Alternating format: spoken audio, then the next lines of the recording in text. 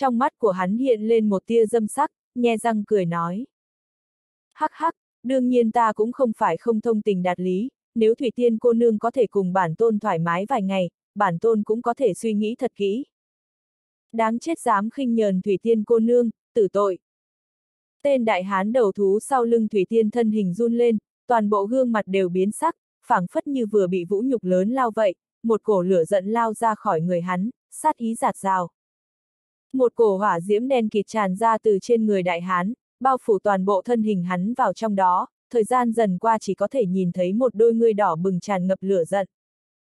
Sắc mặt ba người khác đại biển, hoảng sợ nhao nhao lui ra phía sau mấy bước, lực lượng bạo phát ra từ trên người đại hán này lại không dưới ba người bọn họ, hơn nữa cũng là võ kỹ hỏa hệ.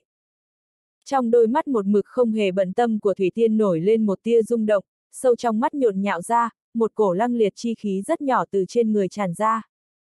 Nàng không nói một lời, nhưng đại hán đầu thú ở sau lưng đã từ khí thức biến hóa trên thân nàng đã hiểu rõ nên làm thế nào. Hắc bạch song thủ, đừng trách ta không có nhắc nhở ngươi, nếu không toàn lực ra tay thì ngươi không còn thấy được mặt trời ngày mai đâu. Đại hán tuy rằng bị ngọn lửa bao lấy toàn thân, nhưng lãnh ý trong đôi mắt nhưng lại như hàn băng vạn năm khiến hai cái đầu hắc bạch song thủ đồng thời hít một hơi lạnh, không đợi hắn làm ra phản ứng, đã thấy một cổ lực lượng vô hình hóa thành núi cao, lăng không đè xuống rồi. Aura aura. Hai cái đầu của hắc bạch song thủ sợ loạn cả lên, hai tay không ngừng vung quyền, trên bầu trời đánh ra vô số tàn ảnh, muốn phá vỡ lực lượng uy áp kia. Lại hoảng sợ phát hiện quyền uy chi lực của mình lại như bọ ngựa đấu xe, không thể dung chuyển uy áp chi lực kia, cái này khiến toàn thân hắn lập tức rét run, ngay cả uy áp vô hình của đối phương cũng không chống được, nếu đối phương động thủ, mình có thể giữ mạng không? Hắn lúc này bị dọa ra thân mồ hôi lạnh, không dám che giấu nữa, hai cái đầu hít mạnh một hơi, sau đó nhổ lên bầu trời. Hai cỗ hỏa diễm một đen một trắng xì ra, truy đuổi vần quanh trên bầu trời, ngưng tụ thành một cái thái cực đồ. Thần sắc lạnh như băng muôn đời không thay đổi của Thủy Tiên tựa hồ nổi lên một tia biến hóa, ngẩng đầu lên nhìn về phía hỏa diễm đồ kia, ánh mắt lộ ra một tia hồ nghi. Đồ này vừa ra, toàn bộ nhiệt độ trên bầu trời bỗng nhiên bay lên, chi qua và hải tộc trên đầu có sừng dài đều biến sắc, vội vàng thối lui mấy chục thước. Uy áp vô hình do đại hán đầu thú kia phóng ra cũng thoáng cái yếu bớt xuống, khiến hắc bạch song thủ trong lòng thầm thở ra một hơi. Thủy Tiên dừng ở hắc bạch thái cực hỏa diễm một hồi, trên mặt hiện lên vẻ thất vọng, nói. Không phải. Sát khí trong mắt đại hán đầu thú bỗng nhiên kéo lên, hai tay bấm ấn quyết trong ngọn lửa màu đen, uy áp chi lực kia lập tức ngưng tụ thành ngọn núi thật thể, cháy lấy hắc hỏa hừng hực, trực tiếp chân áp xuống. Phanh! Hắc bạch thái cực hỏa diễm đổ dưới lực lượng ngọn núi kia lập tức sụp đổ xuống, cả ngọn núi ầm ầm rơi xuống, trực tiếp đặt ở trên người hắc bạch song thủ, tuôn ra hào quang kinh người, từng vòng liệt diễm màu đen gào thét chấn khai, từng đạo tiếng kêu thảm thiết truyền đến, càng ngày càng yếu, cuối cùng biến mất. Trên mặt đại hán đầu thú hiện lên một tia trào phúng, tay phải lăng không nắm lấy, ngọn núi kia nháy mắt hóa thành trưởng ấn bay về, trực tiếp bị hắn hút vào trong lòng bàn tay, nắm chặt nắm đấm thu trở về. Chi qua và cường giả hải tộc sừng dài đều hít một hơi lạnh, cả kinh liên tiếp lui về phía sau, vẻ mặt vẻ kinh ngạc. Tuy rằng đều tu luyện thần thông hỏa hệ, hơn nữa trên bầu trời cũng vừa bị liệt diễm đảo qua, nhiệt độ cực cao, lại không ức chế nổi rét lạnh lan tràn trong lòng. Cường giả hải tộc sừng dài cắn răng nói. Thủy Thiên cô nương vì sao một lời không hợp đã động thủ giết người thế? Hai người không còn ánh mắt thưởng thức và tham lam lúc trước nữa, đều lộ ra sợ hãi thật sâu. Đại hán đầu thú cười lạnh nói. Bởi vì các ngươi không tự mình hiểu lấy, tiểu thư hẹn các ngươi đi ra, là phúc phận các ngươi tu luyện mấy đời, lại dám nói năng lỗ mãng, chết một vạn lần cũng không đủ. Cường giả hải tộc sừng dài mặt như màu đất, sợ hãi nói. Nói năng lỗ mãng chính là hắc bạch song thủ, hắn đã nhận được giáo huấn xứng đáng rồi, hai người chúng ta không biết có thể rời đi được chưa? Đại hán đầu thú lạnh lùng nói. Đồ đê tiện trời sinh, chẳng lẽ cho các ngươi chút giáo huấn mới trở nên trung thực sao? Mục đích tiểu thư mời các ngươi tới đã quên rồi sao? Thi triển ra võ kỹ hỏa hệ, chỉ cần có thể khiến tiểu thư thỏa mãn liền có thể đi, nếu không. Hắc hắc, vừa rồi xong thủ quái kia chính là kết cục đấy. Chi qua nói. Vừa rồi nếu thần thái có chỗ vô lễ, mong rằng Thủy Tiên tiểu thư thứ tội. Hai tay của hắn không ngừng vẽ ra vài vòng trước người, mỗi một đạo hóa ra, liền có một đóa hỏa hoa đua nở, qua một lúc bên cạnh đều là vòng lửa, tất cả lớn nhỏ, một cái lồng lấy một cái. Trên mặt chi qua lộ vẻ tự hào, giải thích nói. Thần thông hỏa hệ của ta tên là. Thanh âm thủy tiên nhàn nhạt vang lên, nói. Ta muốn xem không phải siếc ảo thuật, có thể dừng được rồi. Chi qua sững sờ, không rõ dừng lại ý gì, nhưng lại thấy trên mặt đại hán đầu thú lộ ra mỉa mai và dữ tợn, lập tức trong lòng trầm xuống, bối rối nói. Thủy tiên tiểu thư, tha mạng A. Đại hán đầu thú hử lạnh một tiếng, hắc phiêm trên người đều hội tụ trên quyền phong, lăng không đánh tới. Toàn bộ không gian trực tiếp bị đánh cho biến hình, khoảng cách vài trăm mét giữa hai người lập tức xuyên thấu, hắc phiêm thoáng cái đã nuốt chi qua vào, ngay cả tiếng kêu thảm thiết cũng không kịp phát ra. Lúc này trên toàn bộ trời cao chỉ còn lại tên hải tộc sừng dài kia thôi, sắc mặt của hắn đã sớm cực kỳ khó coi, toàn bộ vạt áo đều bị mồ hôi lạnh thấm ướt. Đại hán đầu thú hắc hắc cười cười, nói. Đến phiên ngươi. Cường giả hải tộc sừng dài lau, chùi đi mồ hôi lạnh trên trán, phản kháng nói. Nếu cuối cùng vẫn khó thoát khỏi cái chết, ta vì sao phải nghe mệnh lệnh của các ngươi? Đại hán đầu thú khoát khoát tay, khinh miệt nói. Phải xem mạng của ngươi rồi, xem thử có phải là người các ngươi muốn tìm hay không, nếu không phải cũng chỉ có thể trách số mệnh ngươi không tốt thôi. Cường giả hải tộc sừng dài xanh mặt, cắn răng hỏi. Thủy Tiên tiểu thư rốt cuộc muốn tìm nhân vật thế nào? Trên mặt Thủy Tiên lộ ra một tia không biết giải quyết thế nào, lắc đầu, nói. Ta cũng không biết, nhưng nhất định có thần thông hỏa hệ rất mạnh sẽ không sai đâu. Nếu thần thông hỏa hệ của ngươi không thể khiến ta thỏa mãn thì nhất định không phải là người ta muốn tìm.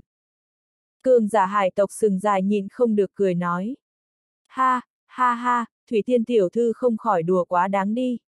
Chỉ bằng điểm này, chẳng lẽ người muốn lật tung toàn bộ Đông Hải để tìm kiếm sao? Không phù hợp yêu cầu đều giết. Thần sắc Thủy Tiên khôi phục bình tĩnh, nói. Đương nhiên không phải, người kia nhất định sẽ xuất hiện tại huyễn bảo đại hội, ta đã đợi ba năm rồi. Ba năm, Thủy Tiên tiểu thư càng nói càng quá tà dị đi. Huyễn bảo đại hội mỗi năm năm tổ chức một lần, chẳng lẽ các người ba năm trước đây đã có hẹn sao? Nhưng nếu thế, người sao lại không biết người mình muốn tìm là người phương nào chứ? Cường giả hải tộc sừng dài trong lòng một hồi phát khổ, chỉ cảm giác như mình gặp phải người tâm thần, hơn nữa còn là một người tâm thần thực lực mạnh mẽ tuyệt đối, phiền toái thật lớn, trong nội lòng hắn đang khổ tư kế thoát thân. Trên mặt Thủy Tiên lộ ra một tia thống khổ, Du Du nói. Ba năm trước đây ta ở đại lục nhân tộc gặp phải một gã chiêm phái, hắn nói cho ta biết trên huyễn bảo đại hội tại đảo hãm không ba năm sau, ta sẽ gặp được người mình muốn tìm. Cho nên ba năm qua, huyễn bảo đại hội đảo hãm không chưa mở ra, ta đã tới rồi. Cường giả hải tộc sừng dài trong lòng lập tức mắng tên chiêm phái kia một vạn lần, vẻ mặt đưa đám nói. Thủy tiên tiểu thư cũng quá trêu người đi. Huyễn bảo đại hội sắp mở ra, trong vòng ngàn dặm nên đến đều đã đến, xa hơn vạn dặm mộ danh mà đến cũng đã đến, cũng chỉ có ba tu sĩ hỏa hệ chúng ta thôi, tiểu thư người bị người lừa dối rồi.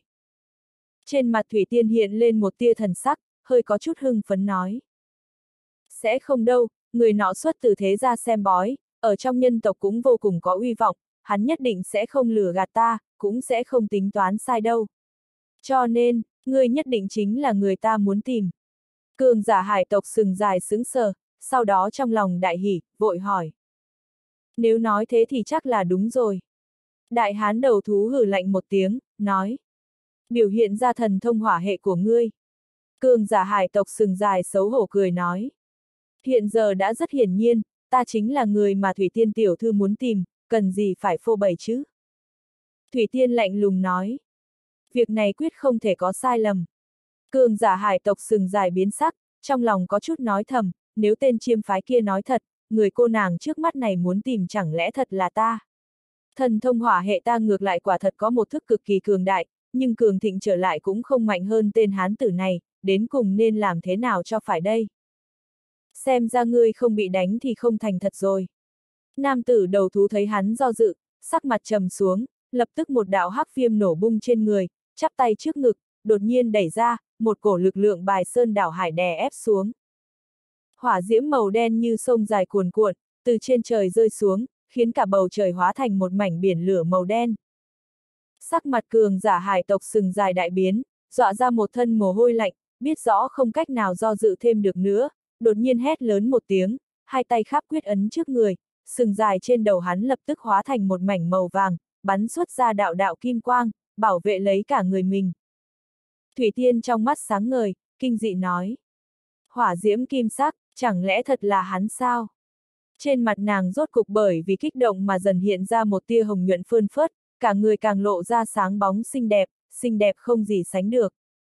Hỏa diễm màu đen không ngừng xoay tròn quanh thân cường giả hải tộc sừng dài, điên cuồng đè ép vào, lại thủy chung không thể đột phá hỏa diễm kim sắc kia. Cường giả hải tộc sừng dài cũng lộ ra vẻ vui mừng, lông mày có chút nhướng lên, song trưởng đột nhiên đẩy ra, quát to. Cổ hoàng tam thái diễm. Trên trán hắn bắn ra đạo đạo kim diễm, thoáng cái nhảy vào trong hắc viêm, màu đen đầy trời trong chốc lát không ngừng có kim mang long lánh trong đó. Đại hán đầu thú tỉnh táo nhìn trạng thái ngọn lửa kia, ngưng giọng nói. Kim diễm này thật sự có chút lợi hại, hẳn là thiên phú thần thông của nhất tộc bọn hắn, nhưng ta cảm giác như vẫn kém yêu cầu của tiểu thư rất xa. Thủy Tiên cũng trầm tư bất định, trong con người tràn đầy vẻ do dự. Đại hán đầu thú nói. Hắc phiêm của ta cũng là thiên phú chi hỏa truyền thừa, hiệu quả không khác gì với kim diễm kia cả. Nếu hắn thật sự là người truyền thừa, vậy chẳng lẽ không phải nhất tộc bọn hắn đều thỏa mãn điều kiện sao? Thủy Tiên cũng có chút đắn đo bất định, lông mày khẽ nhíu, mở miệng nói. Mặc dù là thiên phú thần thông, cũng chưa chắc mỗi tộc nhân đều có thể kế thừa, có lẽ trong nhất tộc bọn hắn chỉ có hắn có kim diễm như vậy cũng nên. Nàng dừng thoáng một phát, lại nói. Thuật bói toán của đoan mộc thế gia người cũng biết, nếu hắn đã có thể suy đoán ra chuẩn xác, vậy nhất định sẽ không sai đâu. Đại hán đầu thú nói. Đã như vậy, vậy ta lại tăng cường thêm vài phần công lực, thử xem tiềm năng của hắn như thế nào. Lúc trước hắn ra tay vậy mà chỉ là thăm dò mà thôi, hiện giờ hắn một tay kết ấn, một cái ký hiệu cổ quái hiển hiện trong tay, trong hắc viêm phía trước đột nhiên xuất hiện một cái ký hiệu y chang vậy, bất quá lại phóng đại hàng trăm hàng ngàn lần, thoáng cái mạnh mẽ đè xuống. ầm ầm, kim diễm trên người cường giả hải tộc sừng dài đột nhiên tán loạn, dưới ký hiệu cổ quái kia, hắc viêm chi lực không biết tăng cường thêm bao nhiêu lần, trực tiếp đánh tan hỏa diễm của hắn, hắn thoáng cái lộ ra vẻ sợ hãi, trong mắt lộ vẻ tuyệt vọng. Thủy Tiên nhướng mày, nói. Ma sa, dừng tay. Đại hán đầu thú nói. Tiểu thư là sợ hắc viêm của ta hỏa táng hắn sao? Nếu hỏa diễm thần thông của hắn ngay cả hắc viêm của ta cũng đỡ không nổi thì sao có thể giúp đỡ cho tiểu thư được chứ? Thủy Tiên im lặng không nói, con người thanh tịnh chăm chú nhìn chằm chằm vào phía trước, mong mỏi kỳ tích xảy ra, mong mỏi hải tộc sừng dài chuyển bại thành thắng. Oanh! Đột nhiên trong hắc viêm truyền đến một tiếng rung mạnh, toàn bộ bầu trời đều bị run rẩy thoáng một phát. Oanh!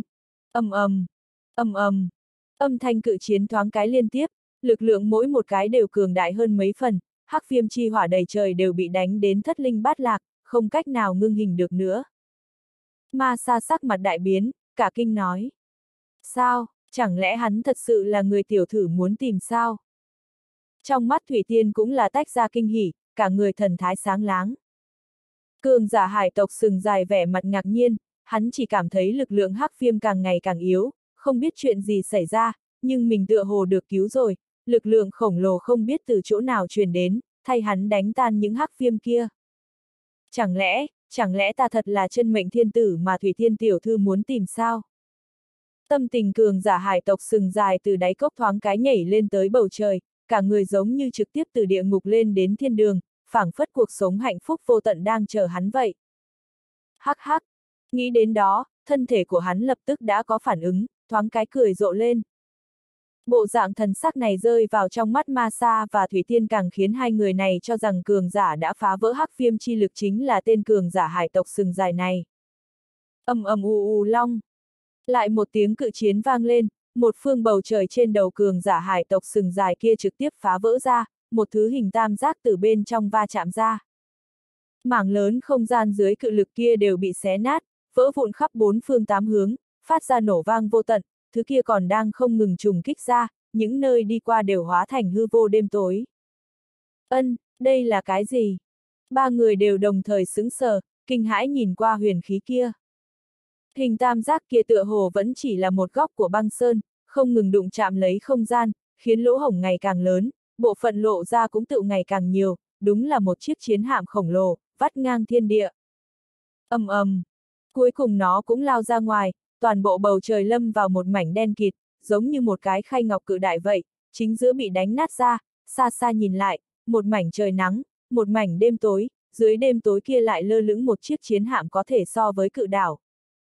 Hơn nữa ngay khi chiến hạm hoàn toàn xông ra, bởi vì tốc độ quá nhanh nên đầu hạm thoáng cái đâm vào trên người cường giả hải tộc sừng dài, hơn nữa trực tiếp bị trận pháp công kích đánh trúng. Phanh!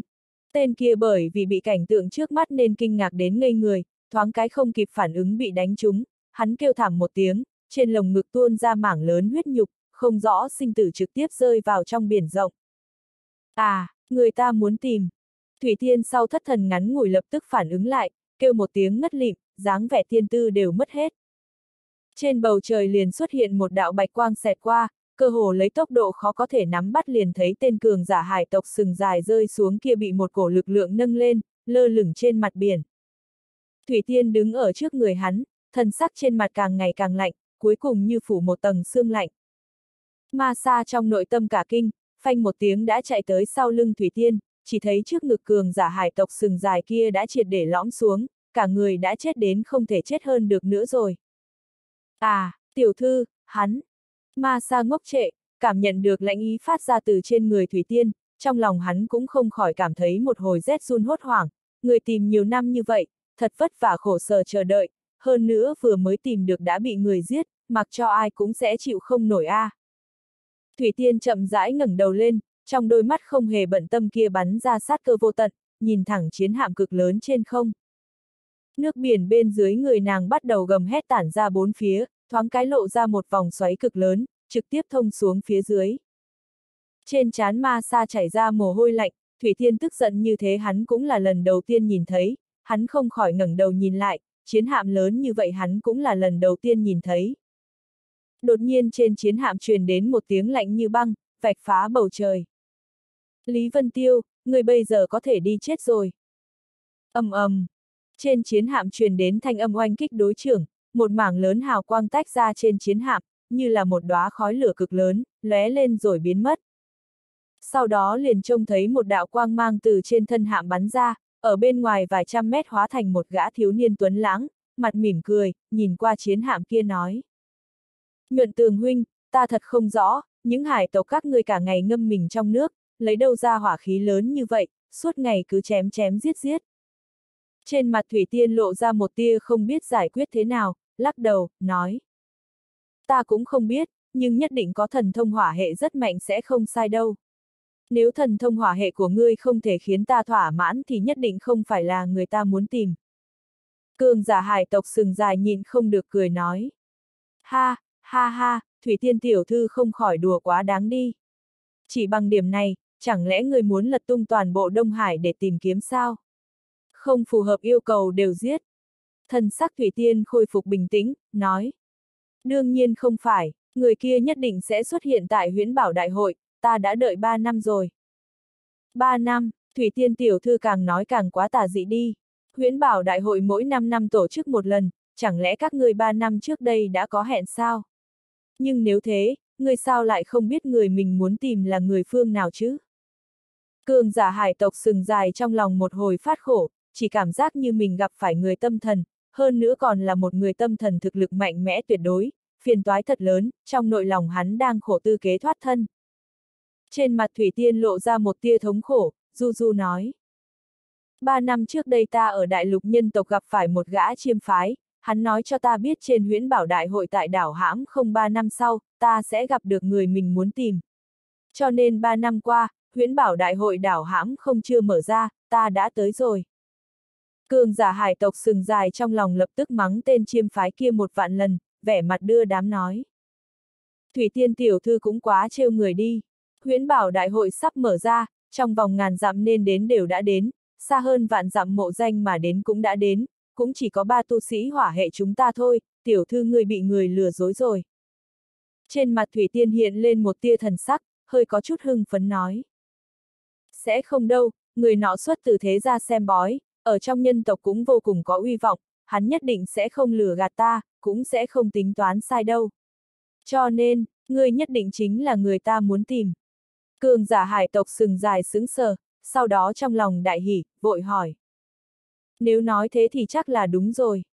Đại hán đầu thú hử lạnh một tiếng, nói. Biểu hiện ra thần thông hỏa hệ của ngươi. Cường giả hải tộc sừng dài xấu hổ cười nói. Hiện giờ đã rất hiển nhiên, ta chính là người mà Thủy Tiên Tiểu Thư muốn tìm, cần gì phải phô bày chứ? Thủy Tiên lạnh lùng nói. Việc này quyết không thể có sai lầm. Cường giả hải tộc sừng dài biến sắc, trong lòng có chút nói thầm, nếu tên chiêm phái kia nói thật, người cô nàng trước mắt này muốn tìm chẳng lẽ thật là ta. Thần thông hỏa hệ ta ngược lại quả thật có một thức cực kỳ cường đại, nhưng cường thịnh trở lại cũng không mạnh hơn tên hán tử này, đến cùng nên làm thế nào cho phải đây. Xem ra ngươi không bị đánh thì không thành thật rồi. Nam tử đầu thú thấy hắn do dự, sắc mặt trầm xuống, lập tức một đạo hắc viêm nổ bung trên người, chắp tay trước ngực, đột nhiên đẩy ra, một cổ lực lượng bài sơn đảo hải đè ép xuống. Hỏa diễm màu đen như sông dài cuồn cuộn, từ trên trời rơi xuống, khiến cả bầu trời hóa thành một mảnh biển lửa màu đen. Sắc mặt cường giả hải tộc sừng dài đại biến, dọa ra một thân mồ hôi lạnh, biết rõ không cách nào do dự thêm được nữa, đột nhiên hét lớn một tiếng, hai tay khắp quyết ấn trước người, sừng dài trên đầu hắn lập tức hóa thành một mảnh màu vàng, bắn xuất ra đạo đạo kim quang, bảo vệ lấy cả người mình. Thủy Tiên trong mắt sáng ngời, kinh dị nói. Hỏa diễm kim sắc, chẳng lẽ thật là hắn sao? Trên mặt nàng rốt cục bởi vì kích động mà dần hiện ra một tia hồng nhuận phơn phớt, cả người càng lộ ra sáng bóng xinh đẹp, xinh đẹp không gì sánh được. Hỏa diễm màu đen không ngừng xoay tròn quanh thân cường giả hải tộc sừng dài, điên cuồng đè ép vào, lại thủy chung không thể đột phá hỏa diễm kim sắc kia. Cường giả hải tộc sừng dài cũng lộ ra vẻ vui mừng, lông mày có chút nhướng lên, song trưởng đột nhiên đẩy ra, quát to. Cổ hoàng tam thái diễm. Trên trán hắn bắn ra đạo đạo kim diễm, thoáng cái nhảy vào trong hắc viêm, màu đen đầy trời trong chốc lát không ngừng có kim mang long lánh trong đó.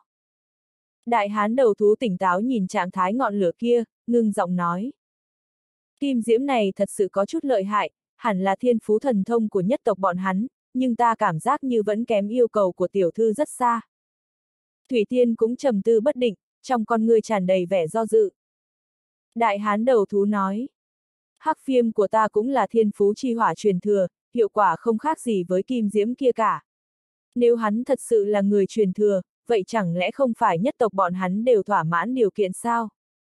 Thủy Tiên cũng có chút đắn đo bất định, lông mày khẽ nhíu, mở miệng nói. Mặc dù là thiên phú thần thông, cũng chưa chắc mỗi tộc nhân đều có thể kế thừa, có lẽ trong nhất tộc bọn hắn chỉ có hắn có kim diễm như vậy cũng nên. Nàng dừng thoáng một phát, lại nói. Thuật bói toán của đoan mộc thế gia người cũng biết, nếu hắn đã có thể suy đoán ra chuẩn xác, vậy nhất định sẽ không sai đâu. Đại hán đầu thú nói. Đã như vậy, vậy ta lại tăng cường thêm vài phần công lực, thử xem tiềm năng của hắn như thế nào. Lúc trước hắn ra tay vậy mà chỉ là thăm dò mà thôi, hiện giờ hắn một tay kết ấn, một cái ký hiệu cổ quái hiển hiện trong tay, trong hắc viêm phía trước đột nhiên xuất hiện một cái ký hiệu y chang vậy, bất quá lại phóng đại hàng trăm hàng ngàn lần, thoáng cái mạnh mẽ đè xuống. ầm ầm, kim diễm trên người cường giả hải tộc sừng dài đột nhiên tán loạn, dưới ký hiệu cổ quái kia, hắc viêm chi lực không biết tăng cường thêm bao nhiêu lần, trực tiếp đánh tan hỏa diễm của hắn, hắn thoáng cái lộ ra vẻ sợ hãi, trong mắt lộ vẻ tuyệt vọng. Thủy Tiên nhướng mày, nói. Ma sa, dừng tay. Đại hán đầu thú nói. Tiểu thư là sợ hắc phiêm của ta hỏa táng hắn sao? Nếu hỏa diễm thần thông của hắn ngay cả hắc phiêm của ta cũng đỡ không nổi thì sao có thể giúp đỡ cho tiểu thư được chứ? Thủy Tiên im lặng không nói, con người thanh tịnh chăm chú nhìn chằm chằm vào phía trước, mong mỏi kỳ tích xảy ra, mong mỏi hải tộc sừng dài chuyển bại thành thắng. Oanh! Đột nhiên trong hắc phiêm truyền đến một tiếng rung mạnh, toàn bộ bầu trời đều bị run rẩy thoáng một phát. Oanh! ầm ầm, ầm ầm, âm thanh cự chiến thoáng cái liên tiếp, lực lượng mỗi một cái đều cường đại hơn mấy phần, hắc viêm chi hỏa đầy trời đều bị đánh đến thất linh bát lạc, không cách nào ngưng hình được nữa. Ma sa sắc mặt đại biến, cả kinh nói. Sao, chẳng lẽ hắn thật sự là người tiểu thử muốn tìm sao? Trong mắt Thủy Tiên cũng là tách ra kinh hỉ, cả người thần thái sáng láng. Cường giả hải tộc sừng dài vẻ mặt ngạc nhiên, hắn chỉ cảm thấy lực lượng hắc viêm càng ngày càng yếu, không biết chuyện gì xảy ra, nhưng mình tựa hồ được cứu rồi, lực lượng khổng lồ không biết từ chỗ nào truyền đến, thay hắn đánh tan những hắc viêm kia. Chẳng lẽ, chẳng lẽ ta thật là chân mệnh thiên tử mà Thủy Thiên Tiểu Thư muốn tìm sao? Tâm tình cường giả hải tộc sừng dài từ đáy cốc thoáng cái nhảy lên tới bầu trời, cả người giống như trực tiếp từ địa ngục lên đến thiên đường, phảng phất cuộc sống hạnh phúc vô tận đang chờ hắn vậy. Hắc hắc, nghĩ đến đó, thân thể của hắn lập tức đã có phản ứng, thoáng cái cười rộ lên. Bộ dạng thần sắc này rơi vào trong mắt Ma Sa và Thủy Tiên càng khiến hai người này cho rằng cường giả đã phá vỡ hắc viêm chi lực chính là tên cường giả hải tộc sừng dài này. ầm ầm u u long. Lại một tiếng cự chiến vang lên, một phương bầu trời trên đầu cường giả hải tộc sừng dài kia trực tiếp phá vỡ ra, một thứ hình tam giác từ bên trong va chạm ra. Mảng lớn không gian dưới cự lực kia đều bị xé nát, vỡ vụn khắp bốn phương tám hướng, phát ra nổ vang vô tận, thứ kia còn đang không ngừng trùng kích ra, những nơi đi qua đều hóa thành hư vô đêm tối. Ân, đây là cái gì? Ba người đều đồng thời sững sờ, kinh hãi nhìn qua huyền khí kia. Hình tam giác kia tựa hồ vẫn chỉ là một góc của băng sơn, không ngừng đụng chạm lấy không gian, khiến lỗ hổng ngày càng lớn, bộ phận lộ ra cũng tự ngày càng nhiều, đúng là một chiếc chiến hạm khổng lồ, vắt ngang thiên địa.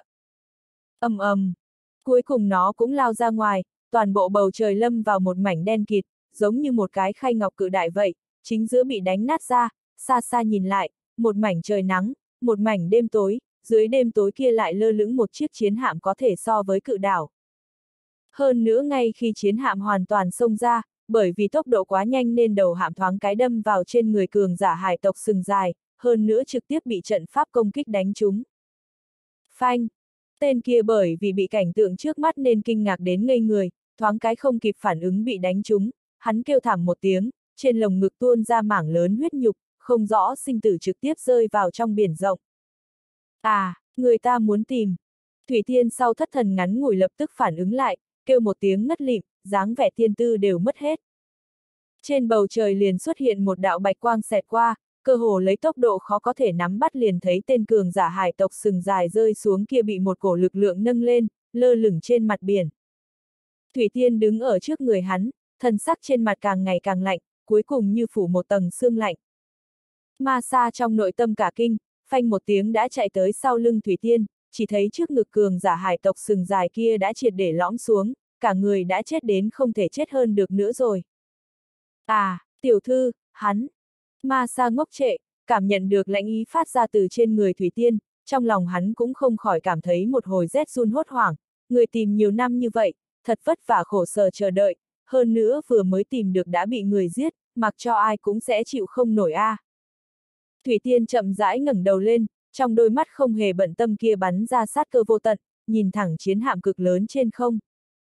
Nước biển bên dưới người nàng bắt đầu gầm hét tản ra bốn phía, thoáng cái lộ ra một vòng xoáy cực lớn, trực tiếp thông xuống phía dưới. Trên chán ma sa chảy ra mồ hôi lạnh, Thủy Thiên tức giận như thế hắn cũng là lần đầu tiên nhìn thấy, hắn không khỏi ngẩng đầu nhìn lại, chiến hạm lớn như vậy hắn cũng là lần đầu tiên nhìn thấy. Đột nhiên trên chiến hạm truyền đến một tiếng lạnh như băng, vạch phá bầu trời. Lý Vân Tiêu, người bây giờ có thể đi chết rồi. ầm ầm, trên chiến hạm truyền đến thanh âm oanh kích đối trưởng, một mảng lớn hào quang tách ra trên chiến hạm, như là một đóa khói lửa cực lớn, lóe lên rồi biến mất. Sau đó liền trông thấy một đạo quang mang từ trên thân hạm bắn ra, ở bên ngoài vài trăm mét hóa thành một gã thiếu niên tuấn lãng, mặt mỉm cười, nhìn qua chiến hạm kia nói. Nhuận tường huynh, ta thật không rõ, những hải tộc các ngươi cả ngày ngâm mình trong nước, lấy đâu ra hỏa khí lớn như vậy, suốt ngày cứ chém chém giết giết. Trên chiến hạm cửu giai, võ giả nhân tộc lập tức bao vây lấy nhuận tường, chiến sự hết sức căng thẳng. Vừa rồi thông đạo vừa vỡ, nhuận tường liền lập tức làm khó dễ, dẫn đầu đánh tới Lý Vân Tiêu khiến cho mọi người cảnh giác. Thần thức Bắc Minh kháng thiên cũng trực tiếp đờ tập trung lấy phi minh, ánh mắt lạnh dần, lạnh giọng nói. Thật sự không để Bắc Minh thế ra ta vào mắt, xem ra chỉ có thể giết hai người các ngươi rồi.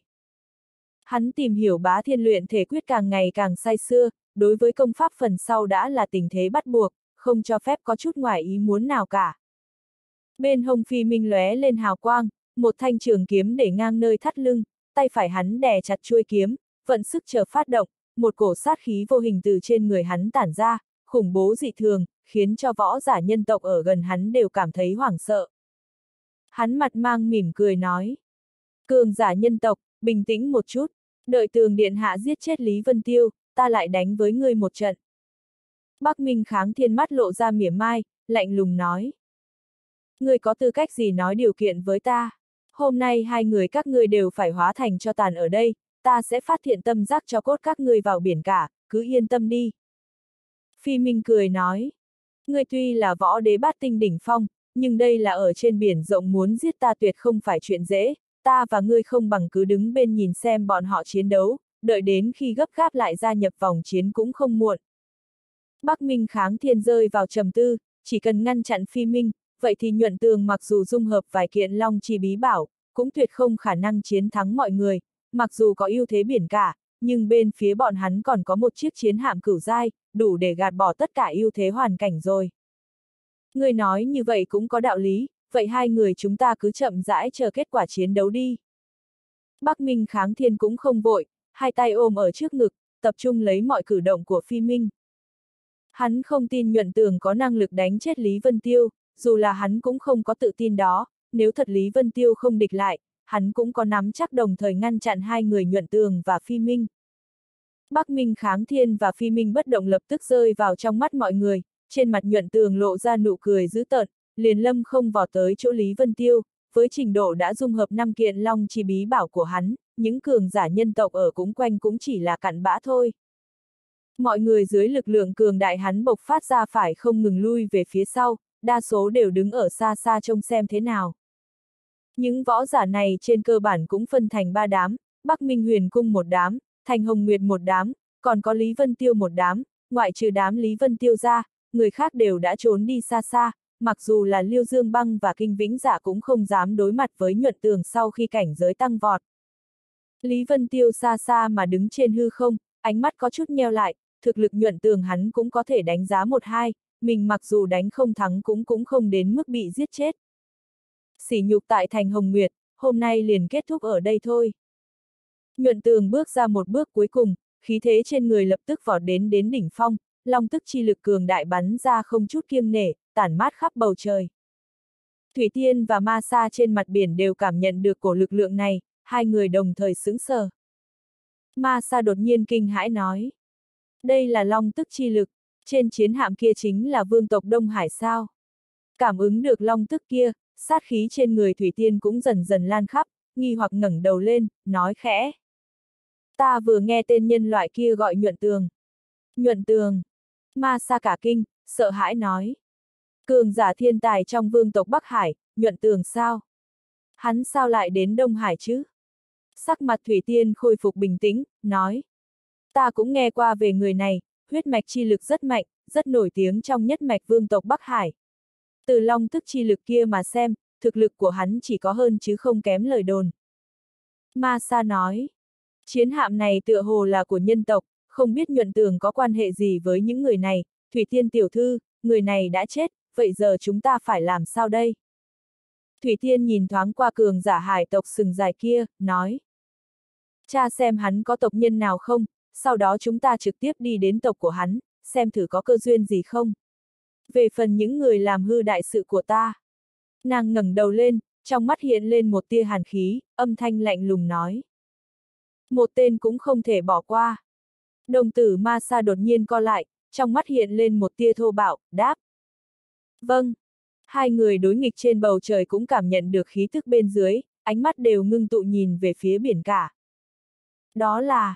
Nhuận tường trong giây lát sắc mặt đại biến, lộ ra vẻ kinh hãi, phảng phất không thể tin, nhìn qua Thủy Tiên không nhiễm một hạt bụi, thoáng cái thậm chí có chút thất thần, kinh hãi nói. Nàng, nàng là... Hắc hắc, xem ra tiểu tử kia đã nhận ra tiểu thư rồi. Ma sa nhe răng cười, ầm ầm một tiếng liền phóng lên trời, đứng ở trên chiến hạm, lạnh lùng nói. Các ngươi có gì ân oán gì chưa xong thì mau tranh thủ thời gian đi, đợi lát nữa ta sẽ đưa các ngươi đi gặp Diêm Vương hết. Gợn sóng trong mắt nhuận tường càng ngày càng sâu, kinh hãi rời ánh mắt khỏi người Thủy Tiên, rơi vào trên người Ma Sa nói. Vị phía dưới kia chính là... Ma Sa lạnh lùng cười cười, lộ ra một tia trào phúng, nói. Tiểu tử ngươi quả nhiên là Bắc Hải nhuận tường, nếu đã nhận ra thân phận tiểu thư, vậy thì ngoan ngoãn bó tay để cho ta chém đi. Sắc mặt nhuận tường đại biến, trong con mắt chớp động lên cảm xúc khó có thể bình phục, kinh quát. Ngươi là cái thá gì, cũng muốn giết ta. Ma Sa mở tay ra nhún hai vai, bộ dạng bất đắc dĩ nói. Mệnh lệnh tiểu thư không có cách nào cả. Ai bảo các ngươi giết người mà tiểu thư một mực muốn tìm chứ? Tất cả mọi người đều lộ vẻ nghi hoặc, không chỉ có hai người Lý Vân Tiêu, mà người còn lại trên chiến hạm cũng đều nhao nhao nhíu mày, ở đâu lại ra một tên hải tộc đầu cá mập, hơn nữa nhìn bộ dáng có vẻ thực lực cũng không thấp. Sắc mặt Bắc Minh Kháng Thiên và Phi Minh lại trở nên ngưng trọng, ánh mắt hai người dò xét qua trên người ma xa một chút, lập tức trong lòng thầm giật mình, hai người vậy mà không nhìn thấu tu vị hải tộc này. Nhuận tường vẻ mặt nghi hoặc nói. Người tiểu thư muốn tìm, có quan hệ gì với ta chứ? Ma sa lắc đầu, nói. Người cũng đã bị chết, không thể giải thích rõ, tóm lại các ngươi đều phải chết. Lý Vân Tiêu nhìn không được cười ha hả, nói. Ha, ha ha, ta thật sự không nghĩ mãi mà không rõ, đám hải tộc các ngươi từ đâu tìm ra loại cảm giác về sự yêu Việt kia thế, muốn giết ai thì giết. Cho mình là thứ gì chứ? Chẳng lẽ tưởng mình là thập phương thần cảnh, hoành hành thiên hạ sao? Hắn lộ vẻ kinh miệt không chút che giấu, khinh thường nói. Nguyên một đám lớn lên hình thù cổ quái, vừa nhìn đã biết là thứ tiến hóa không hoàn chỉnh, cũng quá tự đề cao bản thân rồi. Đáng chết! Ma sa giận tím mặt, quay đầu nhìn về phía nhuận tường, nói. Nhuận tường, giết người này, tiểu thư sẽ tha cho ngươi một mạng. Trên mặt nhuận tường cũng hiện lên một tia không thoải mái, nhìn về phía thân ảnh kia, trong nội tâm khẽ run, liền thu ánh mắt về, lạnh lùng nói. Lời Lý Vân Tiêu nói tuy rằng khó nghe, nhưng cũng có chỗ đúng, mặc dù thật sự là vị tiểu thư kia, người cũng chớ có trang bức trước mặt ta. Đồng tử hắn đột nhiên co lại, bắn ra đạo đạo sát khí, lạnh giọng nói. Ta kính trọng chính là vị tiểu thư kia, về phần tên nô tài ngươi, ngươi tính là thứ gì? Cũng dám quát tháo ta. Sắc mặt ma sa thoáng cái trầm xuống, thậm chí là trở nên có chút vặn vẹo, không gian chung quanh dưới nộ khí của hắn đều thay đổi, trong đôi mắt phun ra lửa giận, gầm nhẹ nói. Đã như vậy, vậy thì lưu ngươi làm gì nữa? Tất cả các ngươi đều chết đi. Một đạo hắc viêm dâng lên từ lòng bàn tay hắn, sáng quắc thiêu đốt trên trời cao, khiến cả thân ảnh ma sa đều bị chiếu dọi có chút hoảng hốt bất định. Sắc mặt Lý Vân Tiêu và nhuận tường đột biến, thực lực ma sa này thâm bất khả chắc, dùng thần thức thuật luyện sư cửu giai của Lý Vân Tiêu cũng không thể dò xét, lúc này hắn mới hiểu được, thì ra là loại hắc sắc ma diễm này có thể trực tiếp thiêu đốt thần trí chi lực của hắn. Hắc ma viêm, đốt cháy vạn vật. Ma sa thần sắc nghiêm nghị, trong mắt tuôn ra sát khí, ma diễm trong tay phanh một tiếng, bạo ra vô số hỏa đoàn, phân biệt vò tới chỗ Lý Vân Tiêu và nhuận tường. Ánh mắt Lý Vân Tiêu lộ ra vẻ ngưng trọng, lực lượng ẩn chứa trong loại hắc viêm này rất mạnh, tuy rằng so với thần hỏa của hắn chỉ như đồ chơi cho con nít, nhưng dưới lực lượng của ma sa, mặc dù là hỏa diễm bình thường cũng không dám khinh thường. Tay trái hắn lật thành trưởng, chân long chi lệ hội tụ nơi lòng bàn tay, hắn nắm chặt lại liền mờ mịt thành một đoàn hơi nước bốc lên, kết thành một đạo thủy kính chắn trước người.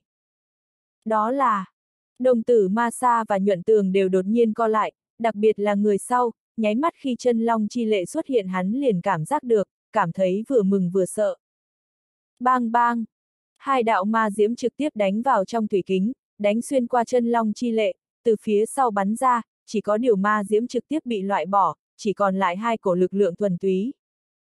Thân thể Lý Vân Tiêu có chút nhoáng một cái, phiêu hốt trên không trung, khiến hai đạo công kích kia trực tiếp xuyên qua thân thể, bắn về phía xa xa. Ánh mắt ma xa lộ ra một tia kinh ngạc, thực lực Lý Vân Tiêu hắn cảm nhận rất rõ, cho rằng giải quyết chỉ cần một chiêu, nhưng không ngờ đối phương lại có thể hóa giải dễ dàng như thế. Bên phía nhuận tường lại vang lên một đạo long ngâm, một quyền lăng không đánh xuống. Long ngâm phương trạch, hổ khiếu sơn lâm. Dầm dầm dầm. Mấy đạo ma diễm kia trực tiếp nổ bung, tay đấm không giảm đánh tới phía trước, mang theo long uy trấn áp tất cả phóng tới ma xa, trong mơ hồ có long hình hóa ra trên quyền uy. Trong một quyền này mang theo sự khinh thường và tức giận của nhuận tường, hậu duệ chân long không phải ai cũng có thể khiêu khích. Đồng tử ma xa hơi co lại, không tránh không né, uy lực một quyền kia trực tiếp đánh lên người hắn, chấn khiến thân thể hắn phải lui về sau mấy chục thước. Lực dư âm của quyền uy chấn khiến bên dưới nổi lên sóng gió kinh thiên, giống như thác nước vọt lên đám mây, sau đó tản trên bầu trời hóa thành vô số bọt nước rơi xuống như mưa rào. Trong mắt nhuận tường hiện lên một tia kiêng kỵ, mà xa vậy mà ngạnh kháng một kích của mình không hề hấn gì, nhưng trên mặt hắn lại lộ vẻ bướng bỉnh, lạnh lùng nói. Nộ tài, không muốn chết thì mau cút cho ta. Một chữ cút nhổ ra, lòng uy nổ bung trên bầu trời, từng vòng chiến ý vô thượng khó có thể địch nổi như Thủy Vân muốn nổ tung lên, phóng tới bốn phía. Đại hải bên dưới cũng xoáy lên sóng to gió lớn, xoay tròn trong phương thiên địa này. Duy chỉ có chỗ Thủy Thiên Lăng không đứng vẫn là một mảnh bình tĩnh như nước, vẻn vẹn chỉ có một đạo rung động rất nhỏ đẩy ra. Cũng không biết là lực lượng nàng ngăn chặn long ngâm, hay là tiếng long ngâm tận lực tránh khỏi nàng nữa. Sắc mặt Thủy Tiên từ đầu đến cuối vẫn chưa từng thay đổi, sóng gió nhẹ nhàng nhấc lên một góc trường y trắng noãn của nàng, như hoa Thủy Tiên chập chờn trong biển rộng, theo gió phiêu lãng. Cực động ở bên ngoài và cực tính của bản thân nàng tạo thành một loại đối lập rất lớn, khiến thân ảnh màu trắng kia trong tâm trí mọi người càng thêm rõ nét. Ma Sa khẩn trương nhìn xuống dưới, trông thấy Thủy Tiên bình yên vô sự, lúc này mới nhẹ nhàng thở ra, trong hai tròng mắt giấy lên ma hỏa, lạnh giọng nói. Không hổ là thiên tài Bắc Hải, hôm nay ta sẽ buông tay đánh một trận, cho ngươi trước khi chết biết rõ cái gì mới là cường đại thật sự. Ban thưởng ngươi một hồi giác ngộ. Ma sa lạnh quát một tiếng, thân thể cực đại bỗng nhiên biến mất trong không gian, dùng tốc độ cực nhanh trùng kích đến trước người nhuận tường, lăng không đánh tới một quyền, toàn bộ không gian trực tiếp nứt vỡ, kinh lực cực lớn đánh tới lồng ngực nhuận tường. Nhuận tường cảm thấy hoảng sợ, tốc độ kia quá nhanh, dùng ánh mắt của hắn vậy mà không tài nào bắt được. Hơn nữa quyền phong kình khí cường đại không thể đỡ, chờ đến khi hắn phát hiện thì đã phá vỡ mất hộ thể long khí của hắn rồi. Chân long pháp thân. Chỉ lực lượng một quyền đã khiến nhuận tường ngửi được nguy hiểm tử vong, hắn sợ hãi giống một tiếng, sau đó thân hóa long hình, từng khối long lân màu vàng trải rộng toàn thân, tản mát ra kim mang sáng chói. Kim mang như một sợi kim châm thật nhỏ, đâm ngược vào quyền mang kia, tiếng xé gió rậm rạp chẳng chịt vang bên tai. Thật là long lân. Ma sa chấn động, ban đầu hắn còn tưởng rằng đó là trạng thái biến hóa của chân long pháp thân, long lân cũng chỉ là do huyết mạch chi lực diễn biến ra mà thôi, ai ngờ trong năm kiện bí bảo mà nhuận tường dung hợp lại có một khối chân long lân phiến. Long uy vô thượng, ai dám phạm. Long lân đã là một đạo hàng rào cuối cùng của chân long rồi, phòng ngự không chỉ có ngoại lực, mà càng bảo vệ tôn nghiêm long uy vô thượng, có lực phản kích rất mạnh. Trên lân phiến tự động kích phát ra vô số kim mang, toàn bộ đều là do long khí ngưng tụ thành, có thể đánh tan vạn vật. Quyền kình của ma sa đột nhiên bị phá khai, nếu cứ tiếp tục oanh kích qua thì cánh tay của mình tất nhiên sẽ bị đánh vụn, hắn cũng không chắc có thể ngăn được vô số kim mang kia phản kích ha không, hộ thể nguyên lực trên quyền phong đã phá, hắn lập tức cân nhắc thu cánh tay về. Cả người nhuận tường đều long hóa, lui ra mấy chục thước mới biến trở về thân người, hắn hoảng sợ nhìn qua ma sa, hai tay lâm không biến đổi, trên 10 ngón tay đều hóa ra long chảo, tản mát ra nhuệ khí dị thường, nhẹ nhàng huy động là đã có thể cắt đứt không gian rồi. Ma sa lạnh lùng nói. Khó trách có lực lượng cường đại như thế, thì ra là không ngừng dung hợp chân long bí bảo, thật sự là cường giả đáng buồn a. À. Chẳng lẽ ngươi không rõ mượn nhờ ngoại lực thủy chung không phải đường chính sao? Trên mặt nhuận tường hiện lên một tia nổi giận, lạnh lùng trào phúng. Ngoại lực, thân thể của ta thân là hậu duệ chân long, làm thế chẳng qua chỉ là dẫn động lực lượng tổ tiên trong bí bảo thôi, đợi ta thu thập cửu bảo, hóa thân chân long thì còn ai dám nói không phải là đường chính nữa. Thu thập cửu bảo hóa thân chân long, ha ha, vương tộc tứ hải vẫn còn ôm giấc mộng không thực tế kia sao? Ma sa nhìn không được cười ha hả, khinh miệt mỉa mai nói. Trong những năm qua, Long chỉ bí bảo đã không còn lại bao nhiêu, nhưng tứ hải ngươi đã thấy ai có thể hóa thân chân Long chưa? Thật sự là hài tử buồn cười a. À. Nhuận tường biến sắc, nhưng lại lơ đánh, lạnh lùng nói. Người khác không thể chưa hẳn ta không thể, tổ tiên không được chưa hẳn ta không được, ngươi chẳng qua chỉ là một ngoại tộc cấp thấp mà thôi, có gì tư cách gì biết rõ chuyện Long Duệ. Tổ tiên ngươi vô số năm trước cũng chỉ là một kẻ đáng thương phủ phục dưới chân chân Long mà thôi. Đáng chết, trước khi chết còn xính miệng lưỡi. Ma sa hét lớn một tiếng, cả người thoáng cái trở nên cao 10 trượng, trực tiếp chấn khai không gian, sau đó hắn duỗi ra bàn tay lớn chụp một chảo tới phía trước, một đoàn hắc viêm lập tức phủ dưới lòng bàn tay, trong mắt của hắn hiện lên một tia hàn mang, hắc viêm lập tức trùng kích mà đi, trực tiếp hóa thành hai đạo biển lửa, phân biệt bắn về phía nhuận tường và Lý Vân Tiêu. Nhuận tường nhắm mắt lại, trở nên cảnh giác vạn phần, thực lực ma sa này thâm bất khả chắc, hắc viêm chi lực mỗi lần xuất hiện đều cường đại hơn vài phần, biển lửa phả vào mặt khiến ngay cả long thức của hắn cũng bị bức lui ra sau. Hắn lăng không nhảy lên, trên 10 ngón móng vuốt sắc bén bắn ra đạo đạo long khí màu xanh, lượn vòng quanh thân hắn giống như xuân tầm nhà tơ, tự quấn chặt lấy mình vậy. Oanh! Hắc viêm kia đánh qua, không ngừng đốt lấy long kén màu xanh kia, không ngừng phát ra tiếng nổ đùng đùng. Bên phía Lý Vân Tiêu cũng nhướng mày, không thoải mái nói. Các ngươi đánh thì cứ đánh đi, khi không lại kéo ta vào làm gì, đầu óc người có vấn đề sao? Trong tay hắn lóe lên hàn quang, một cổ hàn băng chi khí cực lạnh phá thể mà ra, lãnh kiếm băng xương đâm tới một kiếm, thủy khí đầy trời lập tức kết thành băng tinh, đông lại cả một phương bầu trời. Oanh! Biển lửa hắc viêm dưới kiếm khí kia trực tiếp bị chém thành hai khúc, hàn khí quá lớn, vậy mà khiến hỏa diễm bị bổ kia ra kia lập tức đóng băng, hình thành một tác phẩm nghệ thuật cực kỳ xinh đẹp kết trên không trung. Mà khiến người hoảng sợ chính là, những hắc viêm kia rõ ràng bị đông kết nhưng vẫn còn lập lòe nhảy lên trong khối băng, chứng minh chúng vẫn còn thiêu đốt. Loại hiện tượng cổ quái này khiến tất cả mọi người đều sững sờ, mặt lộ ra thần sắc cổ quái. Bất quá võ giả trên chiến hạm đã sớm thối lui ra xa xa, sợ bị tai bay vạ gió. Bắc Minh Kháng Thiên và Phi Minh cũng chằm chằm vào nhất cử nhất động của Ma Sa muốn bảo hộ chu toàn người mình muốn bảo hộ. Đồng tử Ma Sa đột nhiên co lại, mắt lộ ra hung mang, không thể tưởng được thực lực hai người mạnh đều mạnh trên dự tính của hắn, bên phía nhuận tường đã bị ma diễm vây quanh, chỉ cần đốt cháy long kén kia là có thể lấy mạng hắn, cho nên hắn chuyển ánh mắt qua, hai tay vung vẩy hai người thoáng một phát. Dầm dầm dầm, băng cứng đầy trời thoáng cái nổ tung, hóa thành vô số tinh bụi, ma diễm vọt ra hội tụ trên trời cao, ngưng tụ thành một tòa núi nhỏ thật thể ầm ầm rơi xuống chỗ Lý Vân Tiêu. Con mắt Lý Vân Tiêu ngưng tụ, lộ ra thần sắc kinh ngạc cười nói. Thú vị! Tay trái hắn bấm niệm pháp quyết, thái cổ thiên mục bỗng nhiên mở ra, 11 chuôi bắc thiên hàn tinh kiếm bỗng nhiên bay ra, ngưng tụ thành một cái kiếm phủ chém tới tòa núi nhỏ kia. Phanh! Sơn thể màu đen tựa hồ lực lượng thật lớn, sau khi bị áp chế ngắn ngủi liền trực tiếp chấn vỡ kiếm phù Lý Vân Tiêu mặt không đổi sắc, tay trái biến đổi quyết ấn, bắn ra một đạo kim mang, 11 chuôi kiếm trên bầu trời lập tức phóng xạ ra kiếm khí chi hải, hơn nữa làm thành một vòng, nhao nhao cắm ở bốn phía tiểu sơn, lần nữa ngưng ra một cái ký hiệu hoàn toàn vây khốn tiểu sơn vào trong kiếm đồ. Ma sa chấn động, trong mắt cơ hồ như muốn lồi ra, ngọn núi màu đen an nì chính là một kiện dị bảo, cùng một nhịp thở với hắc viêm của hắn, cả hai hỗ trợ lẫn nhau, uy lực cực lớn, cơ hồ là ra tay nhất định lấy mạng. Sắc mặt ma sa trầm xuống, bàn tay cực lớn chụp một cái trên không trung, lập tức cầm chặt một cái ký hiệu cổ quái màu đen lật trưởng vỗ xuống dưới. Trong núi nhỏ màu đen bị kiếm đổ vây khốn lập tức truyền đến tiếng nổ ầm ầm, muốn phá cấm mà ra, 11 chuôi bắc thiên hàn tinh kiếm cắm ở bốn phía rung động lắc lư không thôi. Lý Vân Tiêu ánh mắt lạnh lẽo, lộ ra một tia trào phúng, quyết ấn trong tay lại biến, lập tức hóa thành kim thân pháp tướng ba đầu sáu tay, trong đó một cánh tay giơ lên mộ vân kính.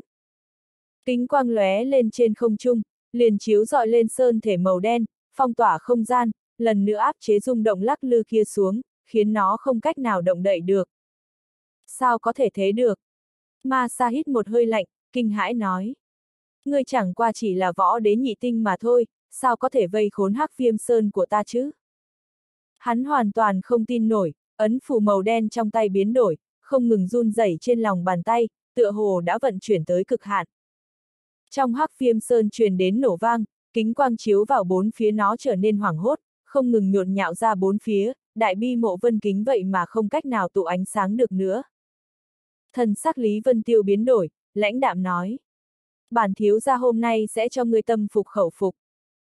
Hai cánh tay sau lưng một cái ngưng tụ ra lôi cầu, một cái khác lại dơ thiên trùy lên cao, không ngừng oanh kích lấy lôi cầu kia, ma ha cổ văn màu vàng hiển hiện trong lôi đình, bên người Lý Vân Tiêu phút chốc liền hóa thành một mảnh điện hải lôi ngục. Lôi tinh hoàn. Gương mặt tuấn tú của hắn dưới sự chiếu rọi của thanh sắc lôi quang càng lộ ra lạnh như băng, hắn khẽ quát một tiếng, một đạo thiểm điện phá không mà ra, hóa thành lôi tinh hoàn cực mạnh, thoáng cái đã quấn quanh bốn phía hắc viêm sơn.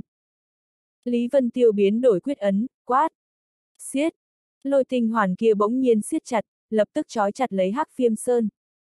Kính quang đại bi mộ vân kính lần nữa ngưng tụ, huy sái mà xuống, hoàn toàn chấn trụ lấy không gian.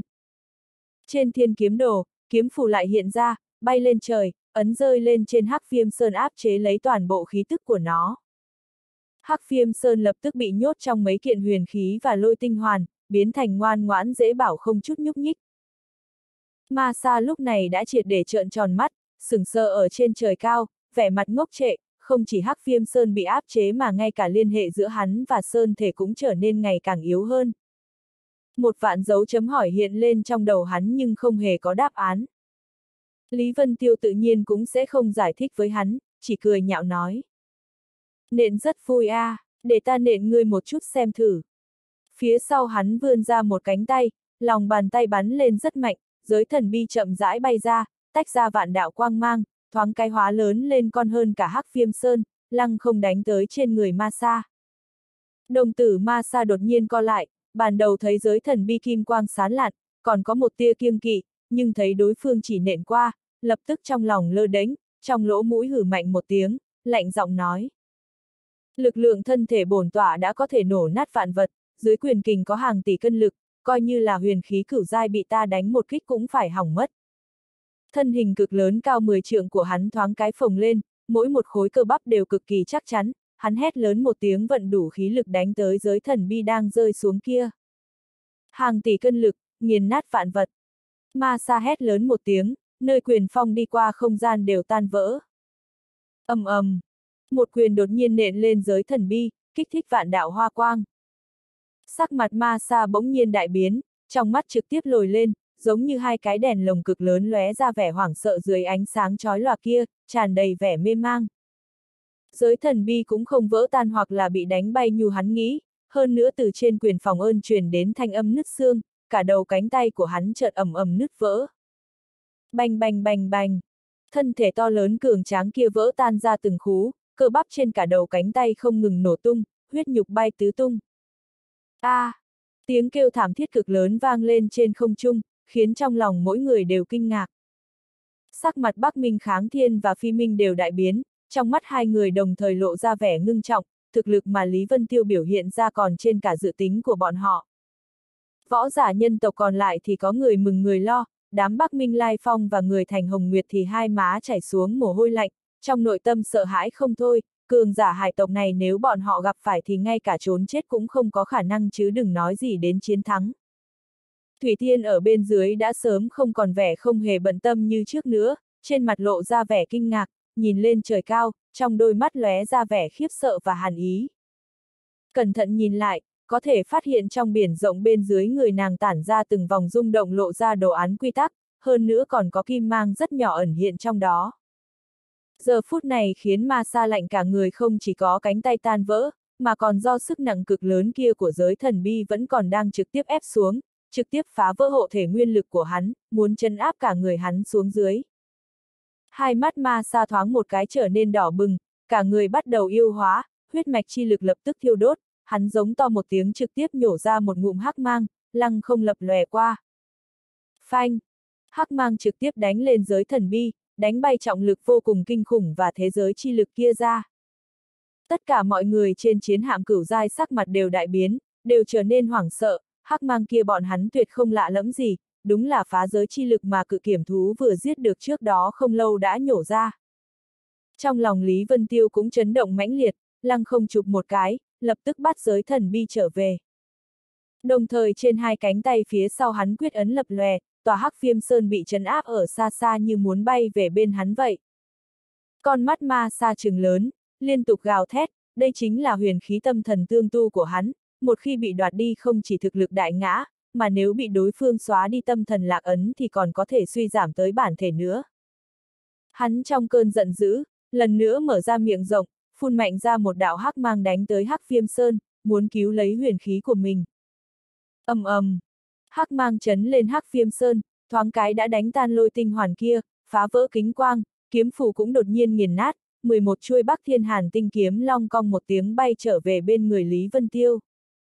Sắc mặt Lý Vân Tiêu trầm xuống, hắc mang kia quả thật quá mức cường đại, có phá giới chi lực, khó có thể địch nổi. Sau khi ma sa liên tiếp nhổ ra hai ngụm hắc mang thì khí thức cả người trở nên cực yếu, hắn cũng không quản được nhiều như vậy, phi tốc chộp tới hắc viêm sơn của mình, thu hồi huyền khí mới là chuyện quan trọng nhất. Đột nhiên một đạo âm thanh lạnh như băng vang lên. Trong hắc phiêm một mực khốn lấy nhuận tường đột nhiên bắn ra một đạo thanh mang, chém trọn biển lửa thành hai khúc, trong không gian hoảng hốt hỏa diễm chiếu rọi, thân ảnh nhuận tường như ẩn như hiện, hai tay của hắn hợp trước người, kết xuất ra một đạo long ấn, trong miệng thở khẽ nói. Chân long chi thán tức. ầm ầm, bầu trời bỗng nhiên trầm xuống, một cổ long uy cực mạnh từ trên trời rơi xuống, chấn nhiếp tứ cực bát hoang. Tất cả mọi người đều hoảng sợ biến sắc, nguyên một đám hoảng sợ không thôi, giống như có một cổ uy năng kinh thiên ép thẳng vào hồn phách vậy, run rẩy cực lớn lan tràn trong lòng mọi người, những tê võ giả không đủ thực lực càng hoảng sợ đến mức muốn quỳ xuống triều bái.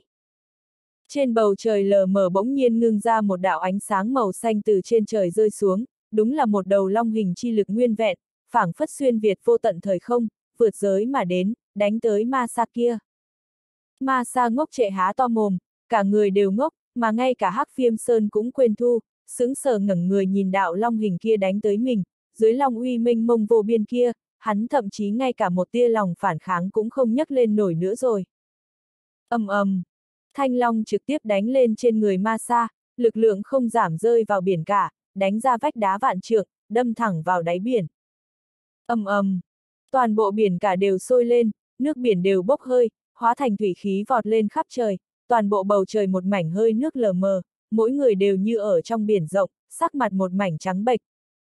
Trong mắt Lý Vân Tiêu cũng hiện lên vẻ kinh ngạc, hoảng sợ nhìn qua hố sâu không biết đâm thẳng vào bao sâu trên mặt biển kia. Hắn rơi vào trầm tư, nếu vừa rồi long hình chi lực kia đánh lên người mình thì mình có thể tránh nét không, nhưng lại không có bất kỳ nắm chắc nào cả, trong lòng không khỏi phát lạnh, nhìn qua thân ảnh trong hơi nước mờ mịt kia, trong mắt hắn hiện lên một tia kiêng kỵ. Nước biển bên dưới không ngừng gào thét, kinh đào một lớp lớn hơn một lớp, cơ hồ như muốn cuốn trôi cả bầu trời, cũng như tâm cảnh khó có thể bình yên của tất cả mọi người vậy. Trong lòng bàn tay Bắc Minh Kháng Thiên cũng đổ ra mồ hôi lạnh, khó giấu kinh hãi trong mắt. Phanh! Biển cả gầm thét đột nhiên bị một đạo kim mang phá vỡ, Thủy Tiên biến mất ở trong kim quang kia chợt phóng lên trời. Ở sau lưng nàng là một gã vệ sĩ khôi lỗi toàn thân kim giáp hai tay ôm lấy ma sa toàn thân đều là máu, da chóc thịt bong, không biết sinh tử. Kim mang trên người Thủy Tiên như liệt dương lâm không, thoáng cái đã xua tan tất cả hơi nước, bầu trời vạn giảm thoáng cái lại sáng sủa như trước.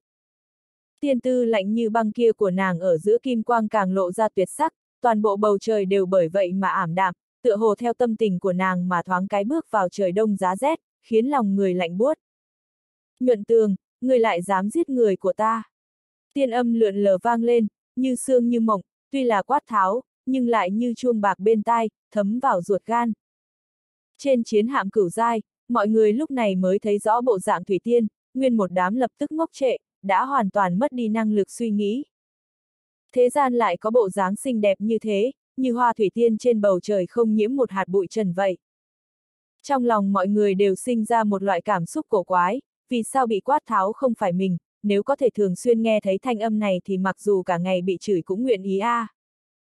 Bọn hắn thoáng cái liền cảm thấy hâm mộ ghen ghét nhuận tường, có thể được mỹ nhân như thế quát tháo, có thể nói chuyện với mỹ nhân như thế, bọn hắn lập tức đã quên mất sự khủng bố của nhuận tường, nguyên một đám đều ghen ghét nhìn hắn. Nhuận tường trong lòng chấn động, lại không dám nhìn thẳng vào ánh mắt Thủy Tiên, đầu có chút nghiêng qua, phất ống tay áo một cái, hừ lạnh nói. Hừ, người phạm Long Uy, chết không có gì đáng tiếc, đây chẳng qua chỉ là kết cục của hắn mà thôi. Ngươi! Thủy Tiên sừng sốt một chút, trước nay chưa từng có người dám chống đối nàng như thế, thoáng cái chợt có chút không kịp một cái, chỉ có thể nói lại lần nữa. Ngay cả người của ta cũng dám giết, người thật to gan. Hừ, vào một khắc mạo phạm ta, kết cục của hắn cũng đã định rồi, vận mệnh không thể sửa đổi. Hai tay nhuận tường phụ ở sau lưng, trên mặt hiện lên vẻ bướng bỉnh, lạnh lùng nói. Hắn có kết cục này chẳng lẽ không phải do thói quen của tiên nhi công chúa ngươi sao?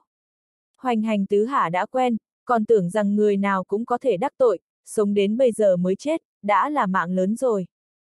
Ngươi, ngươi, Thủy Tiên tức đến không biết nên nói gì mới tốt, nàng chưa từng có kinh nghiệm cãi nhau, cũng không biết nên mắng người thế nào, thoáng cái nghẹn lời, sau đó nói.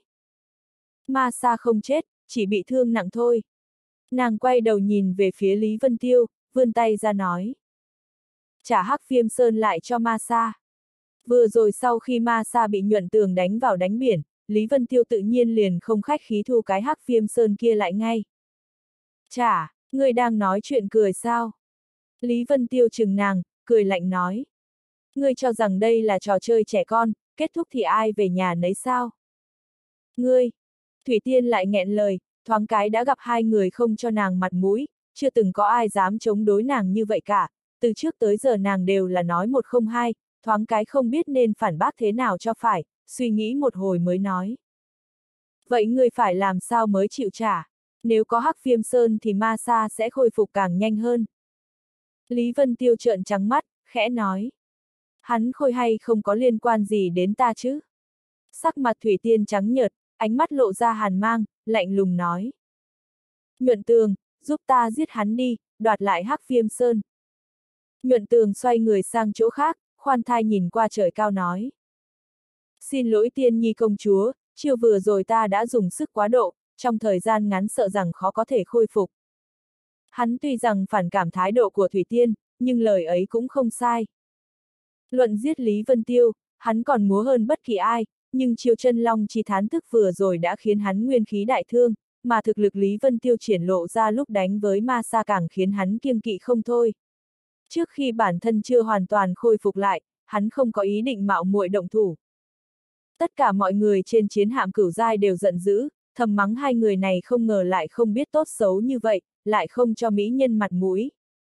Một đạo thân ảnh bước ra khỏi chiến hạm, thân hình yêu nhã, cử chỉ tiêu sái. Đúng là Bắc Minh Lai Phong, hắn không biết đâu lấy ra một cây quạt lông, khẽ vẫy vẫy, bước vài bước tới trước mặt Thủy Tiên khẽ cười nói. Tại hạ thiếu chủ Bắc Minh huyền cung, Bắc Minh Lai Phong, bái kiến cô nương. Thủy Tiên ánh mắt lạnh lẽo, lạnh giọng nói. Cút!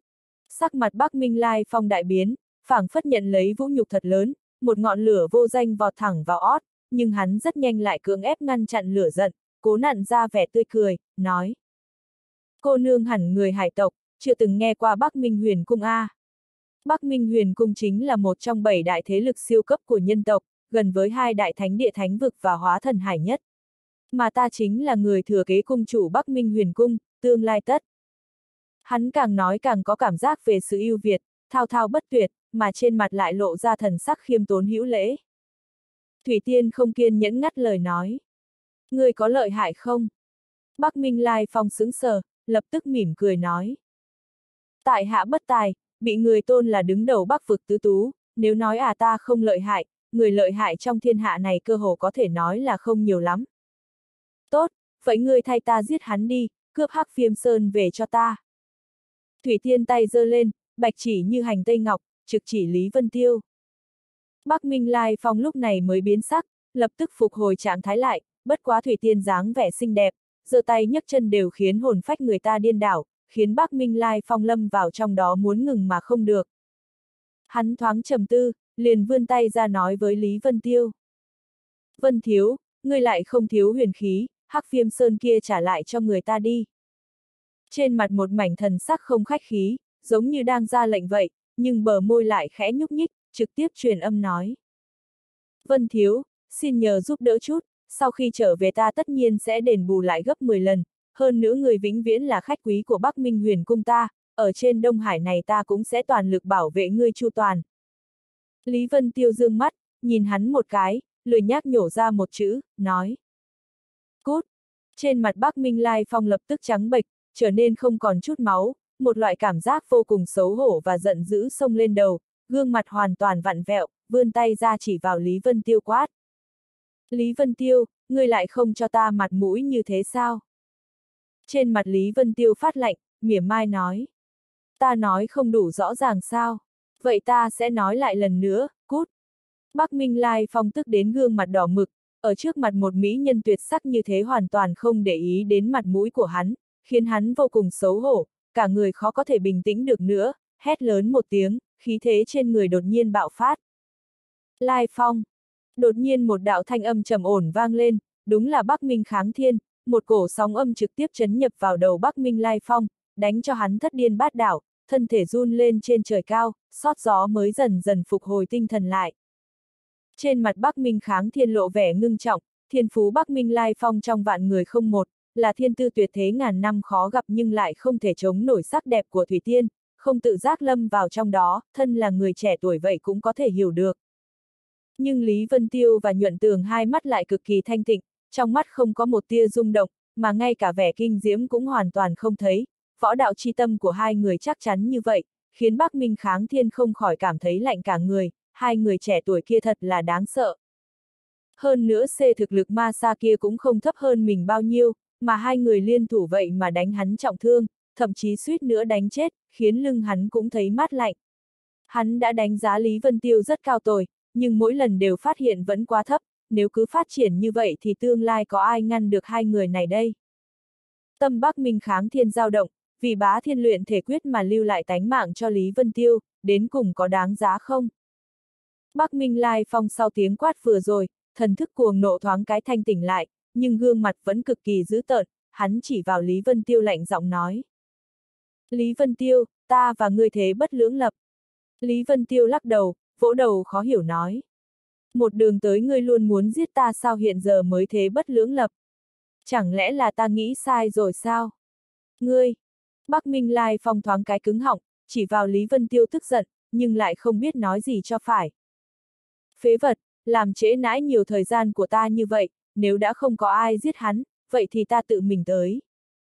Thủy Tiên tức giận đạp mạnh dưới chân, nâng lên bàn tay như ngọc trắng kết ấn trên không trung.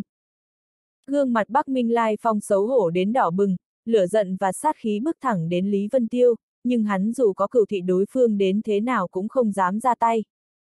Ao ao! Theo Thủy Tiên kết xuất quyết ấn trước người, kim quang quấn ở bên người nàng lại sáng hơn vài phần, trong biển rộng bên dưới đột nhiên nhấc lên gợn sóng, một đạo âm cổ vang lên trong trời cao, mỗi một chữ đều ẩn chứa quy tắc rất mạnh, chấn thẳng vào lòng mọi người. Sắc mặt Lý Vân Tiêu đại biến nhìn lại biển rộng, chỉ thấy trên mặt biển bên dưới chợt hiện lên mảng lớn bóng mờ. Lại ngẩng đầu lên nhìn kim quang quanh thân Thủy Tiên, còn có từng đạo âm cổ khiến nhân tâm rung động kia, trong mắt hắn tràn đầy hoảng sợ, hắn rốt cuộc đã biết lai lịch của nàng này rồi, sắc mặt trầm xuống, lạnh lùng nói. Con gái hải hoàng ba ra sao? Thân hình Thủy Tiên và Nhuận Tường đều chấn động, lộ ra vẻ giật mình, không biết Lý Vân Tiêu vì sao có thể nhận ra thân phận của nàng. Tất cả cường giả nhân tộc còn lại, kể cả phi minh cũng cực kỳ sợ hãi, nguyên một đám tâm thần đại chấn, hoảng sợ không thể tưởng tượng nổi nhìn qua Thủy Tiên. Tuy rằng bọn hắn cũng đoán được nàng này lai lịch bất phàm, nhưng như thế nào cũng không dám nghĩ lại là công chúa của ba gia chủ nhân Tứ Hải. Thủy Tiên đang muốn nói gì đó, đột nhiên một đạo cầu vòng vắt ngang trời cao, từ đằng xa đuổi tới, trực tiếp đám xuống bên người mọi người, rơi vào trong biển rộng. Toàn bộ bầu trời thoáng cái trở nên tinh không vạn lý, biển cả cũng dần trở nên yên ả, sóng cả dần dần dẹp loạn. Hư ảnh mà Lý Vân Tiêu thấy trên mặt biển cũng chậm chậm biến mất không thấy gì nữa, hắn lộ ra vẻ nghi hoặc, nhíu mày nhìn về phía thải quang kia. Bên đầu kia cầu vòng là một tòa đảo lớn ở xa xa, một đám vân vụ bao phủ, linh khí bức người. Có khách từ phương xa tới lại không đón tiếp từ xa, thất lễ a. À. Một đạo thanh âm du dương kéo dài vang lên trên không trung, liền thấy trên cầu vòng có một đạo thân ảnh đang đi tới. Người đến tiên phong đạo cốt, mặt mỉm cười, mỗi bước ra một bước liền có một đạo rung động tản ra dưới chân, như sinh hoa sen vậy. Lý Vân Tiêu sững sờ, hắn mắt sáng như đuốc, thoáng cái đã phát hiện ra người đến đúng là một gã nhân tộc. Thịnh hội đảo hãm không mở ra, khó được có đông đảo đại năng chi sĩ thế này đường xa đến, quả thật là vinh hạnh cho chúng ta. Tại hạ triệu văn chiến đảo hãm không thay mặt đại đảo chủ đến cung nghênh chư vị. Người nọ đi vài bước đã đến trước mặt mọi người, ngẩng đầu nhìn thoáng qua chiến hạm cửu giai, sau đó ánh mắt rơi vào trên người Thủy Tiên khẽ gật đầu mỉm cười, sau đó ánh mắt lại đảo qua mọi người, như chuồn chuồn lướt nước vậy, nhưng mỗi người đều cảm thấy trong lòng mát lạnh, giống như dưới cái thoáng nhìn tùy ý kia tất cả bí mật trong lòng đều lộ ra vậy. Nhưng có mấy người ngoại lệ, Lý Vân Tiêu chính là một trong số đó. Ánh mắt Triệu Văn Chiến quét qua trên người Lý Vân Tiêu liền không rời đi nữa, ngừng lại cao thấp dò xét hắn một phen, lúc này mới kinh ngạc nói. Tiểu huynh đệ là thuật luyện sư cửu giai sao? Trong mắt Lý Vân Tiêu hiện lên một đạo ánh sáng nhạt, lạnh lùng nói. Các hạ không phải cũng thế sao? Mọi người đều kinh hãi, thế mới biết nam tử trước mắt này cũng là thuật luyện sư cửu giai. Phải biết rằng trong tứ hải thuật luyện sư rất khan hiếm, cho nên địa vị cực cao, không thể tưởng được tùy tiện trên một hòn đảo cũng có thuật luyện sư cửu giai, có thể thấy thực lực đảo hãm không cũng không bình thường chút nào. Mặc dù là Thủy Tiên nghe vậy cũng nhìn không được thay đổi sắc mặt, nhìn Lý Vân Tiêu thêm vài lần, nói. Thì ra ngươi là thuật luyện sư cửu giai, chỉ cần ngươi giao ra hắc phiêm sơn, hơn nữa hiệu chung với ta, ta có thể tha chết cho ngươi. Lý Vân Tiêu không kiên nhẫn phất phất tay, nói. Ta phiền nhất là loại lời não tàn này, phiền ngươi câm miệng đi có được không? Đừng tưởng rằng ngươi rất xinh đẹp nam nhân sẽ bán mặt mũi cho ngươi, ngoại trừ đám cóc tinh trùng lên não kia, ai để ý đến ngươi chứ? Ngươi! Thủy Tiên và Bắc Minh Lai Phong đồng thời giận dữ. Thủy Tiên tức đến sắc mặt trắng bệch, nói. Ngươi biết thân phận ta còn dám đối với ta như vậy, ngươi, ngươi không sợ chết sao? Trong lòng mọi người đều khó hiểu nhìn qua Lý Vân Tiêu, công chúa Ba Gia, nói là một trong các nhân vẫn quyền thế nhất trên đời này cũng không đủ, là tồn tại mà ngay cả thánh vực và hóa thần hải cũng không dám đắc tội. Không nói đến hiện giờ còn trên đại dương bao la, cho dù về tới đại lục, cũng không dám đắc tội tới người bối cảnh lớn như thế a. À. Lý Vân Tiêu cau mày nói. Ngươi có ý gì, chẳng lẽ biết thân phận của ngươi phải quỳ xuống thẻ lưỡi ra liếm đế giày ngươi sao? Thủy Tiên sững sờ, nàng vốn không am hiểu cãi nhau, trong lúc nhất thời nói không ra lời. Lý Vân Tiêu lạnh lùng nhìn chằm chằm vào nàng, hừ nhẹ nói. Không có ai từ nhỏ đã cao quý hoặc là thấp hèn cả, tất cả tôn vinh và địa vị đều là kết quả do bản thân cố gắng, ngươi chẳng qua sinh ra huyết mạch lợi hại một chút thôi, chẳng lẽ người khác phải bỏ qua tôn nghiêm thẻ lưỡi ra liếm giày cho ngươi sao? Tất cả mọi người đều há to mồm, có chút ngây dại. Trong thế giới mạnh được yếu thua này, thực lực chính là tôn nghiêm, chính là quyền nói chuyện, không có thực lực phải quỳ gối liếm chân người khác, đây chính là pháp tắc đã được công nhận. Nhưng lời Lý Vân Tiêu nói lại đánh thẳng vào lòng mọi người, đúng vậy a, à, ai trời sinh đã muốn lẻ lưới ra liếm giày cho người khác chứ, các ngươi chẳng qua chỉ là xuất thân tốt một chút thôi. Nhuận tường cũng nhíu mày trầm tư. Lý Vân Tiêu lăng không vỗ một trường xuống biển, một đạo cột nước sông lên, hắn vươn tay chụp lấy, liền nắm một đầu cá hố trong tay, lạnh lùng nói. Trong mắt ta, ngươi cũng chẳng khác gì con cá hố này cả. Nói xong, hắn liền ném con cá kia lại vào biển, nói. Ít nhất con cá hố này mỗi ngày đều vì cuộc sống của âm inh mà cố gắng phấn đấu lấy, mà ngươi thì sao? Cả ngày ỉ vào ra thế, đi ra ngoài hoành hành không sợ, nói ra ngươi con không bằng cả nó ấy chứ. Thủy Tiên cả kinh há to miệng, lắp bắp nói. Ngươi, ngươi, ngươi dám nói ta không bằng cá hố kia. Ngươi, ngươi tội chết. Sắc mặt Lý Vân Tiêu phát lạnh, khẽ nói. Tội chết, tật xấu lại tái phát, nên về nhà uống thuốc đi thôi. Thủy Tiên nhịn một bụng tức giận, nhưng lại không biết nổi giận thế nào, lời của đối phương nói cũng rất có đạo lý, nhưng trung quy lại không biết không đúng ở chỗ nào, nàng chỉ biết mỗi câu đối phương đều khiển trách nàng, chỉ mũi nhọn về phía nàng, nhưng nàng lại không thể nào phản bác, hai mắt liền đỏ lên, thoáng cái như muốn khóc. Tất cả mọi người đầu đầy mồ hôi, trong thiên hạ này có gan dám nhục mạ con gái Hải Hoàng, ngoại trừ Lý Vân Tiêu ra, sợ rằng khó tìm ra người thứ hai a. Nhuận tường cũng cổ quái nói không nên lời, thầm nghĩ tính cách Lý Vân Tiêu này quả nhiên là không muốn sống, nhưng trong lòng cũng sinh ra một tia khâm phục đối với hắn, chỉ có loại dũng giả chi tâm không sợ hãi này, mới có thể đạt được thành tựu ngạo nghễ như thế. Trong lòng Triệu Văn Chiến cũng cười khổ không thôi, thân phận Thủy Tiên hắn đã sớm biết rõ, không thể tưởng được còn có người không bán mặt mũi cho nàng như thế, thật đúng là lần đầu tiên nhìn thấy. Bất quá người trẻ tuổi trước mặt này bằng ấy tuổi đã là thuật luyện sư cửu giai, nghĩ đến cũng là hạng người tâm cao khí ngạo, hơn nữa bối cảnh sau lưng nhất định sẽ không đơn giản. Hắn thấy hào khí giữa hai người càng ngày càng xấu hổ, lại không ai đi ra giảng hòa, sợ sẽ nháo ra chuyện lớn khó có thể thu thập, vội vàng nói. Chư vị đều là hào kiệt cái thế, có thể gặp mặt ở lãnh địa đảo hãm không đã là có duyên, mong rằng đều bán cho đảo hãm không ta chút mặt mũi, buông tha ân oán gút mắc, cùng nhau lên đảo uống chén trà chờ đợi huyễn bảo đại hội mở ra có được không? Tất cả mọi người hai mặt nhìn nhau, đảo hãm không và huyễn bảo đại hội gì đó trước giờ vẫn chưa từng nghe qua, ánh mắt mọi người đều nhìn phía Bắc Minh Kháng Thiên và Bắc Minh Lai Phong, dù sao hai người bọn họ mới là lĩnh đội. Bắc Minh kháng thiên nhíu mày, xa xa chắp tay nói. Chúng ta cũng chỉ là trong lúc vô tình đi ngang qua đây thôi, cũng không có ý quấy rầy, cũng không nhọc chư vị, thay ta vấn an đại đảo chủ của các ngươi a. À. Đảo hãm không xem ra tuyệt không đơn giản, mục đích của bọn hắn là di chỉ vương cung Đông Hải, sợ xảy ra chuyện phức tạp nên liền định cáo từ. Thủy Tiên vội vàng hô lên với Lý Vân Tiêu. Ngươi không thể đi, Hắc Phiêm Sơn còn chưa trả lại ta mà, ta phải cứu ma sa. Lý Vân Tiêu quay đầu, tà tà cười, nói người phải cứu ma sa có liên quan gì đến ta chứ? Người là nhuận tường đả thương, người nên tìm hắn mới đúng. Thủy Tiên sửng sốt một chút, nghĩ thầm, đúng vậy a, à, ta cứu ma sa quan hệ gì đến hắn. Người chính là do nhuận tường đả thương mà. Thần sắc trong mắt nàng lập tức lạnh xuống, giống như hàn băng tháng 12 nhìn qua nhuận tường.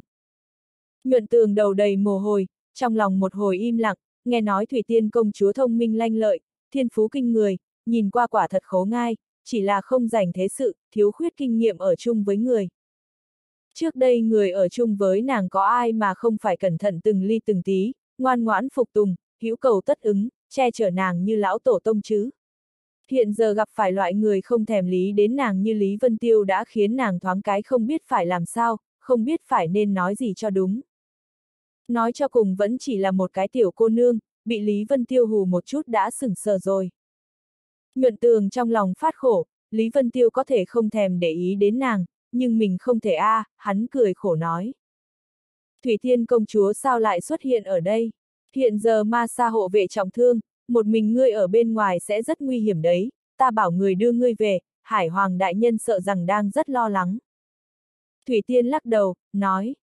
Ta không quay về, không nguy hiểm đâu, ta còn có kim giáp vệ sĩ bảo hộ, hơn nữa thực lực của bản thân ta cũng rất mạnh.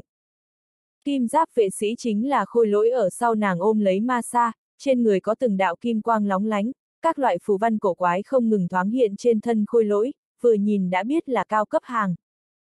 Sắc mặt nhuận tường lập tức trầm xuống, thầm nghĩ, thực lực quả thật có, nhưng chỉ số thông minh có hạn, thực lực cũng không phải là tất cả đâu. Trên mặt hắn lộ ra vẻ ân cần, ôn nhu nói. Thủy Tiên công chúa phải nghe lời, đợi sau khi ta làm xong chuyện của mình, nhất định sẽ mang đến cho người một vài món đồ chơi vui mà. Đồng tử Thủy Tiên đột nhiên co lại, tuôn ra một đạo lãnh mang, lạnh giọng nói. Nhuận tường, người thật lớn mật, lại dám coi ta như tiểu hài tử sao. Nhuận tường vẻ mặt hắc tuyến, cảm giác mình rất vô tội, cũng rất bất đắc dĩ, đành phải nói. Vậy giờ công chúa muốn làm gì đây? Ánh mắt Thủy Tiên lộ ra một tia mê mang, suy nghĩ hồi lâu, nói. Không biết, người ta muốn tìm đã bị các người đụng chết rồi, giờ ta chỉ muốn cứu sống ma sa, sau đó rồi mới tính tiếp. Người ngươi muốn tìm bị chúng ta đâm chết rồi sao? Mọi người đều có dấu hỏi to tướng, không rõ ràng cho lắm rốt cục là sao. Thủy Thiên liền nói lại đầu đuôi mọi chuyện một lần, mọi người lúc này mới ngạc nhiên, nguyên một đám thổn thức không thôi, thầm nghĩ chuyện cũng quá mức trùng hợp đi, bầu trời lớn như vậy, ai bảo tên cường giả hải tộc sừng dài kia vừa vặn đứng ngay trên tọa độ không gian, cái chết này thật sự có chút oan rồi, nhưng cũng là do mệnh của hắn. Thần thông hỏa hệ. Trong mắt nhuận tường hiện lên một đạo hàn quang, ngưng mắt nhìn về phía Lý Vân Tiêu. Hắn và Lý Vân Tiêu đã giao thủ mấy lần, biết rõ trong tay đối phương có một loại thần hỏa cực kỳ lợi hại.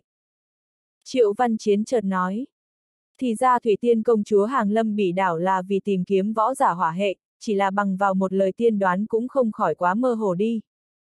Lý Vân Tiêu cũng cảm thấy có chút ngạc nhiên, sờ cái mũi, nói. Tên lừa đảo xem bói cho ngươi là ai? Lừa đảo. Thủy Tiên liên tục lắc đầu, nói. Hắn không phải lừa đảo, thuật xem bói của hắn rất lợi hại, phụ hoàng ta cũng từng khen ngợi hắn, hắn gọi là đoan mộc hữu ngọc. a à, tất cả mọi người đều há to miệng, thoáng cái trở nên hoảng sợ. Không thể tưởng được người ba năm trước chỉ dẫn Thủy Tiên tới đây lại là cái tên kinh thiên vĩ địa, giống như mặt trời chiếu sáng trên bầu trời võ đạo, chỉ dẫn dấu chấn người sau tiến lên kia. Đây là một cái tên chỉ cần đọc lên đã có thể khiến người nhiệt huyết sôi trào rồi. Bắc Minh Kháng Thiên trầm giọng nói. Thì ra là vị võ đế đại nhân công tử Ngọc Phong hào thiên diễn kia, thuật bói toán của hắn trên đời vô sóng, nghe đồn có thể tiến vào thời gian hồng lưu, nhìn xem tương lai, nếu như là lời hắn nói vậy thì nhất định không sai rồi. Lý Vân Tiêu cũng nhíu mày trầm tư không nói, hắn đối với đoan mộc hữu ngọc cũng không rõ ràng lắm, lúc vào kiếp trước hắn cũng chẳng thèm ngó tới thuật xem bói gì đó, nhưng lai lịch của lãnh kiếm băng xương cùng với quan hệ với một vị chiếm phái cực kỳ lợi hại, hơn nữa từ manh mối trước mắt mà xe, vị hỏa hệ thần thông giả mà Thủy Tiên muốn đợi chẳng phải chính là mình sao. Trong thiên hạ này còn hỏa diễm của hắn có thể thắng được Phượng Hoàng thần hỏa của mình nữa, huống chi Phượng Hoàng thần hỏa hiện giờ sau khi dung hợp một tia ma sát tâm diễm, uy lực càng tăng đến một cấp độ mà mình khó có thể lý giải, hoàn toàn xứng đáng là thần hỏa đệ nhất thiên hạ rồi. Chẳng lẽ thuật xem bói thật sự có tác dụng? Lý Vân Tiêu bất giác nổi lên nghi ngờ, nếu quả thật hữu dụng, vậy thì thiên hạ này còn chuyện gì mà bọn họ không biết nữa chứ? Đúng vậy a, à, người ta đau khổ chờ đợi ba năm đã bị các người đâm chết rồi. Thủy Tiên một hồi căm tức, trong mắt tuôn ra hung mang, hung hăng đảo qua từng người. Tuy rằng ánh mắt nàng sắc bén kinh người, nhưng mỗi nam tử bị ánh mắt nàng đảo qua trong lòng không chỉ không sợ, ngược lại còn sinh ra một loại cảm giác vinh hạnh đến cực điểm, nhao nhao tiến tới trước vài bước, ưỡn cao lồng ngực, không ngừng có người sửa sang lại kiểu tóc. Nhuận tường nhàn nhạt nói. Thuật xem bói của đoan mộc hữu ngọc ta cũng đã nghe qua, nếu đã chính xác như vậy thì người ngươi muốn tìm sao có thể dễ dàng chết như thế được. Nếu thật sự vừa xuất hiện đã chết mất, vậy thì đoan mộc hữu ngọc cũng có thể xem ra được, hơn nữa còn nói cho ngươi biết, hắn có từng nói qua người ngươi muốn tìm sẽ chết không? Thủy Tiên lắc đầu, nói. Cái đó thì chưa nói. Nhưng toàn bộ đảo hãm không người tu luyện thần thông hỏa hệ thần thông ta chỉ tìm ra được ba người, nhưng đều chết hết rồi. Có thế chứ? Nhuận tường hiện giờ cơ hồ có thể khẳng định, người Thủy Tiên muốn tìm chính là Lý Vân Tiêu, hơn nữa nguyên nhân trong đó hắn cũng biết một ít. Huyễn bảo đại hội chưa bắt đầu, vẫn còn cao thủ tiến tới, có lẽ có vài người thần thông quảng đại vẫn còn đang che giấu, khiến ngươi không thể tìm thấy cũng nên. Triệu Văn Chiến cũng cười nói. Vị bằng hữu kia nói có lý, Thủy Thiên cô nương không bằng đợi đến khi huyễn bảo đại hội triển khai, chắc chắn sẽ có kinh hỉ không tưởng được. Thủy Thiên trên mặt sáng ngời, vui vẻ nói. Nói vậy cũng rất có lý, được rồi, ta sẽ đợi cho huyễn bảo đại hội chấm dứt, hy vọng có thể gặp được người ta muốn tìm, nếu không. Nếu không, sắc mặt của nàng thoáng cái phai nhạt xuống, lộ ra vẻ thần sắc nồng đậm, khiến mọi người thấy thế đều thầm thương, hận mình không phải là người muốn tìm. Quả nhiên là nguyên nhân kia. Trong lòng nhuận tường thở dài một tiếng, ánh mắt lộ ra vẻ do dự, nhìn chằm chằm vào Lý Vân Tiêu. Một gã võ giả nghẹn đỏ mặt, rốt cục nhìn không được nữa đi ra khỏi hàng, cao giọng nói. Thủy Thiên công chúa, tuy rằng ta chủ tu không phải võ kỹ hỏa hệ, nhưng ta đã từng luyện hóa qua một đầu yêu thú hỏa hệ, hơn nữa còn rút lấy yêu hỏa của nó, có lẽ ta chính là người người muốn tìm cũng không chừng. Hắn hét lớn một tiếng, hai tay khắp quyết trước người, một đoàn thanh hỏa du du hiển hiện trên người, tản mát ra nhiệt độ cực cao. Hỏa diễm của yêu thú lục giai ngươi cũng không biết xấu hổ mà lấy ra mất mặt sao. Một gã võ giả bên cạnh khiển trách. Ta mặc dù không có kỳ hỏa trên người, nhưng bản thân luyện chính là liệt trương trưởng lực, cũng coi cũng là một nửa thần thông hỏa hệ rồi, Thủy Tiên công chúa ngươi nhìn kỹ xem người ngươi muốn tìm có phải là ta không. Hắn giống lên một tiếng, một đoàn liệt dương hiển hiện trước người, hét lớn thoáng một phát liền đánh ra một trường, một đạo trưởng ấn cực liệt ngưng mà không tiêu tán trên không trung, phát ra uy lực rất mạnh. Lúc này người còn lại cũng đều nhao nhao đứng ra thi thố tài năng, phàm là có chút quan hệ với hỏa diễm và nhiệt độ đều dốc sức khoe khoang, hy vọng được Thủy Tiên nhìn chúng. Trên chiến hạm cửu giải nhiệt độ lập tức không ngừng tăng lên, giống như bếp lò vậy, mỗi người đều đầy mồ hôi. Một gã võ giả càng hét lớn một tiếng, liên tục đánh ra ba quyền, đánh ra cho tàn khắp trời, quát. Thủy Tiên công chúa, ta tuy rằng không phải tu luyện công pháp hỏa hệ, nhưng thần thông thổ hệ của ta hết sức lợi hại, người xem ta có phải là người ngươi muốn tìm không? Thủy Tiên. Triệu Văn Chiến thấy thế trong mắt chấp động dị sắc, những võ giả này nguyên một đám thực lực rất mạnh, thấp nhất cũng là võ tôn bát hoang cảnh, trong nội tâm rất là giật mình, nhìn không được nói. Không biết vị đại nhân này thuộc môn phái nào, lại có chuyện quan trọng gì trên người, có lẽ đảo hãm không ta có thể tương trợ một hai cũng không chừng, dù sao khối hải vực này chúng ta vẫn tương đối quen thuộc. Bắc Minh kháng thiên cự tuyệt nói. Đa tạ ý tốt của tiên sinh, nhưng chuyện nội bộ môn phái, ta cũng không muốn ngoại nhân chen chân vào. Triệu Văn Chiến mỉm cười, nói. Văn Chiến cũng không phải là muốn chen vào chuyện đại nhân, chỉ là tình huống phiến hải vực đảo hãm không này đại nhân sợ rằng không rõ đúng không? Bắc Minh kháng thiên dương mày lên, khinh thường nói.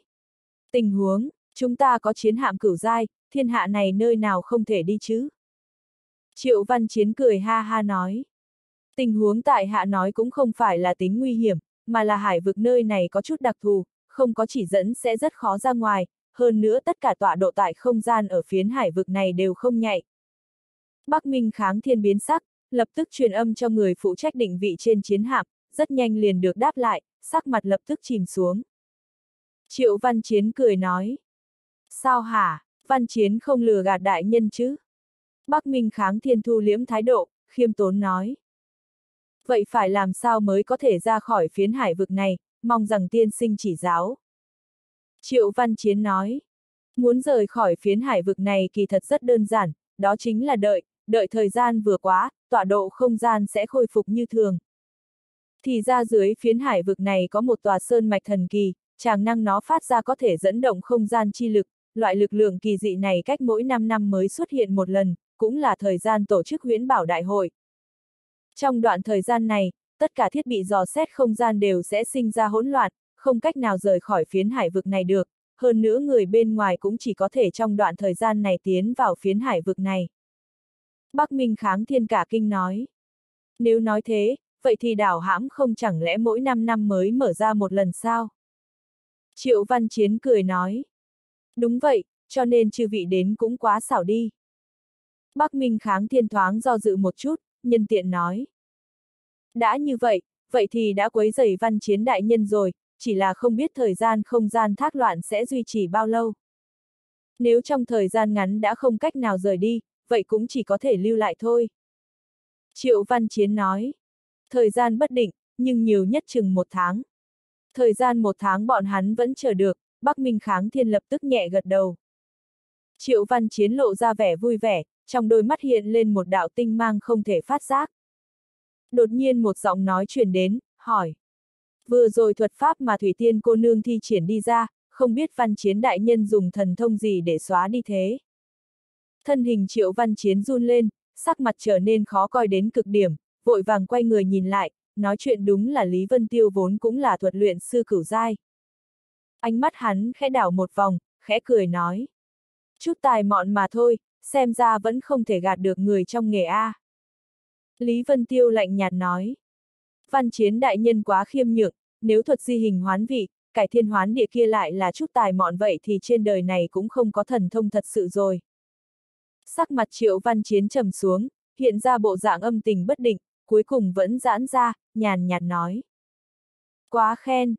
Bắc Minh kháng thiên thấy thế nhíu mày lại, tình huống vừa rồi hắn đều thấy rõ, lúc Thủy Tiên thi thuật từ trong biển rộng truyền đến khí tức cực kỳ khủng bố, lại bị Triệu Văn Chiến dùng một đạo cầu vòng xóa đi mất. Hắn lúc trước cũng kinh ngạc thoáng một phát, nhưng cũng không suy nghĩ sâu xa, xem ra trong đó tựa hồ ẩn giấu bí mật nào đó không muốn người biết rồi. Hiện giờ màn biểu diễn của mọi người trên chiến hạm cũng dần dần đến khâu cuối, những võ giả thủy hệ hoàn toàn không quan hệ gì đến hỏa diễm cũng đi lên chứng tỏ bản thân. Trên mặt Thủy Tiên lại càng thêm thất vọng. Nhuận tường thản nhiên nói. Công chúa không cần thất vọng, ta có một loại dự cảm, người ngươi muốn tìm ở ngay trên đảo hãm không này. Thủy Tiên vui vẻ, nói. Nghe nói thượng cổ chân long cũng có thể vượt qua thời không, biết trước tương lai, cảm ứng của ngươi hẳn là loại truyền thừa này sao? Nhuận tường mặt đầy hắc tuyến, nhưng hắn chẳng muốn giải thích, đành phải gật đầu nói. Không kém bao nhiêu đâu, mấu chốt là người nó có chịu đứng ra không thôi, người nói có đúng không, Lý Vân Tiêu. Lý Vân Tiêu lạnh lùng nói. Đây là chuyện hải tộc các ngươi, chút chỉ số thông minh của ta rất khó hiểu được, ngươi nên hỏi người khác đi. Ha ha, Vân Tiêu công tử thực ẩn giấu. Triệu Văn Chiến cười lớn một tiếng, mở cánh tay ra cao giọng nói. Hoan nghênh mọi người đến đảo hãm không? Chiến hạm cửu giai từ từ tiến tới, giống như một hòn đảo trên không trung vậy, nhưng so với đảo hãm không vẫn kém rất lớn, như hạt vừng so với dưa hấu vậy, nó cứ im im lặng lặng lơ lửng trên không trung cách đảo vài dặm. Tất cả mọi người lại theo triệu văn chiến lên đảo. Trong đó đại bộ phận người là lần đầu tiên đến Đông Hải, cảm thụ được linh khí ở trên đảo, tất cả đều sợ hãi thán phục vạn phần. Người Bắc Minh huyền cung cũng cảm thấy giật mình không thôi, tông môn bọn hắn cơ hồ là nơi linh khí nồng đậm nhất cả Bắc vực, trong địa mạch cơ hồ lộ ra linh quáng, nhưng so với đảo hãm không này thì cũng chỉ thường thôi, càng đừng nói đến những tán tu nghèo khổ kia, nguyên một đám đều há to mồm thổ nạp linh khí, không lãng phí một phân thời gian nào cả. Thủy Tiên dừng bước, quay người nhìn qua những võ giả tán tu kia, kỳ quái nói. Các ngươi làm sao vậy? Nguyên một bộ dạng hô hấp khó khăn, văn chiến đại nhân, trên đảo này có phải là có cấm chế gì đó với nhân tộc bọn họ không? Tất cả mọi người đều đỏ mặt lên, vội vàng ngừng lại động tác. Hừ, mất mặt. Bắc Minh Lai Phong tức giận mắng một câu, chuyển hướng Thủy Tiên, sắc mặt lập tức nhu hòa nói. Thủy Tiên công chúa đừng để ý tới những dế nhũi này, đều là đám không lên được mặt bàn cả thôi. Tất cả mọi người đều lộ vẻ tức giận, ở trước mặt Mỹ nhân lại nói mình là dế nhũi, bất luận là nam nhân nào cũng đều khó mà chịu đựng, nguyên một đám hai mắt phóng hỏa, chỉ là ở trước mặt Bắc Minh Lai Phong chỉ có thể giận mà không dám nói gì. Ha ha, Lai Phong huynh nói gì vậy? Miệng lớn hấp thụ linh khí chính là dế nhũi rồi sao? Chẳng lẽ lúc người tu luyện không phải là thô nạp được nhiều chừng nào hay chừng đó sao? Lý Vân Tiêu không quen nhìn gương mặt, trang bức kia của hắn, liền mỉa mai vài câu, sau đó bắt đầu thổ nạp từng ngụm linh khí, còn lộ ra bộ dạng vô cùng thoải mái, say mê trong linh khí đầy trời nữa. Ha ha, Vân Thiếu thật là hào sảng, khó trách trẻ tuổi như vậy đã có tu vị thông thiên. Chẳng lẽ không phải sai, đây mới thực sự là nhân tài mới xuất hiện đệ nhất nhân, những người khác đều chỉ có tiếng không có miếng. Những người khác, ai thế, trong trẻ tuổi ta chỉ nghe qua đại danh Lý Vân Tiêu, như sấm bên tai, như mặt trời trói trang, trong trẻ tuổi còn ai có thể tranh phong sao? Ha ha, không có, ngược lại có mấy thứ chuột nhắt mèo bệnh, không lên được mặt bàn A. Ha ha, không lên được mặt bàn cũng đừng nói nữa, nếu không sẽ khiến hải tộc cho rằng nhân tộc ta không người đấy.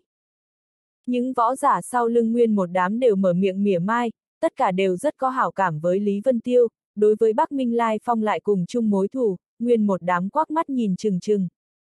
Bắc Minh kháng thiên âm thầm lắc đầu, Bắc Minh Lai Phong trong tuổi trẻ quả thật rất ưu tú, nhưng nếu so với Lý Vân Tiêu và Nhuận Tường, vô luận là tâm tính hay là thực lực, thậm chí là thiên phú đều kém quá lớn. Sắc mặt Bắc Minh Lai Phong đại biến, hai con người phóng lửa, đang muốn tức giận, lại thấy ánh mắt lạnh như băng kia của Bắc Minh kháng thiên quét qua, lập tức cực kỳ hoảng sợ, ngậm miệng không dám nói gì nữa. Triệu Văn Chiến thu hết vào mắt, chỉ mỉm cười, nói. Thủy tiên công chúa quá lo lắng, sao có thể có cấm chế được gì? Nơi đây không khí trong lành, rất nhiều bằng hữu hẳn là quá mức sợ hãi thán phục nên mới thế thôi. Đúng, đúng, lần đầu tiên đi đến Đông Hải, thật sự khiến chúng ta rất kinh ngạc. Tất cả mọi người liền nhao nhao đồng ý, che giấu vẻ bối rối của mình. Thì ra là thế. Thủy Tiên gật đầu nói. Cảnh đẹp trên tứ hải còn khá nhiều loại, các người nhìn nhiều một ít đi, bớt cho cả ngày đều ở trên đại lục nhỏ bé hẻo lánh không biết gì cả. Tất cả mọi người mặt lộ hắc tuyến, đại lục thiên võ rộng lớn vô biên vậy mà lại trở thành nơi nhỏ bé hẻo lánh, nhưng từ trong miệng Thủy Tiên nói ra, bọn hắn lại không hề thấy tức giận chút nào cả. Triệu Văn Chiến nhìn qua Lý Vân Tiêu nói. Vân Tiêu công tử tựa hồ không phải lần đầu đến Tứ Hải A. Ta thấy người không hề để ý đến cảnh đẹp trước mắt, tựa hồ đã nhìn quen rồi thì phải. Lý Vân Tiêu nhàn nhạt nói. Cảnh đẹp trên đại lục thiên võ còn hơn chỗ này gấp trăm lần, cái hoang đảo trụi lủi này của ngươi có gì để xem chứ?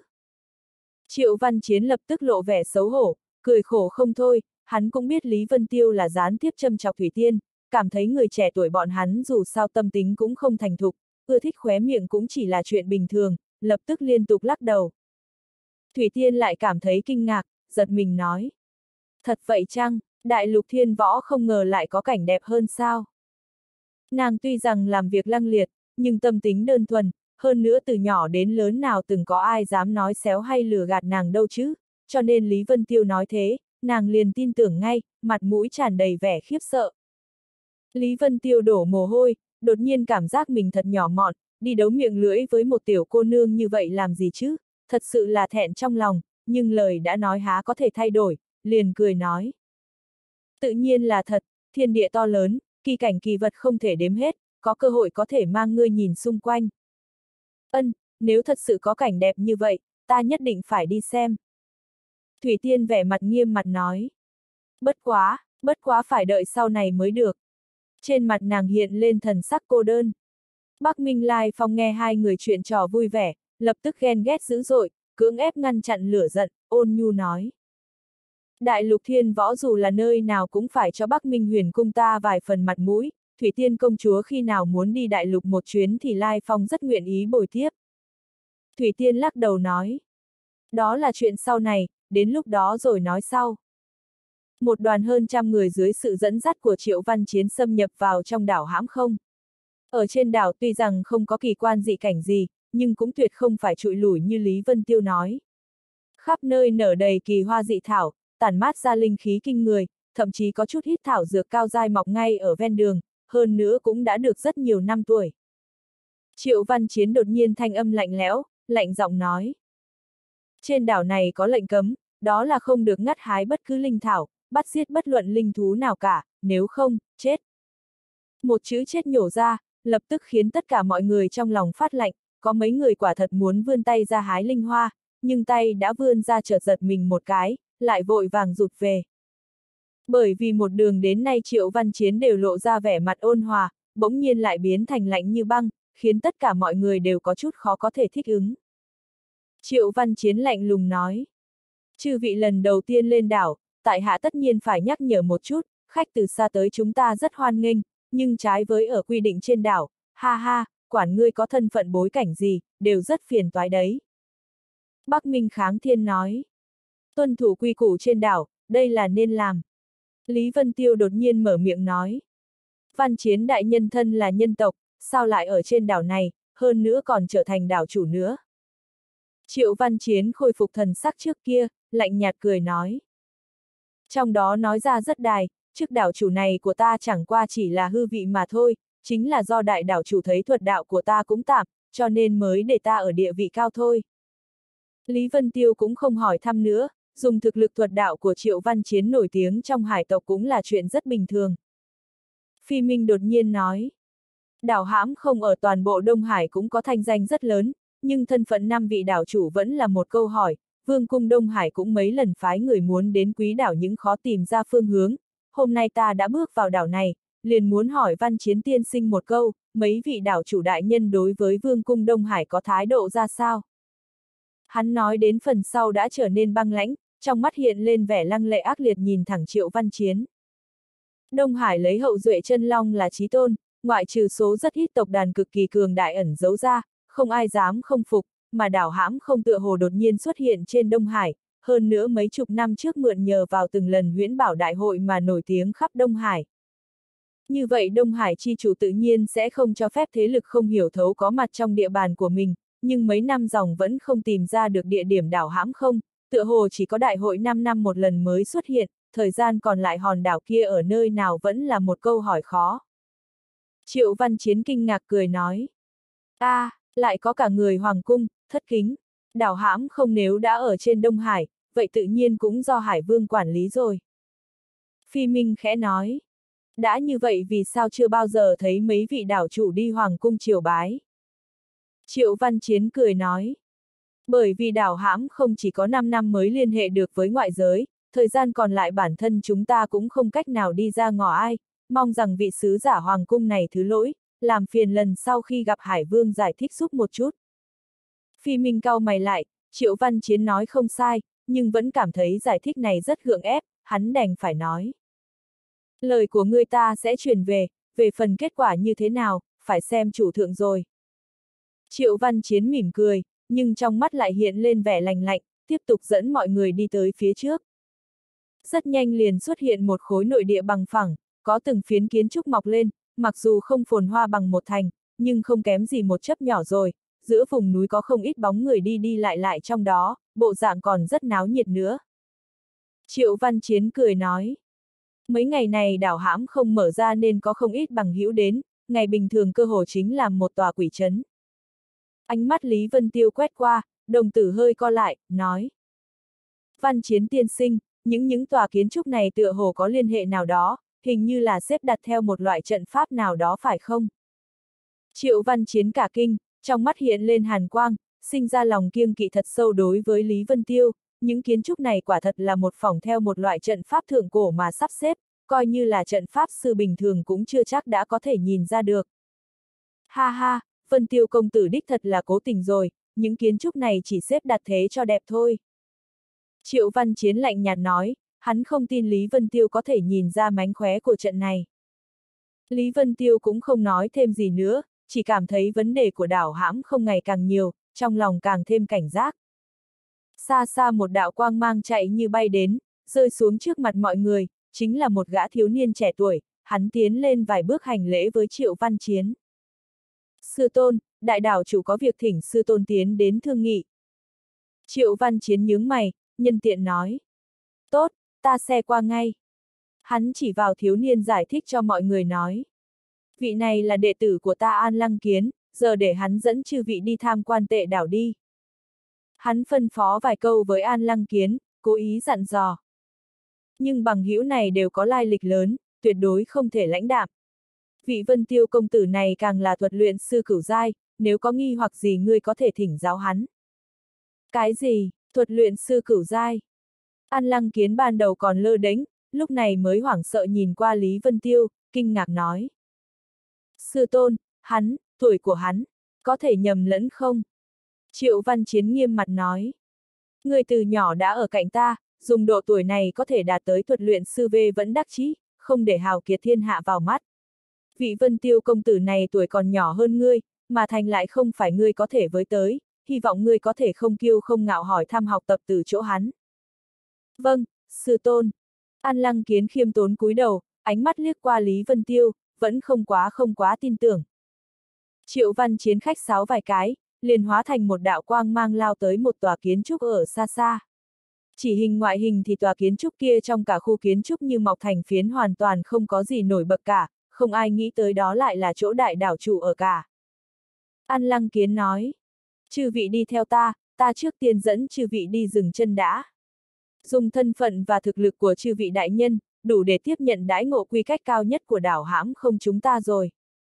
Mọi người đi theo hắn tiến vào một tiểu viện, không ít người đều nhíu mày ra, viện này tuy rằng tinh xảo, nhưng nhìn qua chỉ đủ cho 7-8 người ở thôi, hơn nữa trên người còn có một cái khóa thanh đồng, còn có vết dỉ hắn lên trên đó, hiển nhiên đã rất lâu không có ai ở rồi.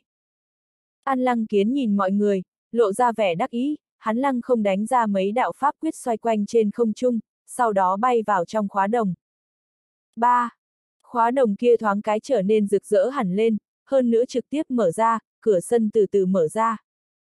An lăng kiến nói. Đây là một kiện huyền khí không gian mà ra sư luyện chế bên trong có cản khôn, chư vị có thể an tâm ở lại.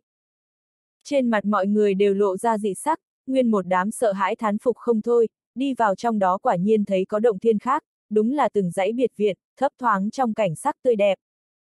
Ánh mắt mọi người nhìn An Lăng Kiến cũng trở nên kính trọng hơn, thuật luyện sư cửu giai có thể luyện chế ra huyền khí không gian ở trên đại lục thiên võ cũng có thể đếm được trên đầu ngón tay, rất được mọi người tôn sùng. An Lăng Kiến đắc y nói. Huyền khí không gian này ra sư luyện chế rất nhiều năm, một mực đặt ở đây, chỉ mới sử dụng qua một lần, chư vị là khách nhân thứ hai mà gia sư coi trọng như vậy đấy. Hắn liếc nhìn qua Lý Vân Tiêu, cao thấp đánh giá một phen, nói. Nghe ra sư nói Vân Tiêu công tử cũng là thuật luyện sư cửu giai, không biết thấy huyền khí này thế nào. Hắn nói thẳng là nghe ra sư nói, ý tứ rất rõ ràng, đó là do gia sư nói, nhưng ta không tin. Lý Vân Tiêu lạnh nhạt nói. Bình thường thôi. An lăng kiến sửng sốt một chút, sắc mặt liền chìm xuống, hừ nhẹ nói. Bình thường thôi, nói như vậy Vân Tiêu công tử khẳng định đã thấy qua huyền khí không gian tốt hơn sao. Cái gọi là huyền khí không gian kỳ thật có thể phân thành ba loại, một là chữ vật không gian, có thể tùy thân mang theo, bên trong có thể chứa rất nhiều đồ, lại không thể chứa vật còn sống, thường xuyên bị đánh thành nhẫn, vòng tay, túi các loại kiểu dáng, cơ bản mỗi người đều có. Loại hai chính là loại huyền khí không gian cố định này, nó có thể dung nạp vật còn sống, bên trong có một phương tiểu thiên địa, lại dựa vào quy tắc thiên võ giới mà sinh tồn, không cách nào tùy ý di động. Hơn nữa không gian trong đó cũng không phải do bản thân tạo ra tương đương với trực tiếp lấy một khối không gian từ thiên võ giới đặt vào thôi. Về phần loại thứ ba chính là huyền khí siêu phẩm, nó đã hoàn toàn là mình diễn biến thiên địa, tự thành quy tắc, bản thân chính là tồn tại cùng loại với thế giới. Lý Vân Tiêu cười nhạt một tiếng, từ chối cho ý kiến, dùng ánh mắt của hắn mà nói bình thường thôi, kỳ thật đã xem như không tệ rồi. Nhưng nghe vào tai An Lăng Kiến lại thấy cực kỳ không thoải mái, lạnh lùng nói. Vân Tiêu công tử không hổ là thuật luyện sư cửu giai, kiến thức rộng rãi, tầm mắt cao không giới hạn rồi. Hừ, người này luôn luôn tự cao tự đại, kỳ thật cũng không có bản lãnh gì cả. Nguyễn Tích Tuyền nhìn ra manh mối có chút không đúng, liền vội châm ngòi một cái. Quả nhiên, An Lăng Kiến tuổi trẻ khí thịnh, vốn đã có điều hoài nghi và không phục với thân phận Lý Vân Tiêu, nên nói. a à, Vân Tiêu công tử không phải thuật luyện sư cửu giai sao? Sao lại không có bản lãnh gì được? Nhan thụ thư cũng cười rộ lên, nói. Cái gọi là thuật luyện sư cửu giai là chính bản thân hắn nói, chưa ai thấy qua cả, trong những người chúng ta cũng không có thuật luyện sư cao giai tồn tại, dù ai cũng không cách nào nghiệm chứng hắn nói thật hay giả, nếu không phải có những cường giả võ đế cao giai như Bắc Minh kháng thiên trưởng lão ở đây, ta đoán chừng hắn đã nói mình là phong hào võ đế rồi. An lăng kiến nhíu mày lại, lãnh đạm nói. Cái gì, nói thế hắn là gạt người sao? Nhan thụ thư hắc hắc cười nói. Có lửa đảo hay không ta không cách nào đoán được, nhưng nhìn hắn trẻ tuổi như thế. Ha ha, ta cũng không hy vọng tôn sư bị lừa, tổn thất gì đó đâu. Hắn ngừng một chút lại bổ sung nói. Cho dù không có tổn thất, cũng là chuyện cực kỳ ám muội. a à, hắn nói là sự thật sao? Vân Tiêu công tử. Sắc mặt An Lăng kiến lạnh xuống, nhìn chằm chằm vào Lý Vân Tiêu bốc lên trận trận hàn khí. Lý Vân Tiêu sờ mũi, hai tay ôm ở trước ngực, thản nhiên nói. Ngươi muốn sao? Không sao. An Lăng Kiến cười lạnh nói. Sư tôn vừa rồi bảo ta phải thỉnh giáo thuật đạo của Vân Tiêu công tử nhiều một chút, ta vừa vặn có nghi vấn trong lòng, muốn thỉnh giáo Vân Tiêu công tử, công tử có từng nghe qua linh hồn công kích chi pháp không? Lý Vân Tiêu cười nói. Coi như cũng được a, à, cũng luyện qua một chút da lông. Ha ha, công tử không cần khiêm tốn như thế. Ta cũng vừa hay tu luyện một chiêu, gọi là kinh hồn động phách, vừa vặn thỉnh công tử vui lòng chỉ giáo. Sắc mặt an lăng kiến trầm xuống, lập tức chỗ mi tâm bắn ra một đạo quang mang, hoa mỹ lóng lánh thoáng một phát, một cổ linh hồn trùng kích rất mạnh lao tới trên người Lý Vân Tiêu, không gian bốn phía đều chấn động. Kinh vĩnh dạ kinh hãi, thân hình hơi động một chút, lại bị Liêu Dương băng ngăn lại, nhẹ nhàng lắc lắc, ý bảo hắn yên tĩnh, hơn nữa truyền âm nói. Theo ta được biết, Vân Thiếu đích thật là thuật luyện sư cửu giai. Kinh Vĩnh dạ vẻ mặt hoảng hốt, lộ ra biểu lộ khó có thể tưởng tượng nổi. Audio điện tử võ tấn bền. Thực lực võ đạo như thế, bằng chừng ấy tuổi, lại còn là thuật luyện sư cửu giai. Cái này đã không thể dùng thiên tài để hình dung nữa rồi, hắn như thế nào cũng không thể tin nổi, không khỏi có chút lo lắng. Không gian quanh thân Lý Vân Tiêu dưới linh hồn đối phương công kích chợt trở nên vặn vẹo cực độ, không ngừng lắc lư, người ở bên ngoài nhìn lại, chỉ cảm thấy Lý Vân Tiêu giống như bị ngũ mã phân thây vậy. Nhuận tường lộ ra dáng tươi cười hiểu ý, ôm cánh tay xem kịch vui, người còn lại cũng lộ ra vẻ hả hê. Thủy Tiên lại bình tĩnh, khôi phục lại vẻ rong trẻo nhưng lạnh lùng không hề bận tâm, trong mắt bỏ qua vạn vật như trước, đó là một loại khí chất cao quý lạnh như băng bẩm sinh.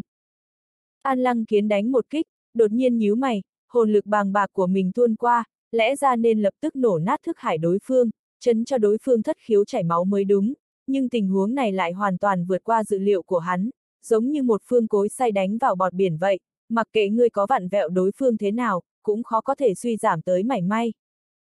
Hừ, cho rằng như vậy có thể dựng ở bất bại sao?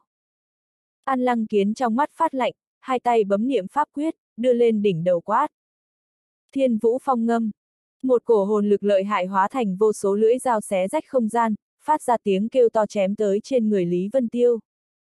Những lưỡi dao kia tầng tầng lớp lớp như vô số lông vũ bay múa trên không trung, thoáng cái đã vây quanh lấy Lý Vân Tiêu, chỗ Lý Vân Tiêu đứng lập tức bị cắt đứt thành vô số khối, thân thể Lý Vân Tiêu cũng theo đó nổ bung, xé rách thành vô số thi khối nhao nhao rơi vãi xuống. À! Gương mặt tất cả mọi người đều đại biến, hoảng sợ ngất lịm. Trên mặt bọn người Bắc Minh Lai Phong và Nguyễn Tích Tuyền lại lộ ra khó có thể tin và mừng như điên, Lý Vân Tiêu mà bọn hắn trăm phương ngàn kế muốn giết, thật không ngờ lại chết dễ dàng như thế. Cũng quá mức buồn cười rồi. Liêu Dương Băng cũng há to mồm ngốc trệ ở, lông mày nhíu lại thật sâu. Bắc Minh kháng thiên càng thiếu chút nữa đã phun ra một búng máu, trừng lớn con mắt, hắn còn nửa bộ bá thiên luyện thể quyết ở trên người Lý Vân Tiêu đấy. Sắc mặt nhuận tường cũng đại biến, cũng nghi hoặc khó hiểu, chỉ cảm thấy người này không nên dễ dàng chết như vậy mới đúng, nhưng vun thịt đầy trời kia lại hoàn toàn là thật. Trong con mắt không hề bận tâm kia của Thủy Tiên nổi lên một tia rung động, hào quang chấp động. Hắc hắc, quả nhiên là một tên lường gạt. Trên mặt An Lăng Kiến lộ ra vẻ dữ tợn, liếm lấy môi dưới, nói. Không có ý tứ, ô nhiễm hoàn cảnh, khiến mọi người bị sợ hãi rồi. Tất cả mọi người một hồi im lặng, nhìn máu tươi đầy đất, thoáng cái khó có thể tiếp nhận Lý Vân Tiêu lại chết đi như vậy, tâm tình đều khó có thể bình tĩnh lại được. Thủy Tiên đột nhiên mở miệng nói. Tranh thủ thời gian đi trị liệu đi, nếu chậm ngươi sẽ chết đấy. Ân. An Lăng Kiến hừ một tiếng, cười nói. Thủy Tiên công chúa nói đùa, tên lừa gạt này đã chết đến không thể chết thêm nữa rồi, còn cứu thế nào nữa? Sợ rằng dù là thuật thần thập giai cũng không cứu nổi hắn đâu. Ánh mắt Thủy Tiên lộ ra một tia thương cảm, nói. Ta nói người đấy, người bị thụ thương nặng như vậy, chẳng lẽ bản thân không chút phát giác sao? An Lăng Kiến nhíu mày ra, nói. Thủy Tiên công chúa đang nói gì, sao ta nghe không hiểu? Người còn lại cũng vẽ mặt mê mang, không biết Thủy Tiên là có ý gì, duy chỉ có nhuận tường biến sắc, trong hai tròng mắt bắn ra đạo đạo tinh mang, nhìn tới trên người An Lăng Kiến và các mảnh vụn đầy đất. An Lăng Kiến sắc mặt khó coi nói. Vị bằng hữu kia, đừng dùng ánh mắt như thể nhìn ta, nó khiến ta cảm thấy rất không thoải mái đấy. Hai mắt nhuận tường dần dần hóa thành màu xanh, tràn ngập khí tức viễn cổ thô bạo, phảng phất thần long chi nhãn, sau khi hắn quét qua tất cả mới chậm rãi thu vào, khóe miệng lộ ra một tia giễu cợt, nói. Không thoải mái cũng không phải do ánh mắt của ta, ngươi vẫn nên tranh thủ thời gian tìm sư phụ của ngươi đi thôi. An lăng kiến từ sau khi Lý Vân Tiêu chết đã cảm thấy có chút không đúng, cảm thấy một hồi bực bội và không khỏe, trong lòng áp lực nói không nên lời, chỉ cảm thấy có chuyện gì đó sắp xảy ra hoặc đã xảy ra nhưng mình lại không biết. Trong ánh mắt Thủy Tiên tràn đầy thương cảm, mà nhuận tường lại đầy vẻ mỉa mai, khiến hắn cảm thấy cực kỳ bực bội thậm chí tức giận, khiển trách quát mắng. Câm miệng, lời này của ngươi là có ý gì, mau nói rõ cho ta. Nhuận tường lắc đầu, lặp lại nói. Ngươi vẫn nên tranh thủ thời gian tìm sư phụ của ngươi đi thôi. An lăng kiến rốt cục không nhịn được nữa bạo phát, giận dữ hét. Lời này của ngươi là... Hắn trong cơn giận dữ muốn lao qua, lại phát hiện mình khó có thể nhấc chân được, liền vội cúi đầu xem xét. Một cổ hàn ý vô tận bốc lên sau ót, cả người như phát mộng, cơ hồ như muốn nổ tung ra. Hắn khó có thể tin nhìn dưới chân mình, giờ chỉ còn lại một cái xương đùi chân trái chống mặt đất, trên đó không có chút tê hịt, mà bên phía chân phải thì ngay cả xương cốt cũng bị mất rồi. À, không chỉ có chân phải, hắn hoảng sợ phát hiện hai cái tay của mình cũng đã không còn đâu nữa, trên mặt cũng đều là vết máu, trên người truyền đến từng đợt đau nhức kịch liệt, khắp nơi đều thiếu thịt thiếu xương. Một cổ sợ hãi khó nói nên lời lan tràn trong lòng, lúc này hắn mới phát hiện thi khối trên mặt đất thì ra đều là của mình. a à, đầu hắn đầy máu, An Lăng Kiến sợ tới mức hồn phi phách tán, đã triệt để sợ hãi rồi, hắn còn thấy trên mặt đất có hai cái lỗ tai, trong lúc nhất thời không biết trên người mình đã mất bao nhiêu thịt và xương cốt, kinh hoàng khóc hô lên. Sư tôn, sư tôn cứu ta. Vèo. An lăng kiến trong lúc bối rối chợt phát hiện nguyên lực trong cơ thể mình còn có thể vận chuyển, liền vội vàng hóa thành một đạo quang mang sông lên trời mà đi, hoảng hốt bỏ chạy tới chỗ đại đảo chủ. Lúc này tất cả mọi người mới nhìn rõ sự thật trước mắt, Lý Vân Tiêu đang bình yên vô sự đứng tại nguyên chỗ, thậm chí còn chưa từng nhúc nhích qua chút nào cả, khiến mọi người đều nhao nhao lộ ra vẻ kinh ngạc. Ảo thuật có thể lừa gạt được tất cả mọi người, cái này cần hồn lực mạnh bao nhiêu mới có thể làm được a? À? Lúc này thân phận thuật luyện sư cửu giai của hắn đã không còn người nào hoài nghi nữa rồi. Liêu Dương băng nhẹ thở ra, đắc ý nhìn qua kinh vĩnh dạ đang ngốc trệ, giống như đang nói ta không có lửa ngươi a. À. Kinh vĩnh dạ nhìn hắn một cái, lộ ra một nụ cười khổ. Bắc Minh kháng thiên cũng nhẹ thở ra, nhưng cùng lúc đó, trong lòng ngược lại càng trầm trọng thêm vài phần, mức độ nguy hiểm của Lý Vân Tiêu ở trong lòng hắn lại tăng thêm không ít.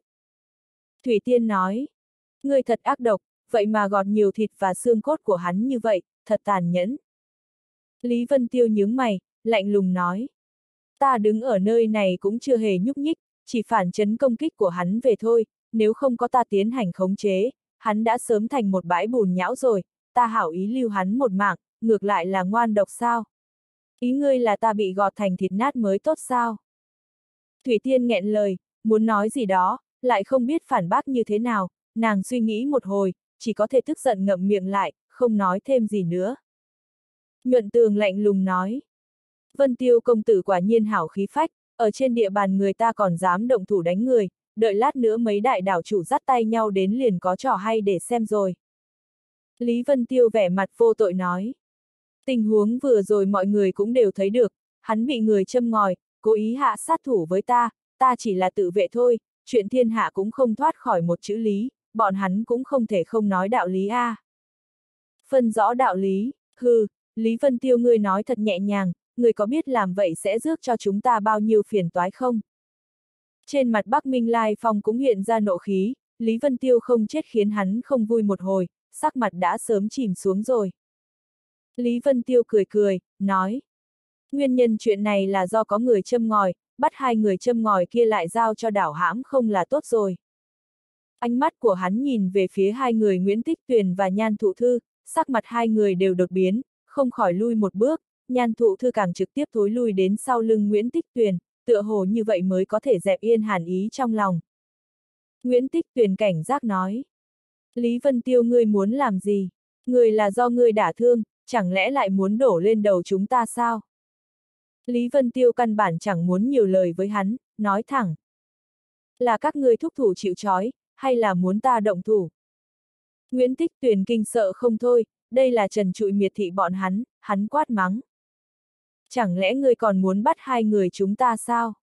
Trong mắt Lý Vân Tiêu hiện lên một đạo hàn quang, chẳng muốn nói tiếp nữa, cũng không thấy hắn di chuyển nhưng cả người đã lăng không lấn thân tới.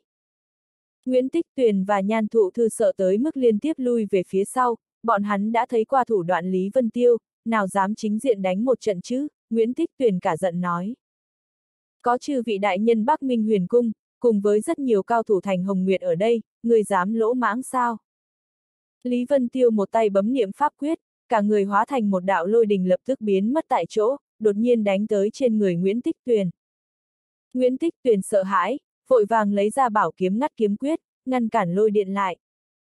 Phanh! Bảo kiếm của hắn dưới điện quang bị chấn khiến vang lên ông ông, cả người phi tốc lui về phía sau, vội vàng kêu lên. Kháng thiên đại nhân, chẳng lẽ người muốn ngồi nhìn hắn hành hung sao? Chiêu pháp trong tay Lý Vân Tiêu không ngừng, giơ lôi chùy lên cao cao, từng chiêu đánh xuống đi, phảng phất như thiên kiếp không ngừng đánh xuống vậy, không chỉ công kích Nguyễn Tích Tuyền mà đồng thời còn đánh tới chỗ nhan thụ thư nữa. Trong mắt kinh vĩnh dạ tuôn ra một tia hàn mang, nói. Vân Tiêu công tử, tên cầu tặc nhan thụ thư này giao cho ta đi. Lý Vân Tiêu gật đầu nói. Tốt, nhớ rõ bắt sống đấy, đến lúc đó cũng dễ ăn nói với đảo hãm không. Sắc mặt nhan thụ thư đại biến, thoáng cái trắng bệch, kêu rên nói. Kháng thiên đại nhân, ta chính là theo các ngươi ra biển đấy, ngài không thể thấy chết mà không cứu được. Sắc mặt Bắc Minh kháng thiên biến đổi, trầm giọng nói. Vân Tiêu công tử, đã thương an lăng kiến là ngươi, bắt người chịu tội thay như vậy cũng không tốt lắm đâu. Lý Vân Tiêu huyễn hóa ra từ trong lôi điện, lạnh lùng nói. Kháng thiên trưởng lão, nếu ngươi không phân biệt được thị phi như thế, ta rất dễ dàng mất trí nhớ đấy. Ngươi!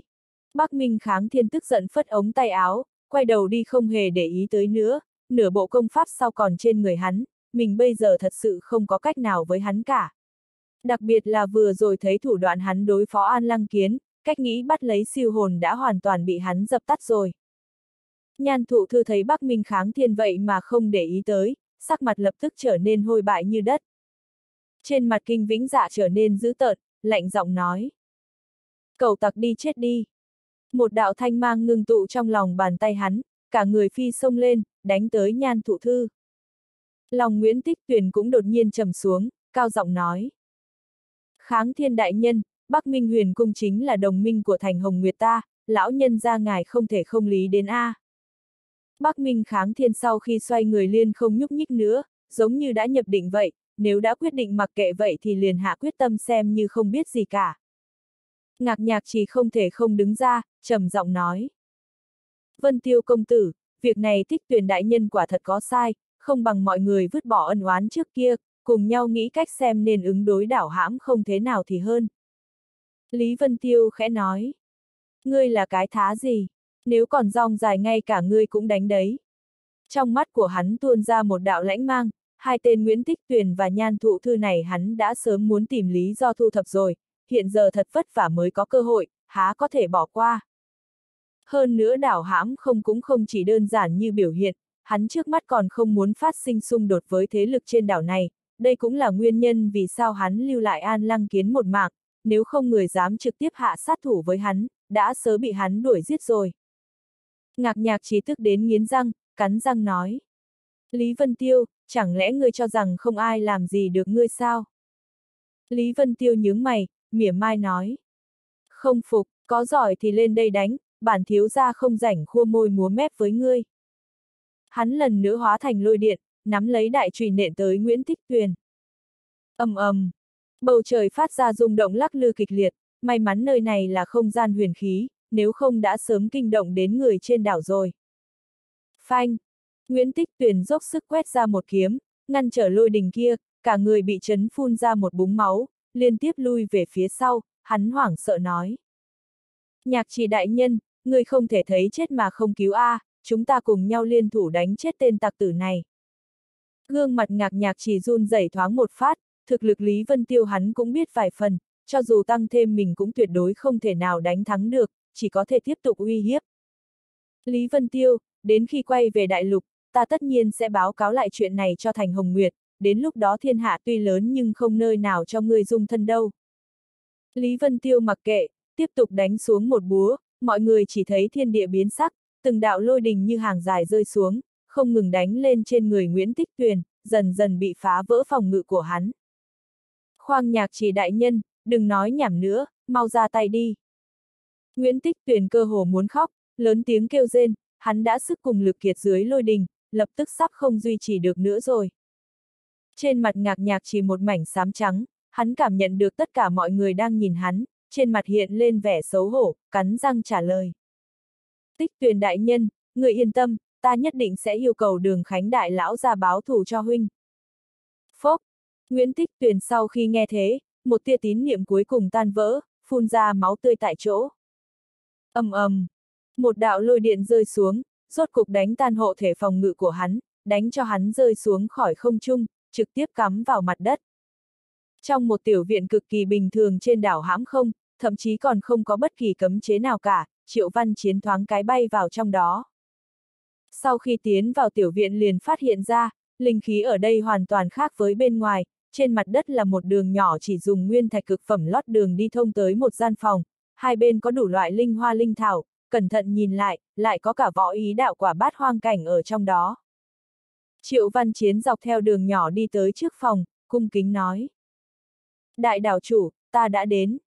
Cửa phòng nhỏ thoáng cái mở ra, trước mặt một cổ linh khí rất mạnh đập vào mặt, bên trong linh khí tựa hồ ẩn chứa lực lượng cổ quái nào đó, triệu văn chiến bị cả kinh liền lùi lại mấy bước, lúc này mới ổn định lại thân thể, trực tiếp đi vào trong đó. Trong phòng bị một đạo bình phong ngọc chất ngăn cách, bên trong không ngừng truyền ra khí thức khiến người phải bất an, triệu văn chiến thân là thuật luyện sư cửu giai cũng cảm thấy một hồi áp lực, chỉ muốn mau chóng rời khỏi chỗ này thôi, hắn vội hỏi. Đại đảo chủ, tìm ta có chuyện gì?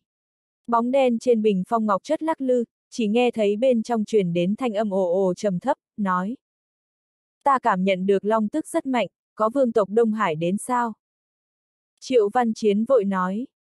Quả thật có một gã hậu duệ chân long đi lên đảo, bất quá cũng không phải là vương tộc Đông Hải, mà chính là Bắc Hải nhuận tường, nghe nói hắn chính là thiên tài đã nổi danh từ lâu trong tứ hải. Thì ra là thiên tài vương cung Bắc Hải, khó trách. Thanh âm kia tiếp tục nói. Bắc Hải chính là hậu duệ chân linh hắc long diễn biến ra, cũng là long tử hậu đại, nhuận tường này quả thực không đơn giản a, à, long tức mạnh vậy nếu có thể dẫn động vào trong cơ thể ta, chẳng lẽ đây là thượng thiên chiếu cố ta sao? Triệu văn chiến khẽ giật mình, nói. Đại đảo chủ có ý là. Thanh âm kia cười nói. Đây là lần huyễn bảo đại hội cuối cùng rồi. a à, Triệu văn chiến chấn động, đột nhiên ý thức được gì đó, mừng rỡ như điên kích động nói. Ha ha, thật tốt quá, chúc mừng đại đảo chủ chỉ là. Lần trước lúc huyễn bảo đại hội tổ chức không phải còn thiếu khuyết rất nhiều sao. Đại đảo chủ cười nói. Lần trước còn kém rất nhiều, ta vốn rằng cứ tiếp tục như vậy, ít nhất còn cần thêm 30 năm nữa, nhưng không nghĩ tới lần này lại đủ rồi. Hơn nữa Thượng Thiên còn đưa tới hậu duệ hắc long độ tinh khiết huyết mạch cao như thế, ha ha, thật sự là trời cũng chiếu cố ta. Triệu Văn Chiến cười nói. Cái này cũng nhờ vào diệu kế của nhị đảo chủ, kiên trì huyễn bảo đại hội mỗi 5 năm một lần, quả nhiên làm ra kỳ hiệu. Đột nhiên ngoài cửa truyền đến một tiếng kêu rên, khóc lóc kinh hoàng nói. Sư tôn, sư tôn ngài ở đâu, cứu ta, cứu ta a. À. Triệu văn chiến cả kinh, nói. Là An Lăng Kiến, chuyện gì xảy ra? Hắn quát một tiếng, nói. Làm gì kinh hoàng như thế, vào đây. Cửa phòng nhỏ thoáng cái mở ra, An Lăng Kiến máu chảy đầm đìa lập tức xuất hiện ở cửa ra vào, toàn thân chỉ còn lại chân xương chân trái chống đất, trên người cũng thiếu thịt thiếu xương đủ chỗ, bộ dáng cực kỳ sợ hãi. Triệu Văn Chiến thấy thế hít một hơi lạnh, sợ tới mức lui lại mấy bước, lúc này mới chấn định lại, sợ hãi nói. Ngươi, ngươi đây là có chuyện gì? Ai đã thương ngươi thành ra như thế hả? An Lăng Kiến đầy nước mắt, khóc ròng nói. Sư tôn đại nhân ngài nhất định phải cứu ta a, à, ta xong đời, ta chết chắc rồi, ô ô ô. Đều là do Lý Vân Tiêu kia làm hại. Cái gì, Lý Vân Tiêu? Sắc mặt triệu văn chiến trầm xuống, kinh sợ nói. Hắn vì sao phải tổn thương ngươi? Đồng tử hắn hơi co lại, hồ nghi nói. Thương thế trên người ngươi hình như là. An lăng kiến trong nội tâm cả kinh, lập tức không dám giấu giếm, vội vàng nói. Đây là thiên vũ phong ngâm của ta bị phản chấn về tạo thành, chuyện là thế này. Hắn nói lại mọi chuyện từ đầu tới cuối một cách rõ ràng rành mạch. Vô liêm sỉ hồ đồ. Triệu văn chiến giận dữ hét.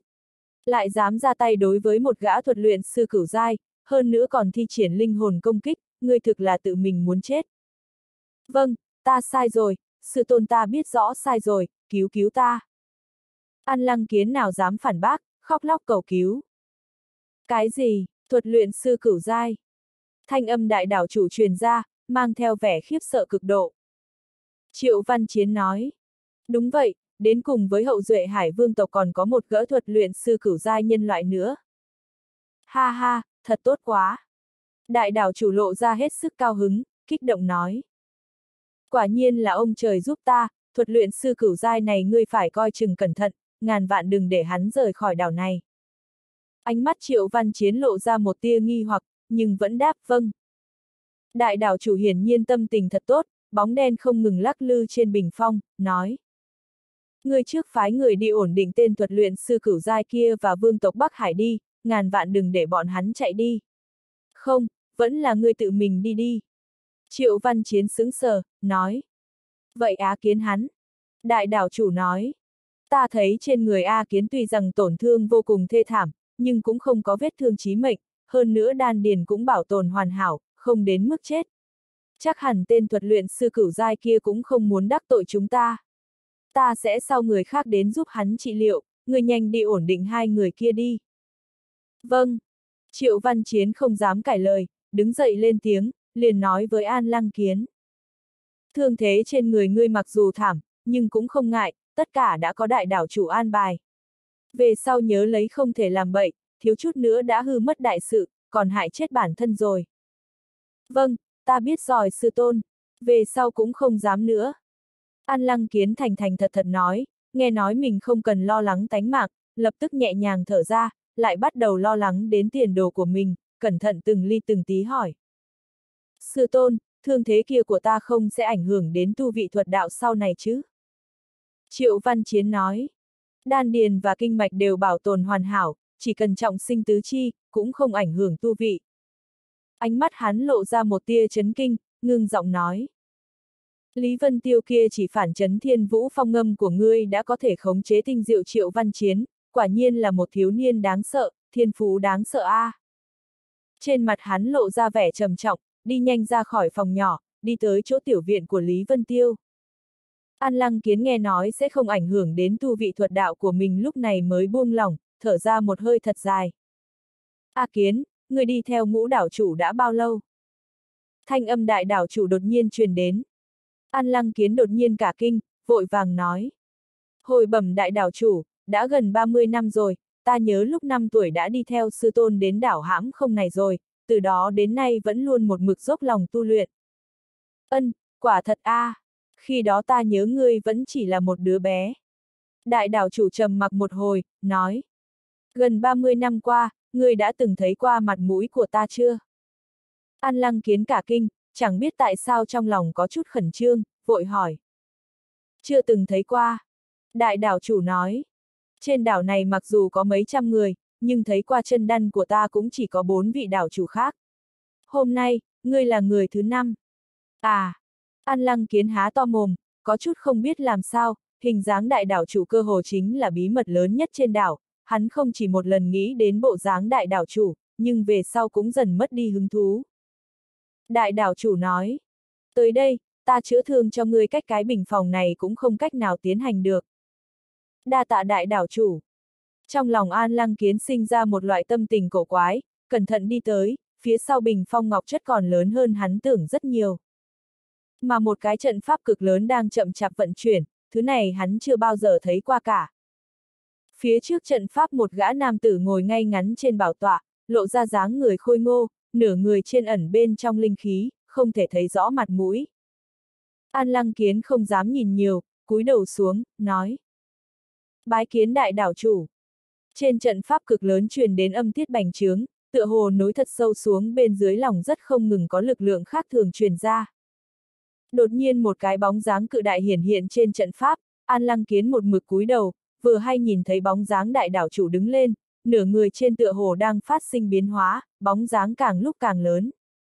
Một cổ lực lượng uy áp rất mạnh truyền đến, trong lòng của hắn khiếp sợ không thôi, vội vàng ngẩng đầu, lại đột nhiên thấy một cái đầu rồng cực lớn, hai con ngươi như đèn lông đang lộ ra hung mang nhìn vào hắn. A à đại, đại, đại đảo chúng ngươi.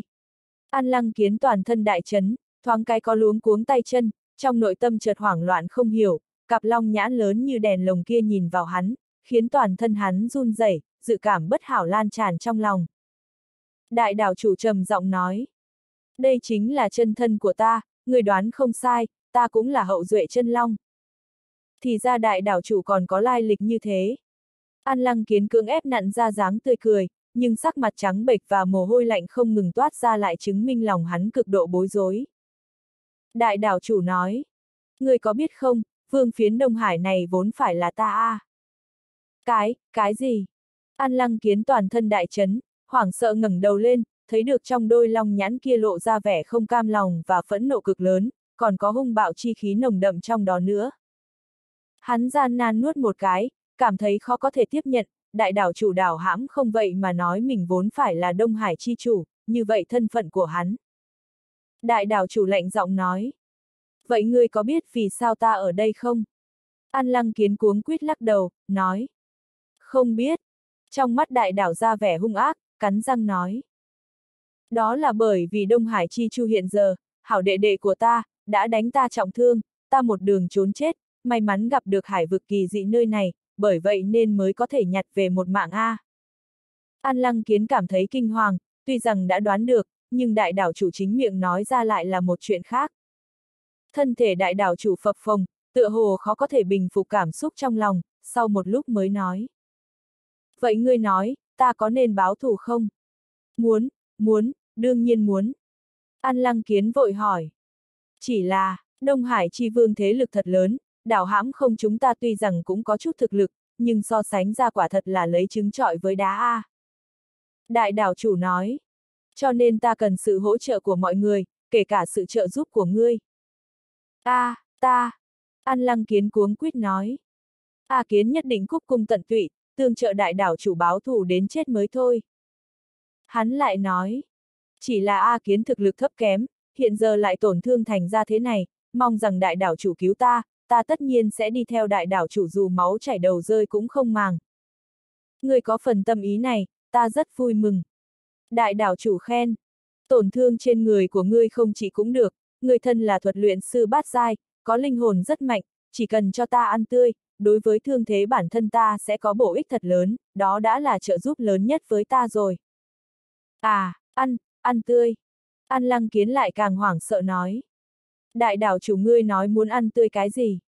Một cổ bất an lan tràn trong lòng hắn, hắn đã thấy cái đầu rồng cực lớn kia của đại đảo chủ chậm rãi hé miệng ra, nước rãi cũng rơi xuống dưới. Không, không nên a, à, đại đảo chủ. Không đợi đại đảo chủ trả lời, An Lăng Kiến đã biết rõ vận mệnh bản thân rồi, hắn sợ tới mức rốt cuộc đứng không vững nữa, xương chân trái khủy xuống dưới, té lăn trên mặt đất, toàn thân lạnh run, khóc đến hôn thiên ám địa. Ân, ngươi không phải nói muốn máu chảy đầu rơi giúp ta báo thù sao? Trong hai mắt đại đảo chủ tuôn ra một đạo hàn mang, quát. Chẳng lẽ ngươi lừa gạt ta sao? Không, không có a, chỉ, chỉ là, ta. An lăng kiến toàn thân toát ra mồ hôi lạnh, run rẩy nói. Chỉ là sư tôn nuôi ta hơn 20 năm, vẫn chưa báo đáp sư tôn, không đành lòng rời đi như vậy. Đại đảo chủ nói, ngươi quả nhiên là hài tử có hiếu tâm, sư phụ của ngươi nếu biết rõ ngươi hiến thân cho ta thì nhất định sẽ cảm thấy tự hao thay ngươi đấy. Để, để, để ta gặp, gặp sư tôn một, một, một lần cuối cùng, nói, tạm biệt lão, lão nhân ra hắn có được không? An lăng kiến đã sợ đến nói không nên lời nữa, đôi môi run lên, thân hình phát run, đến đằng sau càng hoa một tiếng khóc lên. Ô ô ô, sư tôn, sư tôn cứu ta đi. Không cần. Đại đảo chủ một lời từ chối, một cái thủ chảo cực lớn xuất hiện trên không trung, một tay nắm an lăng kiến lên, trực tiếp ném vào trong mồm nhai liên tục, phát ra tiếng CKIT. T, T cô CKIT, T, T khiến người phải dùng mình. An lăng kiến ngay cả một tiếng la thảm thiết cũng không phát ra được đã triệt để bị ăn tươi mất rồi. Tiếng nhai xương cốt rằng co một hồi, đầu rồng cực lớn mới nuốt nuốt xuống, chậm rãi nhắm hai mắt hại, khôi phục lại thân người. Ân, không hổ là thuật luyện sư bát giai, thật sự quá bổ. Đại đảo chủ tựa hồ coi an lăng kiến như dinh dưỡng hấp thu lấy toàn bộ, sau đó hắn mở mắt ra, trong con ngươi màu xanh lá cây đậm lóe ra ánh sáng âm u. Trong miệng le ra đầu lưỡi ướt súng, liếm liếm môi, giống như dư vị vô cùng vậy. Tiểu viện đảo hãm không, trong không gian huyền khí. Nguyễn Tích Tuyền đang triệt để tuyệt vọng, bị lôi đình đánh lún vào trong lòng đất, cả người không biết sống chết. Xa xa nhan thụ thư cũng cảm thấy tuyệt vọng, dưới chiêu chiêu từ kinh vĩnh dạ bức bách, hắn đã không hề có sức hoàn thủ nữa, trong miệng không ngừng cầu xin tha thứ nói. Vĩnh dạ đại nhân, ta biết rõ mình đã sai rồi, ta thật tình ăn năn, mong rằng đại nhân tha cái mạng chó ta đi được không? Ta nhổ vào, không nên vũ nhục loại sinh vật này. Kinh vĩnh dạ khinh thường nhổ nước miếng, trường lực trong tay càng uy mãnh thêm vài phần, triệt để bước lui tất cả đường lui của nhan thụ thư, chiêu chiêu đều dốc hết toàn lực. Đúng, đúng, ta ngay cả chó cũng không bằng. Đại nhân ngài giết ta cũng quá mức hạ thấp thân phận của mình rồi, niệm tình quen biết một hồi, tạm tha cho ta đi. Dùng thực lực nhan thụ thư, nếu toàn lực chống đỡ thì mặc dù không địch lại kinh vĩnh giả cũng không nhanh chóng bị thua như vậy, nhưng hắn biết rõ bại cục đã định, căn bản không có lòng ham chiến nữa, chỉ không ngừng cầu xin tha thứ, cho nên chỉ mấy chiêu đã lâm vào tử cảnh, trên mặt giàn ruộng nước mắt. Ha ha, võ giả nhân tộc quả nhiên không giống người thường, thật khiến ta mở rộng tầm mắt a, ha ha. Nhuận tường nhìn không được lớn tiếng mỉa mai, khinh miệt liếc nhìn mọi người. Thủy Tiên cũng khó hiểu mở miệng nói. Đối thủ rõ ràng không chịu buông tha hắn, vì sao còn phải khóc lóc cầu xin tha thứ như vậy làm gì chứ? Nhuận tường cười nói. Nghi hoặc của Thủy Tiên công chúa ta có thể giải đáp A, đây đoán chừng là phẩm chất ưu tú chảy xuôi trong huyết mạch võ giả nhân tộc A. Lý Vân Tiêu nghe vậy, xoay người lại, lạnh lùng chào phúng. Người tộc ta trước khi chết xin khoan dung muốn sống, trung quy vẫn tốt hơn người hải tộc trước khi chết lại kích phát huyết mạch chi lực, phản tổ thành xúc sinh tự bạo nhiều. Nhuận tường cả giận nói. Ta nhổ vào, tộc ngươi sợ chết như thế, há có thể đánh đồng với dũng sĩ tộc ta chứ? Lý Vân Tiêu khinh miệt hừ thoáng một phát, du du nói. Lúc đối mặt tử vong, một người bằng vào chỉ số thông minh của mình trăm phương ngàn kế muốn sống, một người lại thoái hóa thành hải thú không có chỉ số thông minh tự bạo, người nói ai tốt hơn hả? Cái này, nhuận tường thoáng cái hoáng váng, rõ ràng hai loại phẩm chất hoàn toàn bất đồng, một người rất sợ chết cầu xin tha thứ, một người lại anh dũng không sợ hy sinh. Nhưng ở trong miệng Lý Vân Tiêu lại hoàn toàn biến vị, mà hắn lại khó có thể phản bác được nữa. Thủy Tiên cũng bị hù sững sờ, nhẹ nhàng gật đầu nói. Dường như có chút đạo lý. Sắc mặt nhuận tường trầm xuống, lạnh giọng nói. Thủy Tiên công chúa không nên bị người này lừa dối, công phu miệng lưỡi của hắn vô địch thiên hạ. Nếu nó có phân ra đẳng cấp thì người này quả thật là thập phương thần cảnh rồi. Những người nhân tộc tuy rằng cũng rất căm thù nhuận tường, nhưng đối với câu này đều cảm thấy rất có đạo lý, không ít người cũng gật đầu tán thành. Đột nhiên xa xa mặt đất vang lên một tiếng, Nguyễn Tích Tuyền đầy bụi đất chui ra, trực tiếp quỳ xuống dập đầu tại chỗ nói. Vân Tiêu đại nhân, tha cho ta đi, ta nguyện ý làm nô tỳ, cầu ngươi đừng giết ta. Tất cả võ giả nhân tộc mặt đều đỏ lên, Lý Vân Tiêu vừa mới bằng vào miệng lưỡi lấy lại cho bọn họ chút mặt mũi, nhưng lập tức đã bị người này làm mất hết rồi. Bắc Minh Kháng Thiên cũng nhịn không được nữa, nổi giận nói. Nguyễn Tích Tuyền chết có nhẹ tựa lông hồng, có nặng như Thái Sơn, loại nhu nhược như người còn là cường giả võ đế sao? Không nên vũ nhục bốn chữ cửu thiên võ đế có được không? Nguyễn Tích Tuyền nhìn Bắc Minh Kháng Thiên, trong mắt tuôn ra lửa giận vô tận, cắn răng quát ầm lên. Bắc Minh Kháng Thiên lão thất phu người thấy chết mà không cứu, còn ở bên cạnh nói ngồi châm chọc, ta dù có thành quỷ cũng sẽ không bỏ qua cho ngươi đâu. Bắc Minh Kháng Thiên hừ lạnh nói. Hừ, cứu người nhu nhược bất lực như ngươi, quả thực ô uế tay lão phu thôi. Ngươi không cứu ta, ta dù có phải chết cũng kéo ngươi theo làm đệm lưng. Nguyễn Tích Tuyền cuồng nộ sông lên khỏi mặt đất, gầm thét phóng tới Bắc Minh Kháng Thiên. Hai mắt hắn đỏ bừng, dương nanh múa vuốt, gương mặt cơ hồ cũng trở nên vặn vẹo. Tất cả mọi người đều ngốc trệ, muốn giết hắn chính là Lý Vân Tiêu, sao lửa giận ngược lại chuyển đến trên người Bắc Minh Kháng Thiên rồi. Đây quả thật là một thế giới điên cuồng quái dị, khiến người khó có thể hiểu nổi. Bắc Minh Kháng Thiên cũng bị chọc tức, quát lên. Vô liêm sỉ, người có phải là không phân biệt được nữa không, ta với ngươi cũng không có ân oán gì cả. Trong mắt Nguyễn Tích Tuyền tràn đầy mỉa mai và điên cuồng, cười to nói. Ha ha, không có có ân oán. Ngươi không cứu ta, trơ mắt ếch ra nhìn ta bị người giết, ta liền muốn ngươi chết. Khí thế trên thân hắn lập tức bành trướng đến đỉnh phong, bay thẳng đến Bắc Minh Kháng Thiên, tựa hồ như muốn đồng quy vô tận. Bắc Minh Kháng Thiên tràn đầy giận dữ, trên người tỏa ra hàn khí, chậm rãi nâng tay phải lên, lăng không bổ tới một trường. Một đạo trưởng ấn băng hàn rét thấu xương hiển hiện trên không trung, hung hăng đánh lên người Nguyễn Tích Tuyền, giống như một tòa cự sơn đè xuống vậy, hoàn toàn chế trụ lấy hắn. Bành! Khác với lôi điện của Lý Vân Tiêu đánh hắn xuống mặt đất khi trước, một trường này trực tiếp xuyên thấu thân thể của hắn, khiến cả người Nguyễn Tích Tuyền đều bị đánh phấn thân toái cốt trên không trung, hóa thành vô số khối băng, nhao nhao rơi xuống mặt đất. Hừ thật sự là không biết tốt xấu. Bắc Minh kháng thiên sau khi một trưởng đánh chết Nguyễn Tích Tuyền, lửa giận trên người mới chậm rãi lui mất, vẻ mặt khinh miệt và khinh thường.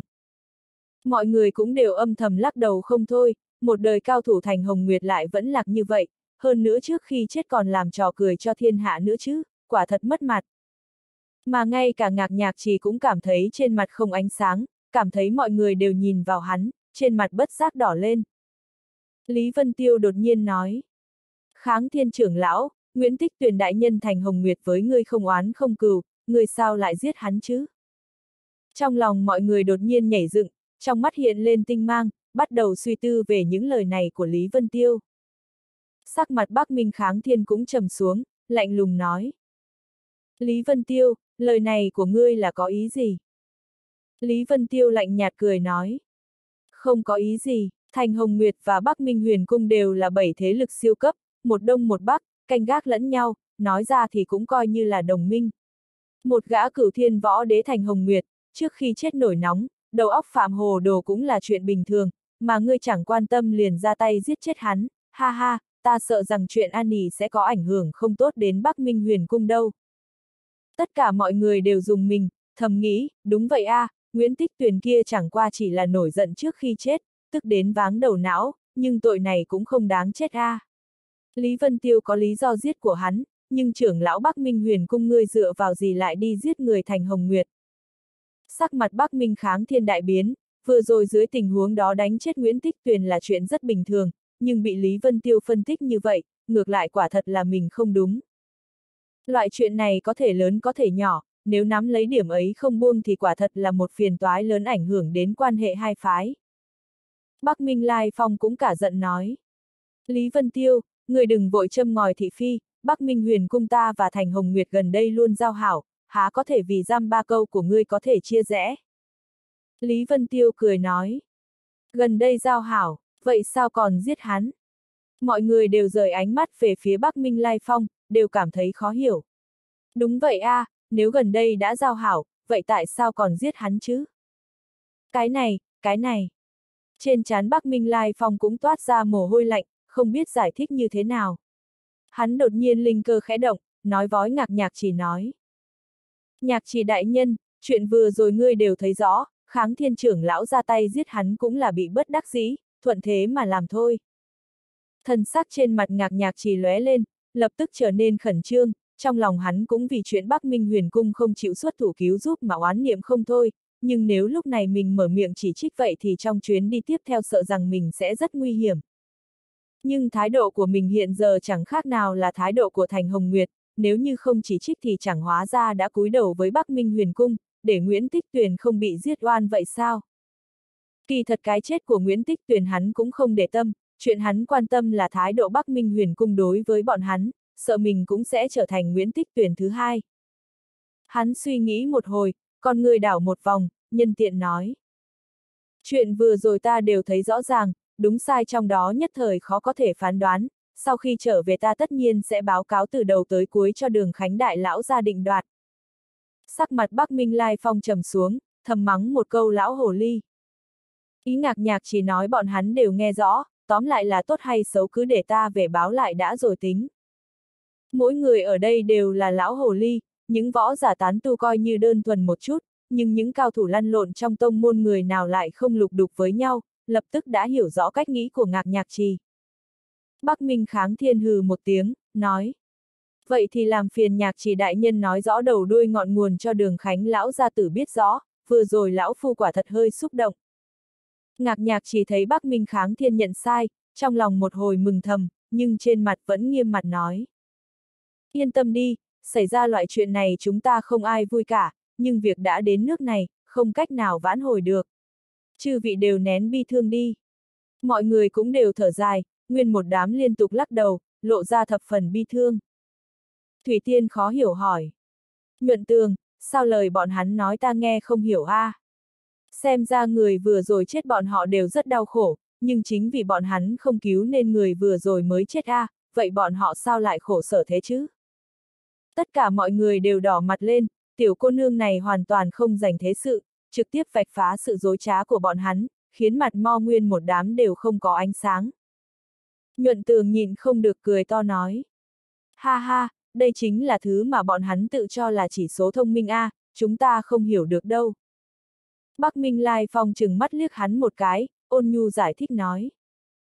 Thủy Tiên công chúa đừng nghe tên yêu nhân này bịa đặt, đây là lễ tiết cơ bản nhất của nhân tộc chúng ta. Thường nói người chết là lớn nhất, đây là một loại tôn kính và tưởng nhớ đối với người chết, hoặc có thể nói là ai điếu A. Đúng đúng đúng, chính là ai điếu. Võ giả còn lại cũng nhao nhao phụ họa nói. Lai Phong công tử nói không sai. Tích tuyền đại nhân nếu đã bất hạnh ra đi, vậy thì chúng ta phải nén bi thương mà tiếp tục sống thôi. Thủy Tiên càng thêm hồ đồ, trên mặt hoàn toàn là thần thái mê mang, nói. Nhưng, nhưng vừa rồi người nọ đã đau khổ cầu các ngươi cứu hắn, các ngươi đều không cứu a. À. Nàng giơ tay lên chỉ vào nhan thụ thư đã bị đánh đến hấp hối, lập tức sắp xong đời kia. Hiện giờ ngay cả hắn cũng sắp bị đánh chết, đợi lát nữa các ngươi cũng ai điếu cho hắn sao.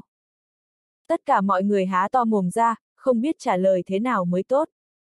Nhuận tường thì lại ôm bụng cười cười to không thôi, trong mắt tràn đầy khinh miệt và trào phúng đối với mọi người. Khục, khục, Lý Vân Tiêu cũng cảm thấy trên mặt không ánh sáng, ho khan vài tiếng nói. Hắn sẽ không chết đâu. Hắn hô lớn một tiếng, nói. Vĩnh dạ đại nhân, dừng tay đi, còn phải mang hắn giao cho đảo hãm không nữa đấy. Bên kia kinh vĩnh dạ đang nổi lên sát tính, đã đánh cho nhan thụ thư đến mức ấp hối, sau khi nghe được Lý Vân Tiêu nói trên mặt liền hiện lên một tia ngoan lệ, trực tiếp điểm một tay vào bụng dưới đối phương. Phanh! Trong đan điền nhan thụ thư tuôn ra một tiếng trầm đục, toàn bộ khí hải đều bị đánh nát, trên người phát ra thanh âm hít khà zz hí zzz, nguyên lực cả người đều bị tiết ra hết sạch. A! À, nhan thụ thư thống khổ kêu thảm một tiếng, trong mắt lộ ra một mảnh tuyệt vọng. Căn cơ võ đạo trực tiếp bị hủy, hắn trong khoảnh khắc từ một gã cường giả võ đế biến thành phế nhân, thậm chí ngay cả người phổ thông bình thường cũng không bằng nữa. Bị thương trên thân thể và tinh thần trọng điệp cùng một chỗ, cả người lập tức liền ngất đi. Kinh Vĩnh giả kéo hắn qua giống như chó chết, ném ở dưới chân Lý Vân Tiêu, lúc này mới thở phào một hơi, đại thù được báo, cả người hắn liền cảm thấy nhẹ nhõm hơn rất nhiều.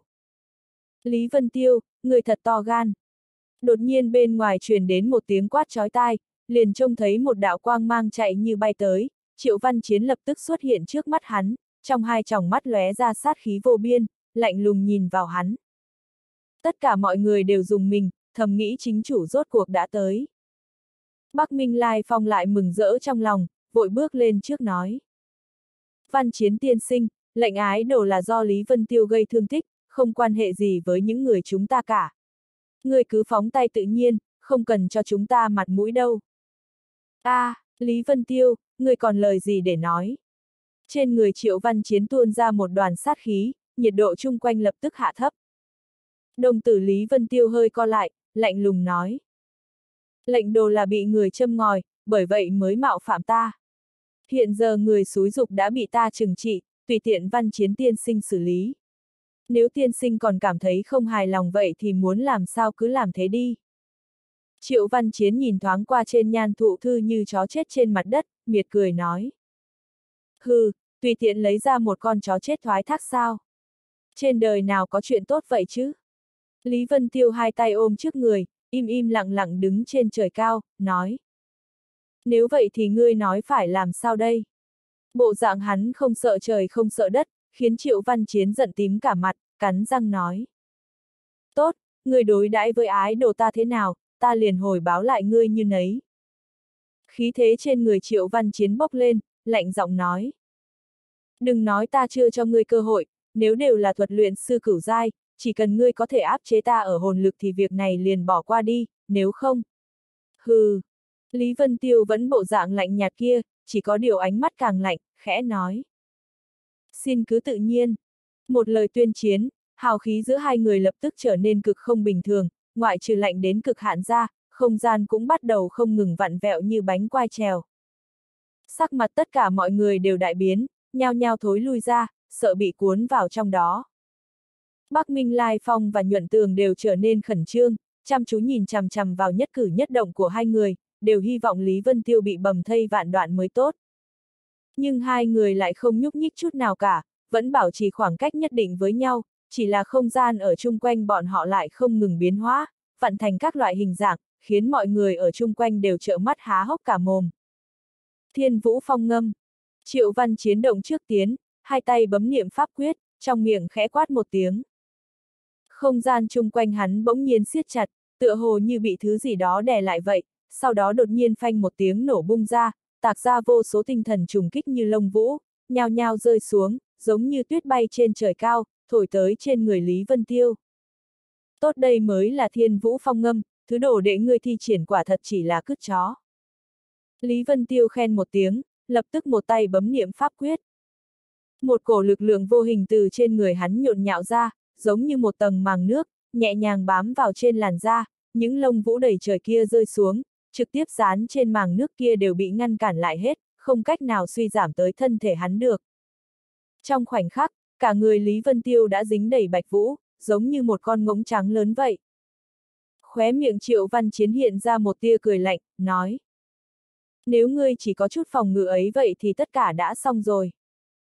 Sắc mặt Lý Vân Tiêu biến hóa, trong mắt tuôn ra một đoàn lãnh mang. Quyết ấn trong tay Triệu Văn Chiến biến đổi, lạnh giọng nói. Bảo, ầm ầm, không gian lắc lư kịch liệt, cũng không có nguyên lực chấn động, hơn nữa tinh thần trùng kích rất mạnh tản ra trên không trung, những bạch vũ do hồn lực hiển hóa kia vào thời khắc này đều nổ bung, hóa thành từng đạo vòng xoáy tinh thần, không chỉ oanh kích tới bốn phương tám hướng mà nguyên một đám còn dung hợp lại với nhau, càng lúc càng lớn. A! À, Lý Vân Tiêu phát ra một tiếng hét thảm, cả người trực tiếp ngã vào trong vòng xoáy tinh thần cực lớn kia, thân thể theo không gian thay đổi không ngừng vặn vẹo, hai tay ôm đầu khàn giọng kêu thảm thiết, thất khiếu đều tràn ra máu tươi. Bắc Minh Lai Phong và Nhuận Tường đều cảm thấy cuồng hỉ, không thể nén được kích động trong lòng. Nhuận tường càng trực tiếp hóa ra chân long chi nhãn ngưng mắt nhìn qua, quả nhiên là Lý Vân Tiêu đã rơi xuống hạ phong, tất cả nhìn thấy trước mắt đều là thật cả, hắn nhịn không được muốn cất tiếng cười to lên. Chiến đấu giữa thuật luyện sư cực kỳ hung hiểm, so với võ giả quyết đấu còn hơn rất nhiều, chỉ cần chút vô ý linh đài liền thất thủ, nhẹ thì linh hồn bị thương, nặng thì trí nhớ hoàn toàn biến mất, triệt để biến thành kẻ đần. Ha ha, chỉ thường thôi. Triệu Văn Chiến cười lạnh nói. Đây là khiển trách vì ngươi dám đả thương đồ đệ ta. Trong mắt của hắn hiện lên một đạo hàn mang, nhớ tới lời đại đảo chủ nói, tựa hồ người này còn có tác dụng, không tiện đánh chết. Lúc này hắn mới hử lạnh một tiếng, nói. Lần này chỉ dừng ở đây, nếu còn có lần sau, nhất định sẽ giết không tha. Quyết ấn trong tay hắn khẽ điểm, vòng xoáy tinh thần kia lập tức biến mất vô tung, thân thể không ngừng vặn vẹo của Lý Vân Tiêu rốt cục cũng biến về lại nguyên dạng, vẫn không nhúc nhích lẳng lặng nằm trong hư không, chỉ là từ xa nhìn lại sắc mặt tái nhợt, thất khiếu đều chảy ra máu tươi. Bắc Minh Lai Phong đột nhiên kêu lên. Văn chiến tiên sinh, không cần hạ thủ lưu tình, không cần cho chúng ta mặt mũi đâu, trực tiếp giết đi. Bắc Minh kháng thiên nhướng mày, lộ ra vẻ không hài lòng, hắn cảnh giác nhìn chằm chằm vào, nếu Triệu Văn Chiến dám hạ sát thủ, hắn tất nhiên sẽ xuất thủ cứu giúp. Triệu Văn Chiến không để ý tới mọi người, chỉ lạnh lùng nói với Lý Vân Tiêu. Đứng lên đi, đừng giả bộ chết nữa. Công kích vừa rồi chẳng qua chỉ trọng thương linh hồn của ngươi thôi, còn không đến mức chết mất. Hắn im im lặng lặng đợi một hồi, thấy Lý Vân Tiêu vẫn không nhúc nhích lơ lửng ở đằng kia, lông mày thoáng cái nhíu lại, trong mắt hiện lên nghi hoặc. Hắn đi tới trước một bước, cẩn thận từng ly từng tí đi tới trước, mỗi một bước đều cực kỳ chậm, bởi vì quyết đấu giữa thuật luyện sư phong hiểm quá lớn, bất kỳ một sơ hở nào cũng đều có thể chí mạng cả. Nhưng nghi hoặc trong mắt hắn lại càng ngày càng sâu, cảm thấy có chỗ nào đó là lạ. À! Triệu Văn Chiến bỗng nhiên nghẹn ngào kêu to một tiếng, hoảng sợ nhìn qua Lý Vân Tiêu lơ lửng trên không trung kia. Đó nào phải là Lý Vân Tiêu, lặng lặng nằm trên bầu trời thất khiếu chảy máu rõ ràng là mình a. À. Sao có thể vậy được? Bỗng nhiên ngay lúc đó, Triệu Văn Chiến chỉ cảm thấy trời đất quay cuồng, chính mình lẳng lặng lơ lửng trên không trung chậm rãi đứng lên, trên mặt cũng hoảng sợ không thôi. Thân thể của hắn cự chiến, biết rõ mình đã trúng chiêu. Mình chính là thuật luyện sư cửu giai A, làm sao có thể không chút phát giác bị tinh thần lực của người khác đánh trúng được chứ? Nhưng sự thật bày ở trước mắt, khiến hắn không thể không tin. May mắn tố chất tâm lý triệu văn chiến cũng cứng rắn, lập tức liền giật mình tỉnh lại, hai tay liền bấm niệm pháp quyết, kết xuất một cái ấn ký chậm rãi bay lên trong tay, hắn hét lớn một tiếng nói. Phá! Một cổ lực lượng rất mạnh từ trên người hắn nhộn nhạo ra, không gian chung quanh không ngừng biến hóa, giống như bị mưa lớn giặt rửa qua vậy. Đau nhức mãnh liệt từ trong đầu truyền đến, ảo thuật bị phá khai, hắn cũng khôi phục lại hiện trạng chân thật, bản thân hắn quả nhiên thất khiếu chảy máu, sắc mặt tái nhợt. Sắc mặt của hắn càng thêm hôi bại như đất, thân hình run rẩy lên kịch liệt, nội tâm một trận hoảng sợ. Vừa rồi nếu không phải mình hạ thủ lưu tình, sợ rằng hiện giờ đã triệt để chết dưới tuyệt chiêu của mình rồi a. À. Chuyện gì xảy ra? Tất cả mọi người chấn động, hoảng sợ nhìn qua. Bọn hắn chán nản phát hiện, chiến đấu giữa thuật luyện sư thật sự quá mức quái dị, bọn hắn căn bản xem không hiểu. Nhuận tường cũng hoảng hốt sắc mặt đột biến, vừa rồi chân long chi nhãn của hắn rõ ràng đã thấy Lý Vân Tiêu bị thương, sao lại biến thành triệu văn chiến rồi. Chẳng lẽ ảo thuật của Lý Vân Tiêu có thể lừa gạt được cả chân long chi nhãn của mình sao? Hắn quay đầu lại, nhìn qua Thủy Tiên ở bên, nói. Thủy Tiên công chúa, người có thấy rõ không? Trên gương mặt trẻo nhưng lạnh lùng của Thủy Tiên cũng lộ ra một tia nghi hoặc, hồ nghi nói. Vừa rồi trong hư không dường như có một đôi mắt đỏ tươi hung hăng chừng ta một cái, ánh mắt của ta liền bị một tầng lực lượng vô hình ngăn trở, không cách nào thấy rõ được chân tướng trong đó. Nhuận tường hít một hơi lạnh, trong lòng nhấc lên cơn sóng gió động trời. Trong huyết mạch hải hoàng ba gia trời sinh đã ẩn chứa cực mục thần thông, cũng giống như chân long chi nhãn của bọn họ vậy, có thể bài trừ hết tất cả ảo thuật. Chân long chi nhãn của hắn cũng không hoàn thiện, dù sao thực lực bản thân hắn so với chân long thật sự kém quá nhiều, nhưng cực mục thần thông của Thủy Tiên lại được kế thừa hoàn toàn A, vậy mà cũng nhìn không thấu ảo thuật của Lý Vân Tiêu. Điều này sao có thể? Nhuận tường tái nhợt nghiêm mặt, nhẹ nhàng lắc đầu, thầm nghĩ, không có khả năng, tuyệt không khả năng, trong đó nhất định có chỗ mấu chốt nào đó. Triệu Văn Chiến chỉ cảm thấy toàn thân rét run, vạt áo cũng bị thấm ướt đẫm, nào còn dám ra tay nữa, cuống quyết nói. Vân Tiêu đại nhân, tại hạ nhận thua, đa tạ đại nhân hạ thủ lưu tình. Cái gì, lại là Lý Vân Tiêu thắng? Những võ giả kia đều ngạc nhiên, giống như có chút gì đó bất mãn vậy. Tên này không phải nói mình là thuật luyện sư cửu giai sao? Chẳng lẽ là lừa đảo? Đúng đấy, Lý Vân Tiêu dù lợi hại thế nào, nhưng tuổi vẫn ở đó, không có khả năng thuật võ song đạo đều biến thái như vậy a. À? Ân, trong đó nhất định có gì mờ ám. Tất cả mọi người đều nhao nhao gật đầu. Bắc Minh Lai Phong cảm thấy lạnh buốt, hai lần không vui một hồi, không chỉ có thế, hắn đối với thực lực Lý Vân Tiêu càng ngày càng cảm thấy sợ hãi rồi, chỉ cảm thấy bóng lưng nhỏ bé và yếu ớt trước mặt mình kia đã không phải là núi cao ngất ngưỡng nữa, mà là tinh thần biển cả A. Hắn giật mình, phục hồi tinh thần lại từ sợ hãi, sắc mặt còn tái nhợt hơn cả triệu văn chiến. Không gian dần vặn vẹo một chút, vô số đạo ánh huỳnh quang từ bốn phương tám hướng hội tụ đến, trực tiếp ngưng tụ thành chân thân Lý Vân Tiêu, vẻ mặt lạnh như băng, cũng là tái nhợt không có chút máu, hiển nhiên trận chiến vừa rồi hắn thắng cũng không nhẹ nhõm chút nào. Thủy Tiên nhìn qua Lý Vân Tiêu, đột nhiên nó. Ngươi, con của ngươi vừa rồi sao lại? Thân hình Lý Vân Tiêu chấn động, con người bỗng nhiên co rụt lại, một cổ hàn khí cực kỳ lăng lệ ác liệt bắn xuống dưới, nhìn chằm chằm vào Thủy Tiên, xinh xinh cắt đứt lời nói của nàng.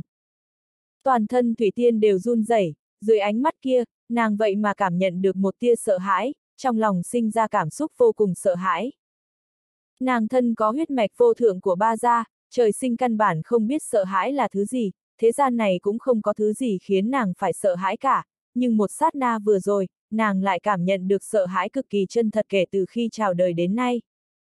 Cái này, chuyện gì xảy ra? Sau sợ hãi, trong lòng Thủy Tiên liền cảm thấy một hồi rung động, lâm vào nghi hoặc cực lớn, một người kinh ngạc ngẩn người ở đó. Lý Vân Tiêu lúc này mới thu hồi ánh mắt nhìn chằm chằm vào Thủy Tiên, nghĩ thầm, cô nàng này quả nhiên kế thừa huyết mạch ba gia huyết mạch, có được chân thực chi nhãn có thể nhìn thấu tất cả, trời sinh đã là khắc tinh của Nguyệt Đồng A. Triệu Văn Chiến thấy Lý Vân Tiêu hiện thân ra, vội bước lên phía trước, khom người bái xuống, nói. Đa tạ ân không giết của Vân Tiêu đại nhân. Lý Vân Tiêu lạnh lùng nói. Không cần cảm ơn ta, nên tạ ân không giết của ngươi thì hơn. Toàn thân Triệu Văn Chiến đều run rẩy, may mắn đại đảo chủ muốn lưu người này lại, bằng không thì mình đã vạn kiếp bất phục rồi. Toàn bộ huyền khí không gian thoáng cái đều trầm mặc lại, yên tĩnh khác thường, trên mặt đất lại là một đống bừa bộn, khắp nơi đều là huyết nhục, vô cùng thê thảm. Triệu Văn Chiến rất nhanh đã thu thập tâm tình, cười làm lành nói. Chư vị đại nhân mới lên đảo đã xảy ra chuyện không thoải mái, thực là tại hạ thất trách, mong rằng chư vị thứ lỗi. Hắn tất cung tất kính thỉnh tội, thái độ thập phần thành khẩn. Mọi người nhao nhao khách khí, đều nói không sao. Dù sao thân phận thuật luyện sư cao giai của đối phương vẫn ở đó, khách khí với mình như vậy, chuyện này trên đại lục thiên võ tuyệt đối không thể nào xảy ra được. Lý Vân Tiêu từ không trung bay thấp xuống, chậm rãi dẫm trên mặt đất, lạnh nhạt nói. Không sao, cái này cũng nhờ đồ đệ ngươi, ta mới có thể thu thập hết những người không vừa mắt. Tính ra thì đồ đệ ngươi còn có công nữa đấy. Tất cả mọi người đều tuôn ra mồ hôi lạnh ra, nói trắng ra như vậy, cũng không tránh khỏi quá không để Thành Hồng Nguyệt và Bắc Minh Huyền Cung vào mắt rồi. Ngạc nhạc chỉ cảm nhận được ánh mắt dò xét của mọi người, trên mặt nóng rát, sau lưng như đeo trì, hận không thể chiêu tọt vào hố cho đỡ nhục. Triệu Văn Chiến cũng sừng sốt, lau mồ hôi lạnh, không biết nên nói tiếp thế nào, chỉ có thể ngượng ngùng cười nói. Vân Tiêu đại nhân thấy nơ thế ào, một tháng ở trên đạo mọi người sẽ được an bài trong huyền khí không gian này, không biết có thỏa mãn không? Hắn bắt đầu chuyển hướng chủ đề, giới thiệu huyền khí không gian này, trong mỗi một gian phòng đều chất đầy đại lượng tài nguyên tu luyện, tất cả đều là nguyên tinh vét lên từ đáy biển, còn chân quý hơn cả nguyên thạch, những võ giả tán tu kia cả đám đều mừng rỡ không thôi, nhìn không được bắt đầu cho vào túi chữ vật của mình. Triệu Văn Chiến ngạc nhiên nói. Chư vị đây là... Những võ giả tán tu kia nguyên một đám lộ ra biểu lộ lưu manh, nói. Hắc hắc, một tháng chúng ta cũng không dùng được nhiều như vậy, cho nên định đóng gói mang về. Triệu Văn Chiến. Đúng rồi, ta đã quên, chư vị là đến từ Bắc Minh huyền cung sao. Bắc Minh Lai Phong vội vàng lắc đầu, nói. Bọn hắn chỉ đi cùng chúng ta thôi, tuy rằng cùng đường, nhưng lại là hai nhóm người, hai nhóm người A. Hai nhóm người, Lai Phong công tử nói như vậy cũng quá đáng rồi. Đúng đấy, chúng ta cùng nhau xuất sinh nhập tử. Hiện giờ chẳng qua chỉ cầm mấy khối nguyên tinh lại biến thành hai nhóm người rồi sao? Quá thất vọng rồi, trước khi ra biển gọi người ta là tiểu điềm điềm, hiện giờ lại gọi là nghiêu phu nhân. Sắc mặt Bắc Minh Lai Phong cảm thấy khó xử, đặc biệt là khi thấy trong ánh mắt Thủy Tiên cũng có khác thường thì rốt cục nhìn không được nữa, hét lớn. Không muốn chết thì đều im miệng cho ta. Hắn giận dữ giống lên, quả nhiên liền có hiệu quả. Những võ giả tán tu kia cũng chỉ muốn cầm ít tiền tài mà thôi, không ai muốn thật sự đắc tội Bắc Minh thế ra cả, cả đám nhao nhao cúi đầu thu nguyên tinh, không dám lên tiếng nữa. Triệu Văn Chiến cười nói. Cường giả quý phái quả nhiên đều rất ẩn giấu. Khuôn mặt Bắc Minh Lai Phong trầm xuống, đến mức đỏ bừng, cường điệu nói. Đã nói là hai nhóm người mà. Tốt rồi tốt rồi, không cần giải thích nữa. Triệu Văn Chiến trực tiếp cắt đứt, quay người nói với Thủy Tiên. Thủy Tiên công chúa, thân phận của ngươi quá mức tôn quý, ta đã thay ngươi chuẩn bị gian phòng tốt nhất cho ngươi rồi. Còn có nhuận tường đại nhân và phi minh đại nhân cũng cùng đi đi. Đảo hãm không dù sao cũng là thế lực Đông Hải, cũng thuộc về dưới chướng Đông Hải chi chủ. Ánh mắt nhuận tường nhìn về phía Thủy Tiên lộ ra vẻ trưng cầu. Thủy Tiên suy nghĩ một hồi, ánh mắt lại nhìn về phía Lý Vân Tiêu, chỉ vào hắn nói.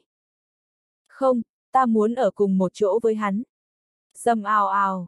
Tất cả mọi người đều bùng nổ, nguyên một đám ngây ra như phóng, mà ngay cả những võ giả đang lấy nguyên tinh cũng đều ngừng lại, há to mồm, nguyên tinh nắm cầm đồ trong tay cũng quên cho vào túi chữ vật. Lý Vân Tiêu cũng há to mồm, trên mặt tuôn ra mồ hôi lạnh. Gương mặt Bắc Minh Lai Phong càng trực tiếp biến thành gan heo, trong hai tròng mắt bộc phát ra lửa giận trùng thiên, nhìn chằm chằm vào Lý Vân Tiêu, mười ngón tay trực tiếp đâm sâu vào trong thịt. Triệu Văn Chiến lau mồ hôi lạnh, ngượng ngùng nói. Thủy Tiên công chúa, ngươi như thế cũng quá phóng túng đi. Thân phận của ngươi tôn quý, nếu xảy ra vấn đề gì, đảo hãm không chúng ta cũng không đảm đương nổi đâu. Sắc mặt Thủy Tiên lại cực kỳ bình tĩnh, lạnh lùng nhìn chằm chằm vào Lý Vân Tiêu, nói. Ngươi cầm bổn mạng huyền khí của ma sa, không trả cho ta thì ta cứ dính lấy ngươi đấy. Hô, sợ bóng sợ gió một hồi. Mọi người đều nhẹ thở ra, vỗ vỗ bộ ngực, tiếp tục tranh thủ thu lấy nguyên tinh. Bắc Minh Lai phong ngốc trệ thoáng một phát, gương mặt lúc này mới khôi phục bình thường, nội tâm cười khổ không thôi. Hắn hoảng sợ phát hiện bản thân mình đã hoàn toàn mê luyến Thủy Thiên mất rồi, cái này đối với một gã thiên tài mà nói sẽ là trở ngại rất lớn trên võ đạo. Nhưng cảm tình há con người có thể khống chế. Hắn cũng phát giác mình đang đi vào vạn kiếp bất phục, nhưng lại không thể khống chế nổi bước chân. Ánh mắt Bắc Minh Lai phong lộ ra vẻ mê luyến, ánh mắt tham lam rơi vào trên người Thủy Tiên, thưởng thức nhất cử nhất động của nàng, một cái nhăn mày một nụ cười cũng đủ làm hắn điên đảo. Thần thái của hắn đều rơi vào trong mắt Bắc Minh kháng thiên, lão lộ ra lo lắng và vẻ sầu lo thật sâu. Lý Vân Tiêu giảo hoạt cười nói. Vừa rồi không phải đã nói rồi sao, người muốn cứu ma sa thì có liên quan gì đến ta? Người là nhuận tường đả thương mà, người đi tìm hắn đi. Thủy Tiên nghiêm mặt nói. Người đừng gạt ta, những lời vừa rồi ta đã suy nghĩ thật lâu, trong đó có vấn đề. Đả thương ma sa chính là nhuận tường, nhưng bổn mạng huyền khí của hắn lại ở trong tay ngươi, cứu ma sa vẫn phải tìm ngươi. Nhuận tường vẻ mặt vô tội, đưa đám nói. Thủy Tiên công chúa, ngươi mới nghĩ thông suốt a. Trong mắt Thủy Tiên hiện lên một tia lãnh mang, lạnh giọng nói. Lý Vân Tiêu, nếu không giao hắc viêm sơn ra đây, thì đừng trách ta không khách khí với ngươi. Con người Lý Vân Tiêu đảo một vòng, cười nói. Muốn hắc phiêm sơn kia cũng có thể, bất quá Thủy Tiên công chúa phải lấy ra một thứ để đổi. Thủy Tiên cau mày nói. Thứ gì, trên người ta không mang theo nhiều đồ lắm. Lý Vân Tiêu híp mắt cười nói. Thứ này trên người ngươi khẳng định có. Biểu lộ cao thấp giò xét kia rơi vào trong mắt mọi người, lập tức có một loại dự cảm bất hảo. Bắc Minh Lai Phong càng kinh sợ nói. Lý Vân Tiêu, trong đầu ngươi có chủ ý quỷ quái gì thế, mau tranh thủ bỏ đi cho ta. Sắc mặt nhuận tường cũng phát lạnh, quát. Lý Vân Tiêu, nếu ngươi đưa ra loại yêu cầu kia, ta tất giết ngươi. Thủy Tiên vẻ mặt mê mang, nói. Yêu cầu gì? Sao các người đều như biết yêu cầu của hắn, vì sao ta không biết? Mọi người đều đổ mồ hôi, không có cách nào giải thích, nhưng đều nhìn chằm chằm vào Lý Vân Tiêu, sợ hắn nói ra loại lời đại nghịch bất đạo gì đó. Trong mắt Lý Vân Tiêu hiện lên một đạo tinh mang, nhìn chằm chằm vào Thủy Tiên nói từng chữ. Đơn giản, chính là máu của ngươi. Cái gì? Mọi người thoáng cái sắc mặt đại biến, như lôi đình đánh xuống, nguyên một đám đều bị chấn đến thất điên bát đảo. Yêu cầu này so còn khiếp sợ hơn cả bọn hắn dự tính, nguyên một đám đều lộ ra vẻ sợ hãi. Nhuận tường cũng kinh hãi quát lớn. Lý Vân Tiêu hải hoàng chi huyết ngươi cũng dám đánh chủ ý, trời trời dưới đất không còn người nào cứu được ngươi nữa rồi. Lý Vân Tiêu cười lạnh nói. Những lời này ta đã nghe nhàm tai rồi, có thể đổi câu khác không? Cho dù trên trời dưới đất không còn ai cứu được ta thì quan hệ gì đến ngươi chứ, ngươi kích động cái gì? Ngươi ngươi đáng chết a, à, đây là đại bất kính với hải hoàng đại nhân a. À. Trong đôi mắt nhuận tường phun ra lửa, hải hoàng dù sao cũng là một trong ba người hắn kính nể nhất, không được phép người khinh nhờn. Lý Vân Tiêu khinh miệt nói. Ngươi cũng biết hắn chỉ là hải hoàng, cũng không phải là nhân hoàng, có liên quan gì sao? Nếu như không có, ta vì sao phải kính hắn? Muốn đạt được tôn trọng của người khác, đầu tiên phải tôn trọng người khác, đây là đạo lý làm người đơn giản nhất, hải hoàng các ngươi không hiểu sao. Ngươi, ngươi, nhuận tường một hơi nghẹn trong lòng nói không nên lời, cả giận nói. Tóm lại ngươi đây là tử tội. Sắc mặt Thủy Tiên cũng trở nên khó coi, cắn răng nói. Phụ hoàng từng từng nói qua, huyết mạch ba gia chúng ta thập phần tôn quý, trong thiên hạ không ai dám đánh chủ ý, nếu không dù lên trời xuống đất cũng phải giết chết người nọ. Lý Vân Tiêu mở ra hai tay, bất đắc dĩ nói. Vậy thì không có cách nào rồi, mua bán chú ý tự do, hắc viêm sơn kia ta cũng rất thích đấy. Hắn nói xong, căn bản không để ý tới thần sắc kinh ngạc của mọi người, bay thẳng vào một gian tiểu viện. Ba người hải tộc mặt đều âm trầm, phi minh lạnh giọng nói. Người này coi trời bằng vung, không bằng để ta tìm cơ hội vĩnh viễn tuyệt hậu hoạn, cướp hắc viêm sơn kia về đi.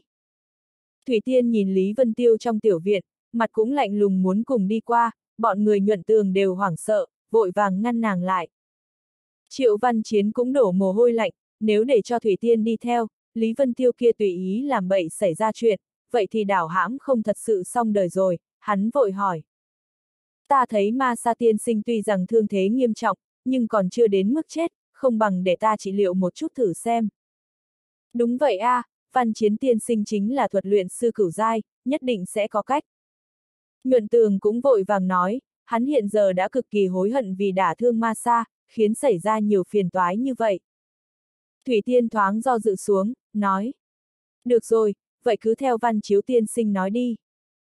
Mọi người lúc này mới nhẹ nhàng thở ra, triệu văn chiến sắp xếp mọi người một chút, liền dẫn ba người hải tộc rời đi. Không gian trong huyền khí thật lớn, cơ hồ mỗi người đều có thể được phân một gian tiểu viện, rất nhanh mọi người đã nhao nhao tiến vào. Liêu Dương băng trầm tư một hồi, đi đến trước tiểu viện của Lý Vân Tiêu, ngưng một đạo tin tức trong ngọc bài, đánh vào trong đó, lúc này mới lưu lại ở phụ cận. Trong tiểu viện đều có bố trí phòng tu luyện, Lý Vân Tiêu vừa tiến vào trong đó, liền tiện tay đánh ra mấy đạo cấm chế, ngăn cách hoàn toàn không gian nơi này, để ngừa người ngoài nhòm ngó. Phải biết rằng loại huyền khí không gian này rất có khả năng đã bị Triệu Văn Chiến luyện hóa, như vậy Triệu Văn Chiến thân là chủ nhân liền có thể dễ dàng cảm giác được nhất cử nhất động trong đó. Sau khi làm tốt tất cả, hắn liền khẽ lộn tay, hắc phiêm sơn kia trực tiếp hiển hiện trong lòng bàn tay, phát ra hào quang cực nóng, còn có đạo đạo hỏa diễm hắc sắc phun ra. Đột nhiên, những hỏa diễm kia ngưng tụ trên hắc sơn, tụ thành một đầu thú, đúng là bộ dáng của ma sa, nó gào thét vào tới. Lý Vân Tiêu cười nhạt một tiếng, đây chỉ là một đạo thần niệm của ma sa lưu lại trên hắc viêm sơn, có thể khu động lấy huyền khí và hỏa diễm chi uy để công kích thôi. Khóe miệng của hắn lộ ra vẻ châm chọc, thái cổ thiên mục nơi mi tâm mở ra, đột nhiên phun ra một đạo hỏa diễm cực nóng màu đỏ nhạt. Đầu thú do hắc viêm ngưng tụ thành đột nhiên ngất lịm, lộ ra biểu lộ hoảng sợ, bất chấp công kích thối lui ra sau lưng, đồng thời khu động lấy hắc viêm sơn đánh xuống dưới. Phanh! Hắc viêm sơn nện lên thần hỏa, lập tức biến lớn mấy lần, thoáng cái đã lấp kín cả nửa không gian, phát ra ánh sáng màu đen, không ngừng kháng cự lấy thần hỏa. Đầu thú cũng trực tiếp bay vào trong sơn thể, hắc viêm từ trong núi tuôn ra ngăn cách lấy thần hỏa. Hừ, quả nhiên là huyền khí do thiên diệu hắc tử luyện chế. Trong mắt Lý Vân Tiêu bắn ra hào quang, lộ ra vẻ đại hỉ. Mặt trời mỗi khi vận chuyển 10 vạn năm sẽ sinh ra một loại hiện tượng thiên thể rất mạnh, ở bên trong cực nóng sẽ dần dần ngưng ra một loại hạt hắc tử, hơn nữa chung quanh mỗi một hạt đều sinh ra năng lượng phong bạo không cách nào trừ khử. Theo thời gian trôi qua, hắc tử ngày càng nhiều, phong bạo cũng gia tăng, cuối cùng nhất những hắc tử và phong bạo tụ tập thành một khối, sinh ra một loại dị tượng, tên là thiên diệu.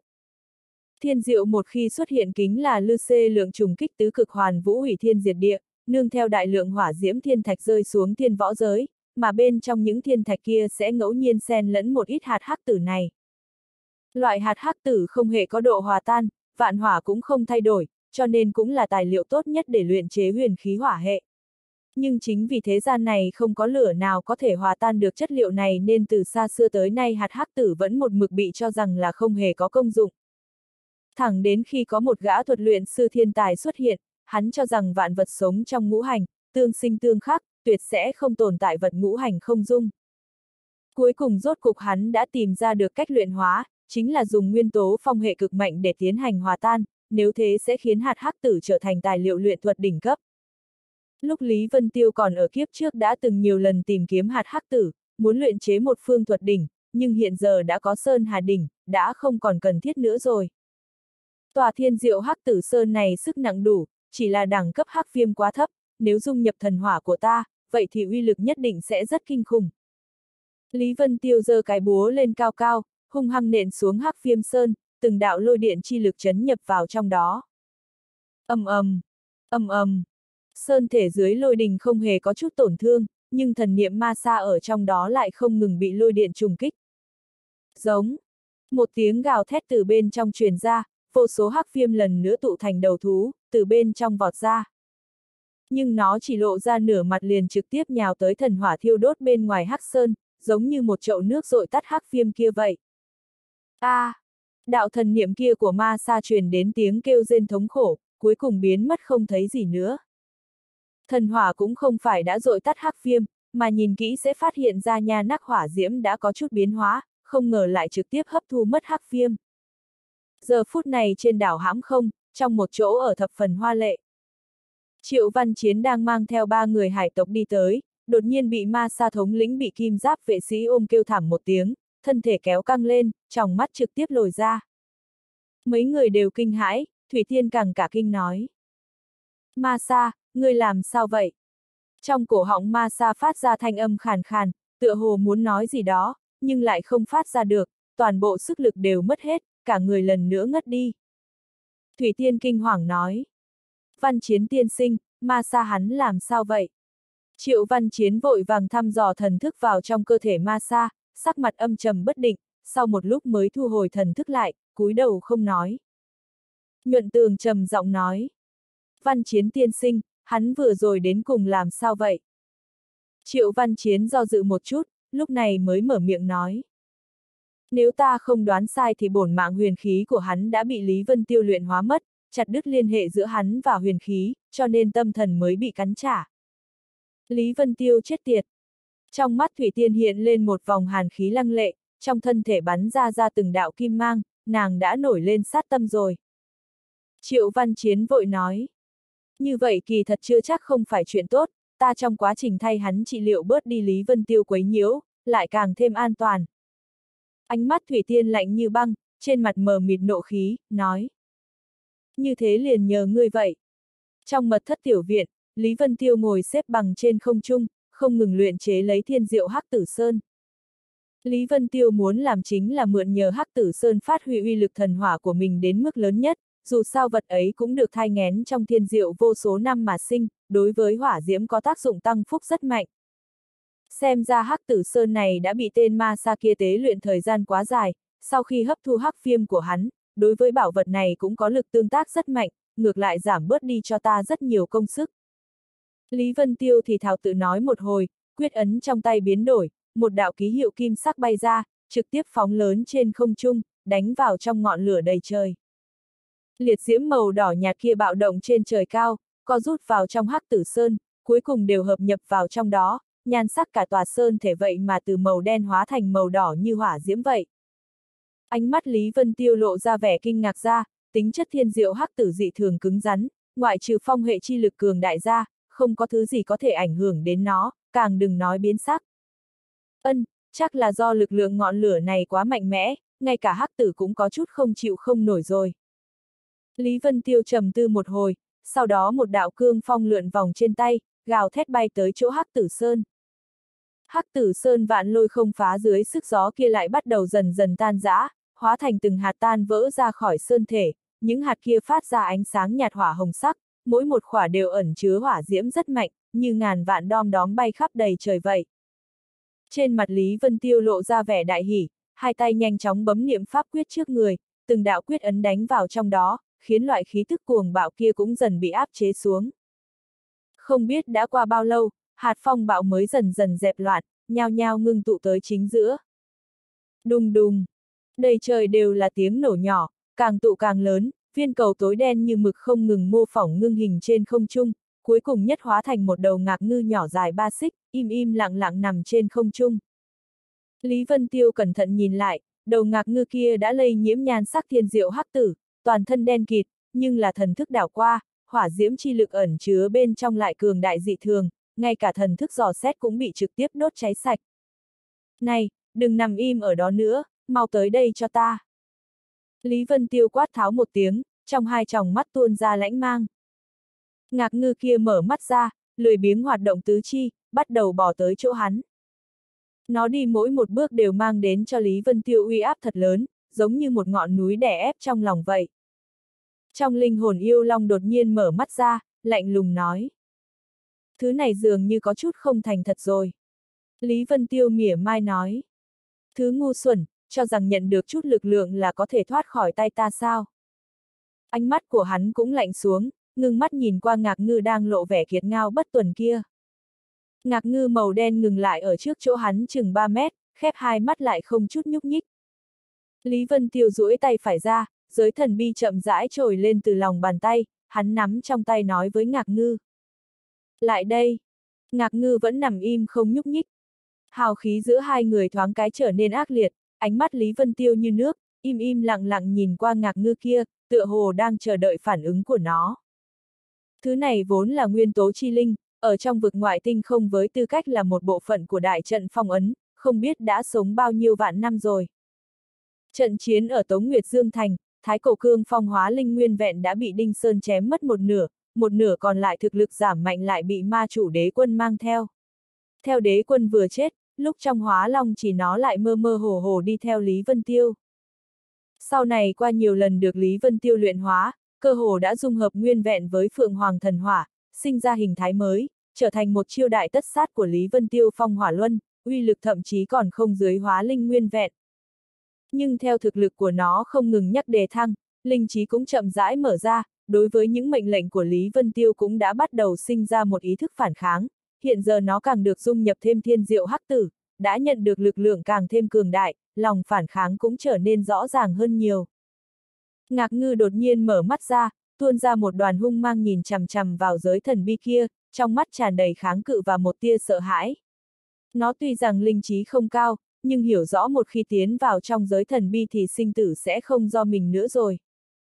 Hai mắt lạnh như băng của Lý Vân Tiêu híp lại, lộ ra một tia tươi cười như ánh mặt trời, ôn nhu nói. Nào, mau tới đây.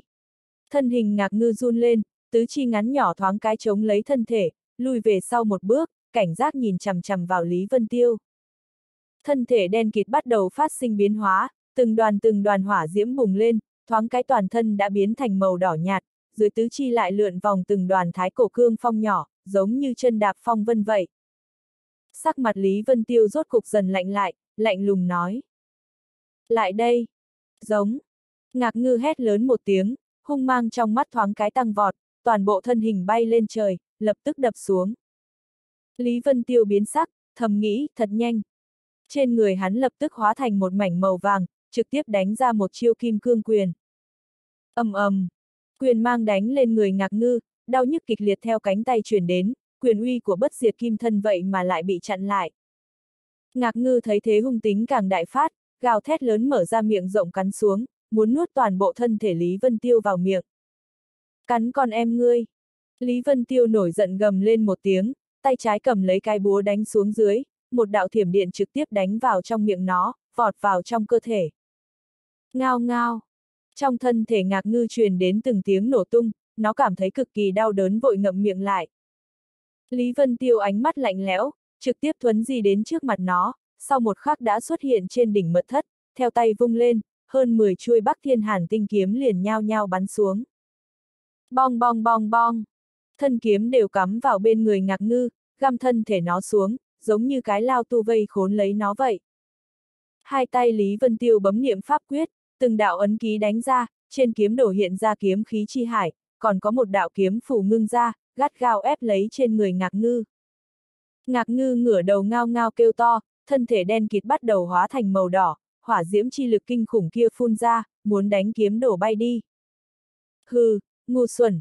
Lý Vân Tiêu hừ lạnh một tiếng, quyết ấn trong tay biến đổi, chỗ mi tâm hiện ra một cái đồ án chân linh hỏa phượng, một đạo minh thanh từ viễn cổ như ẩn như hiện truyền đến. Ngọn lửa trên người ngạc ngư đột nhiên ngưng tụ, lập tức phản công lại nó, trực tiếp đánh vào trong thân thể màu đen, ép tới mức khiến nó phải dốc sức liều mạng dẫy dụa lấy. Ngọn lửa kia chẳng qua chỉ là cho ngươi mượn sử dụng thôi, ngươi sự cho rằng nó là của mình rồi sao? Lý Vân Tiêu cười lạnh một tiếng, vung tay lên, lãnh kiếm băng xương hiển hiện trên tay hắn, hóa thành một đạo quang mang bay vụt xuống. Long cong một tiếng thật lớn, trường kiếm liền chém lên trên cái đuôi đang không ngừng lay động của ngạc ngư, sau đó cắm vào lồng đất, giống như một cái ghim gắm cả người ngạc ngư ở đó. Trong hai mắt ngạc ngư lộ ra thần sắc sợ hãi, cái đuôi bị lợi kiếm đâm xuyên qua, bốn phía bị kiếm trận vây khốn, còn có một đạo kiếm phủ đè trên người, hỏa diễm trong cơ thể lại đang đên cuồng phá phách không thể khống chế. Nó lập tức luống cuống, mở mồm ra liên tục kêu rên cầu xin tha thứ. Lý Vân Tiêu cười lạnh nói. Sao hả, phục rồi sao? Ngạc ngư liên tục gật đầu, trong mắt lộ vẻ khẩn cầu. Trong mắt Lý Vân Tiêu hiện lên một tia tinh mang, không nói hai lời liền duỗi tay ra, thu lãnh kiếm băng xương và những thanh bắc thiên hàn tinh kiếm kia trở về. Ngạc ngư lắc đuôi vài cái, thân thể đình chỉ lắc lư. Bỗng nhiên thân ảnh của nó nhoáng một cái liền biến mất tại chỗ, dùng tốc độ khó có thể bắt kịp xuất hiện bên người Lý Vân Tiêu, giống giận táp lấy cổ Lý Vân Tiêu. Tìm đường chết. Lý Vân Tiêu lạnh giọng quát lên, kiếm quyết trong tay biến đổi, một đạo hàn mang liền chém tới. Tài liệu thiên diệu hắc tử tuy rằng chắc chắn, nhưng sự sắc bén của lãnh kiếm băng xương cơ hồ không gì không phá được, thoáng cái đã chém vào, phát ra tiếng cắt đứt chói tai, trực tiếp chém đầu ngạc ngư kia thành hai khúc. Hống hống hống.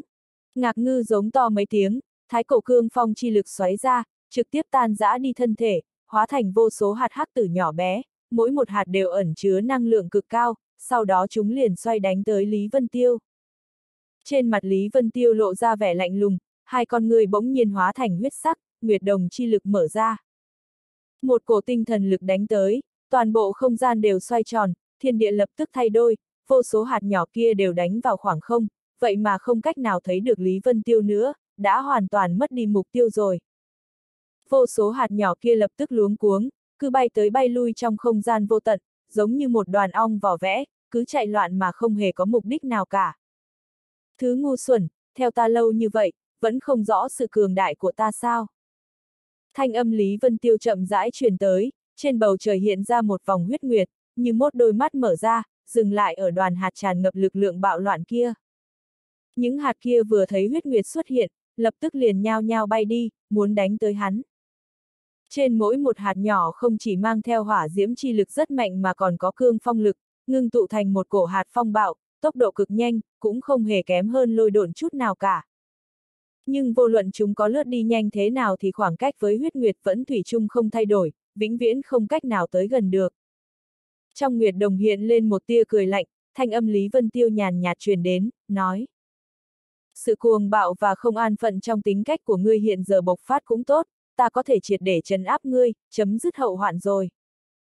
Huyết nguyệt trong con ngươi ngưng tụ, bốn phía hội tụ vạn đạo quang mang, một đạo ấn ký kim sắc cổ quái hiện ra, trực tiếp lăng không đánh xuống dưới. ầm ầm, một tiếng chấn vang, đạo ấn ký kia đảo qua hạt phong bạo, mỗi một hạt nhỏ dưới lực lượng kia đều không ngừng run rẩy kịch liệt, cuối cùng ngưng tụ lại thành hình thái ngạc ngư. Tất cả lực lượng cuồng bạo và ấn phù màu vàng đột nhiên biến mất không thấy gì nữa, gương mặt ngạc ngư cũng lộ ra một mảnh ngốc trệ, giống như thoáng cái đã mất đi linh tính, cuối cùng chậm rãi nhắm hai mắt lại, không bị khống chế rơi xuống từ trong không gian vô tận kia. Nguyệt đồng chậm rãi khép lại, thiên địa biến đổi, lần nữa trở lại trong mật thất. Phanh! Thân hình ngạc ngư màu đen trực tiếp ngã trên mặt đất, đập ra một cái hố cực to. Hiện giờ trong đầu nó có một ký hiệu màu vàng không ngừng thoáng hiện, giống như trận pháp lạc ấn trong đó vậy. Đây là một loại ấn ký nô dịch đối với linh hồn, trực tiếp đánh vào linh đài thức hải, một khi sinh ra lòng phản loạn thì lập tức sẽ bị áp chế ngay. Ánh mắt yêu long lộ ra vẻ thương hại, nói. Rốt cục vẫn phải bức bách người thi triển ra lạc ấn nô dịch a. Lý Vân Tiêu lạnh nhạt nói. Loại lạc ấn này, chỉ cần nó không sinh ra lòng phản bội thì sẽ không ảnh hưởng gì cả. Huống hồ chỉ cần ta khôi phục thực lực đỉnh phong kiếp trước thì sẽ giải trừ cho nó, đến lúc đó cũng không cần sợ nó đâm lén sau lưng nữa. Yêu Long gật đầu nói. Ta tin tưởng chờ đến lúc ngươi khôi phục đến võ đế cửu tinh đỉnh phong thì mặc dù là ngạo trường không cũng không còn là đối thủ của ngươi nữa, ngày đó cũng không còn quá lâu đâu. Chỉ mong vậy. Lý Vân Tiêu tùy ý nói, mi tâm lóe lên hào quang liền trực tiếp thu ngạc ngư vào trong giới thần bi. Hiện giờ toàn bộ mật thất đã rối tung cả rồi, vậy mà lại không sụp đổ, xem như đã kiên cố dị thường rồi.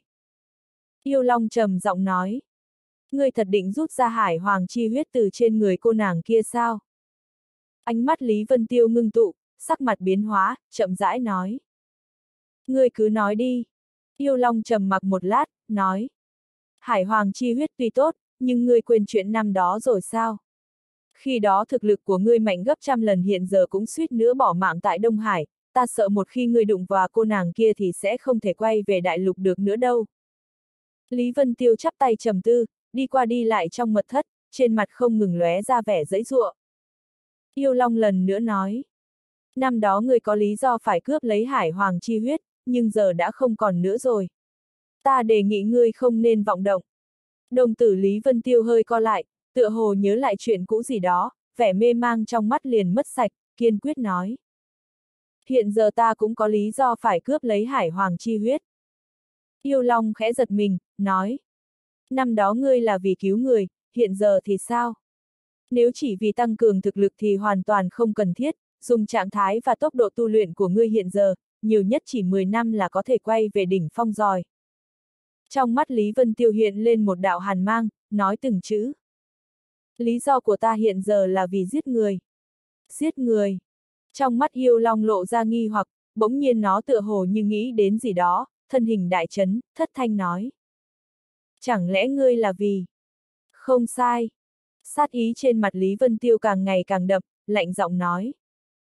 Trong huyết mạch hải hoàng có chứa thần thông chi lực nhìn thấu vạn vật, chân thực chi nhãn, có thể nhìn thấu tất cả hư ảo, nếu ta có thể có được chân thực chi nhãn, vậy liền nắm chắc giết được thiên tư. Yêu Long trầm mặc. Trong thiên hạ, nếu bàn về tinh thần công kích và ảo thuật chi lực, có thể khiến nam tử trước mắt này sinh ra kiêng kỵ và sợ ai, vậy thì cũng chỉ có thiên tư đi ra từ địa lão thiên hoang thôi. Mà thiên tư giết liền hai vị hảo hữu của hắn, đó chính là tử thù bất cộng đái thiên, giữa hai người sớm muộn gì cũng có một hồi quyết đấu sinh tử, chỉ có thể có một người sống sót. Trong mật thất thoáng cái yên lặng lại, Lý Vân Tiêu tựa hồ lâm vào hồi ức, thần sắc trên mặt không ngừng biến hóa dãy ruộng. Yêu Long cực lực ngăn lại nói. Nhưng lấy thực lực của ngươi hiện giờ, cướp đoạt hải hoàng chi huyết chính là muốn chết. Trong mắt Lý Vân Tiêu cũng không ngừng dãy ruộng, có chút bực bội nói. Nhưng không thừa cơ hội hiện giờ đoạt lấy trên người nàng, chẳng lẽ phải đợi khi huyết mạch chi lực của nàng đại thành lại đoạt, hay là chạy đến hải hoàng điện đoạt đây? Yêu Long nói, huyết mạch của nàng hiện giờ cách đại thành còn rất xa, không phải huyết mạch đại thành ngươi phải tốn hao một cái giá thật lớn để bồi dưỡng. Không bằng chờ ngươi khôi phục lại thực lực kiếp trước lại đi tìm nàng, kiếp trước ngươi có thể lấy được, bây giờ có được nhiều át chủ bài như vậy thì sợ gì nữa. Lý Vân Tiêu cười khổ nói. Kiếp trước là nhờ cơ duyên xảo hợp, ngươi cũng không phải không biết, dù vậy cũng thiếu chút mất mạng. Nếu bỏ qua cơ hội lần này thì ta sợ cả đời cũng không còn cơ hội nữa đâu. Yêu Long trầm tư nói. Đúng rồi, cô gái nhỏ kia tựa hồ phải tìm được người có thần thông hỏa hệ, người mà đoan mộc hữu ngọc xem bói được có lẽ chính là ngươi đi. Có lẽ đây cũng là một cách để lấy hải hoàng chi huyết. Lý Vân Tiêu nhíu mày, nghi ngờ nói. Chưa nói đến cô gái kia muốn tìm hỏa hệ thần thông làm gì, người đối với chuyện xem bói cảm thấy thế nào. Nếu có thể suy tính ra chuyện đã xảy ra thì ta còn tin, nhưng loại chuyện chưa xảy ra cũng có thể đoán được, không khỏi quá mức mơ hồ đi. Yêu Long nói, việc này ngươi cũng không nên làm quá phức tạp, chiêm bạc chi lực cũng là quy tắc chi lực của thế giới này thôi, quá khứ hiện tại tương lai đều ở trong thời gian, nếu đoan mộc hữu ngọc thật sự có thể tiến vào thời gian hồng lưu, vậy thì nhìn thấy tương lai cũng không có gì lạ cả. Lý Vân Tiêu gật đầu nói, thuận theo mệnh quỹ số trời, nhưng mệnh ta do ta không phải do trời. Chuyện huyết mạch hải hoàng ta phải cẩn thận suy tính, xem thử cô gái nhỏ kia cần thần hỏa để làm gì đã.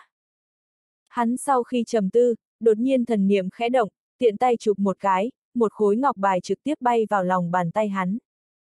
Đúng là tin tức mà Liêu Dương băng phát, thần thức quét qua, phát hiện đã ba ngày trôi qua rồi. Ân, Liêu Dương băng vậy mà nhận ra Triệu Văn Chiến, như thế có ý tứ rồi. Yêu Long và Lý Vân Tiêu song hồn hợp nhất, thoáng cái cũng đọc được tin tức trong ngọc bài. Lý Vân Tiêu trầm ngâm. Triệu Văn Chiến chính là là nhân tộc, nếu trước kia ra biển, có lẽ đúng là đi từ Trấn Hải Thiên, bị Liêu Dương băng nhận biết cũng không có gì lạ cả. Hắn trầm ngâm một lát, liền mở ra cửa mật thất đi ra ngoài. Thần thức Lý Vân Tiêu đảo qua trong huyền khí không gian, không ít võ giả đều tiến nhập bế quan, nhưng cũng chỉ có giải rác hai ba mươi người, còn lại đều không còn trong không gian này nữa. Hắn lập tức rời khỏi huyền khí không gian, bắt đầu đi dạo trên đảo hãm không. Toàn bộ hòn đảo là một hình chữ tâm, xin các kiến trúc đều được xây dựng ở trung tâm đảo, nơi ăn nỉ thoáng liền trở nên náo nhiệt, người đến người đi, giống như một khu chợ sầm uất vậy. Vân Tiêu công tử. Đột nhiên một tiếng gọi vang lên, không gian có một đạo quang mang chấp động, Triệu Văn Chiến lập tức xuất hiện trước mắt hắn, trong mắt lại cười nói. Công tử xuất quan rồi sao? Lý Vân Tiêu cười nói. Vừa đi ra đã gặp được Văn Chiến tiên sinh, thật là trùng hợp a. À. Triệu Văn Chiến đỏ mặt lên, biết rõ đối phương đã khám phá ra mình dám thị hắn, nhưng cũng lơ đánh, thuận miệng nói. Ha ha, hòn đảo này chỉ có chút chừng đó, có gì mà khéo hay không chứ? Ngược lại Vân Tiêu công tử bế quan ba ngày, chắc hẳn thu hoạch không nhỏ a. À. Hắn nháy nhá mắt, tựa hồ có ý gì đó. Lý Vân Tiêu cười ha ha, cười nói. Coi như cũng được, không biết ma sa kia hiện giờ thế nào rồi. Triệu Văn Chiến cười khổ nói. Vân Tiêu công tử ngược lại thật thoải mái, lấy đi bổn mạng huyền khí của người ta.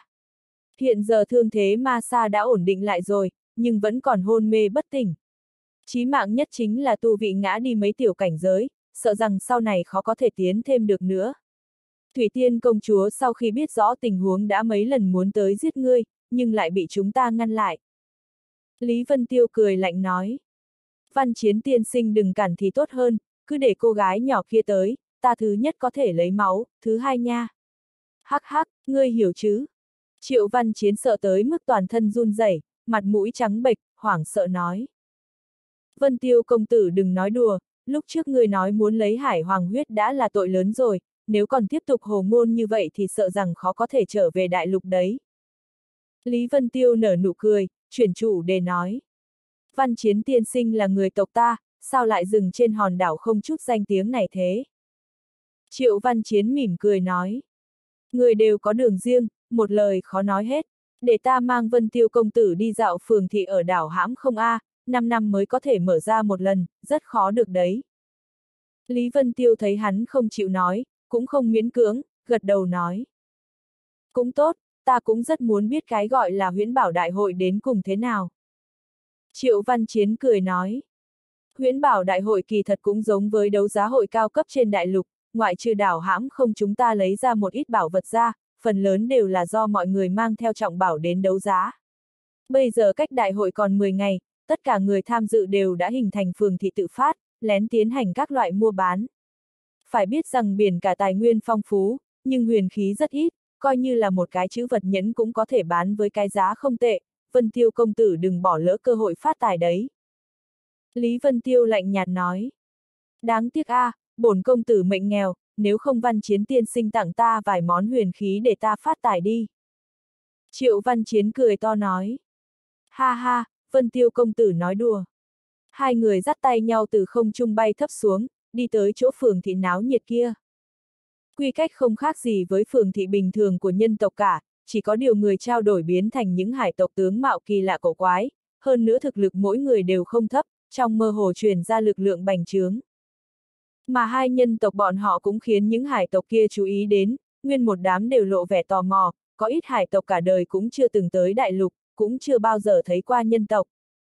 Bất quá cũng may rất nhiều võ giả cùng ra biển cũng lẫn trong đó, những hải tộc này dù sao cũng đã quen với sự xuất hiện của nhân loại. Này, nhân loại, chỗ ta có thứ tốt, qua đây xem đi. Bên đường một gã hải tộc to lớn cường tráng toàn thân màu xanh ra trời dùng tiếng nói trầm thấp giống lên một cái, hai tròng mắt như quả quýt, con ngươi như hạt đậu tỏa ra lục quang nhìn qua. Hắn chỉ chỉ sạp hàng của mình, thấy đã hấp dẫn được cánh mắt hai người liền vội vàng cầm lấy một khỏa tinh thể như dưa hấu, ôm trong tay nói. Đây chính là bích tinh qua vạn năm, bên trong ẩn chứa tinh hoa Đông Hải, nếu tu luyện thần thông thủy hệ thì mang bên người sẽ có được kỳ hiệu khó mà tưởng tượng nổi. Bích tinh qua vạn năm toàn thân trong suốt, không ngừng chiết xạ ra hào quang bích lục. Thật sự giống như dưa hấu vậy, bên trong có một tia tinh hoa chi khí vườn quanh. Lý Vân Tiêu lộ ra thần sắc giật mình nói. Tinh qua do linh mạch dưới đáy biển kết xuất sao? Hắn biết rõ trong tứ hải có một ít nơi linh mạch cực kỳ dồi dào, có thể giống như thổ nhưỡng phì nhiêu kết xuất ra quả dại trên lục địa vậy, nó ở dưới đáy biển hấp thu linh mạch chi khí kết thành tinh qua tràn ngập các loại năng lượng, là một loại thiên tài địa bảo cực kỳ khó được. Đương nhiên, là loại vạn năm A, bên trong ẩn chứa tinh hoa Đông Hải A. Hải tộc kia thấy bộ dạng giật mình của Lý Vân Tiêu lập tức liền nổi lên hứng thú, nước bọt bay tứ tung giải thích, nói. Tinh qua này toàn bộ Đông Hải tuyệt đối không quá 10 cái, chính là trí bảo của võ tu thủy hệ A. Lý Vân Tiêu cũng chưa bao giờ thấy qua kỳ vật bực này, cẩn thận xem xét sau nói. Ta lần đầu tiên tới đảo hãm không, không biết thứ này giao dịch thế nào. Đôi mắt lớn của hải tộc kia bắn ra hào quang, mở miệng nói. Ngươi là nhân tộc A. Hai tộc hữu nghị lâu dài, ngươi lấy ra một kiện huyền khí bát giai đỉnh cấp là được. Lý Vân Tiêu đầu đổ mồ hôi, thầm nghĩ trong hải tộc loại mồm miệng lanh lợi thế này cũng không nhiều. Loại vật nếu đặt ở đại lục tuyệt đối có giá huyền khí cửu giai, nhưng hắn mới tới nơi đây, sợ bị lừa gạt, cho nên phải cẩn thận một chút, nhìn về phía Triệu Văn Chiến. Triệu Văn Chiến lại mỉm cười, hào quang trong mắt có chút lắc lư thoáng một chút. Lý Vân Tiêu lập tức hiểu rõ, thu hồi lòng hiếu kỳ, xoay người rời đi. Này, uy, chớ đi a, à, huyền khí bát giai trung cấp là được, không cần đỉnh giai. Hải tộc kia thấy Lý Vân Tiêu không mua, lập tức trở nên khẩn trương, ôm tinh qua đuổi theo. Lý Vân Tiêu cười nói. Vật ấy quả thật thần kỳ, nhưng ta cũng không phải là võ tu thủy hệ, mua lấy cũng không có tác dụng lớn lắm.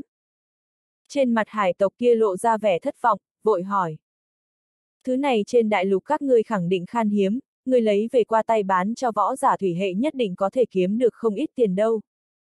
Hắn thấy Lý Vân Tiêu vẫn còn do dự, cắn răng nói. Huyền khí bát giai sơ cấp là được, chỉ cần là bát giai liền bán, tuyệt đối không thể thấp hơn giá đó đâu. Lý Vân Tiêu lại nhìn về phía Triệu Văn Chiến, cường giả hải tộc kia vội vàng chừng mắt nhìn Triệu Văn Chiến, sợ hắn nói gì đó. Triệu Văn Chiến mỉm cười, ngậm miệng không nói. Lý Vân Tiêu lúc này mới nói. Được rồi, ta mua. Hải tộc kia đại hỉ, tựa như sợ Lý Vân Tiêu đổi ý vậy, trực tiếp nhét tinh qua vào trong tay hắn, kích động nói. Ta hy vọng có thể có một kiện huyền khí bát giai kiểu công kích hạng nặng.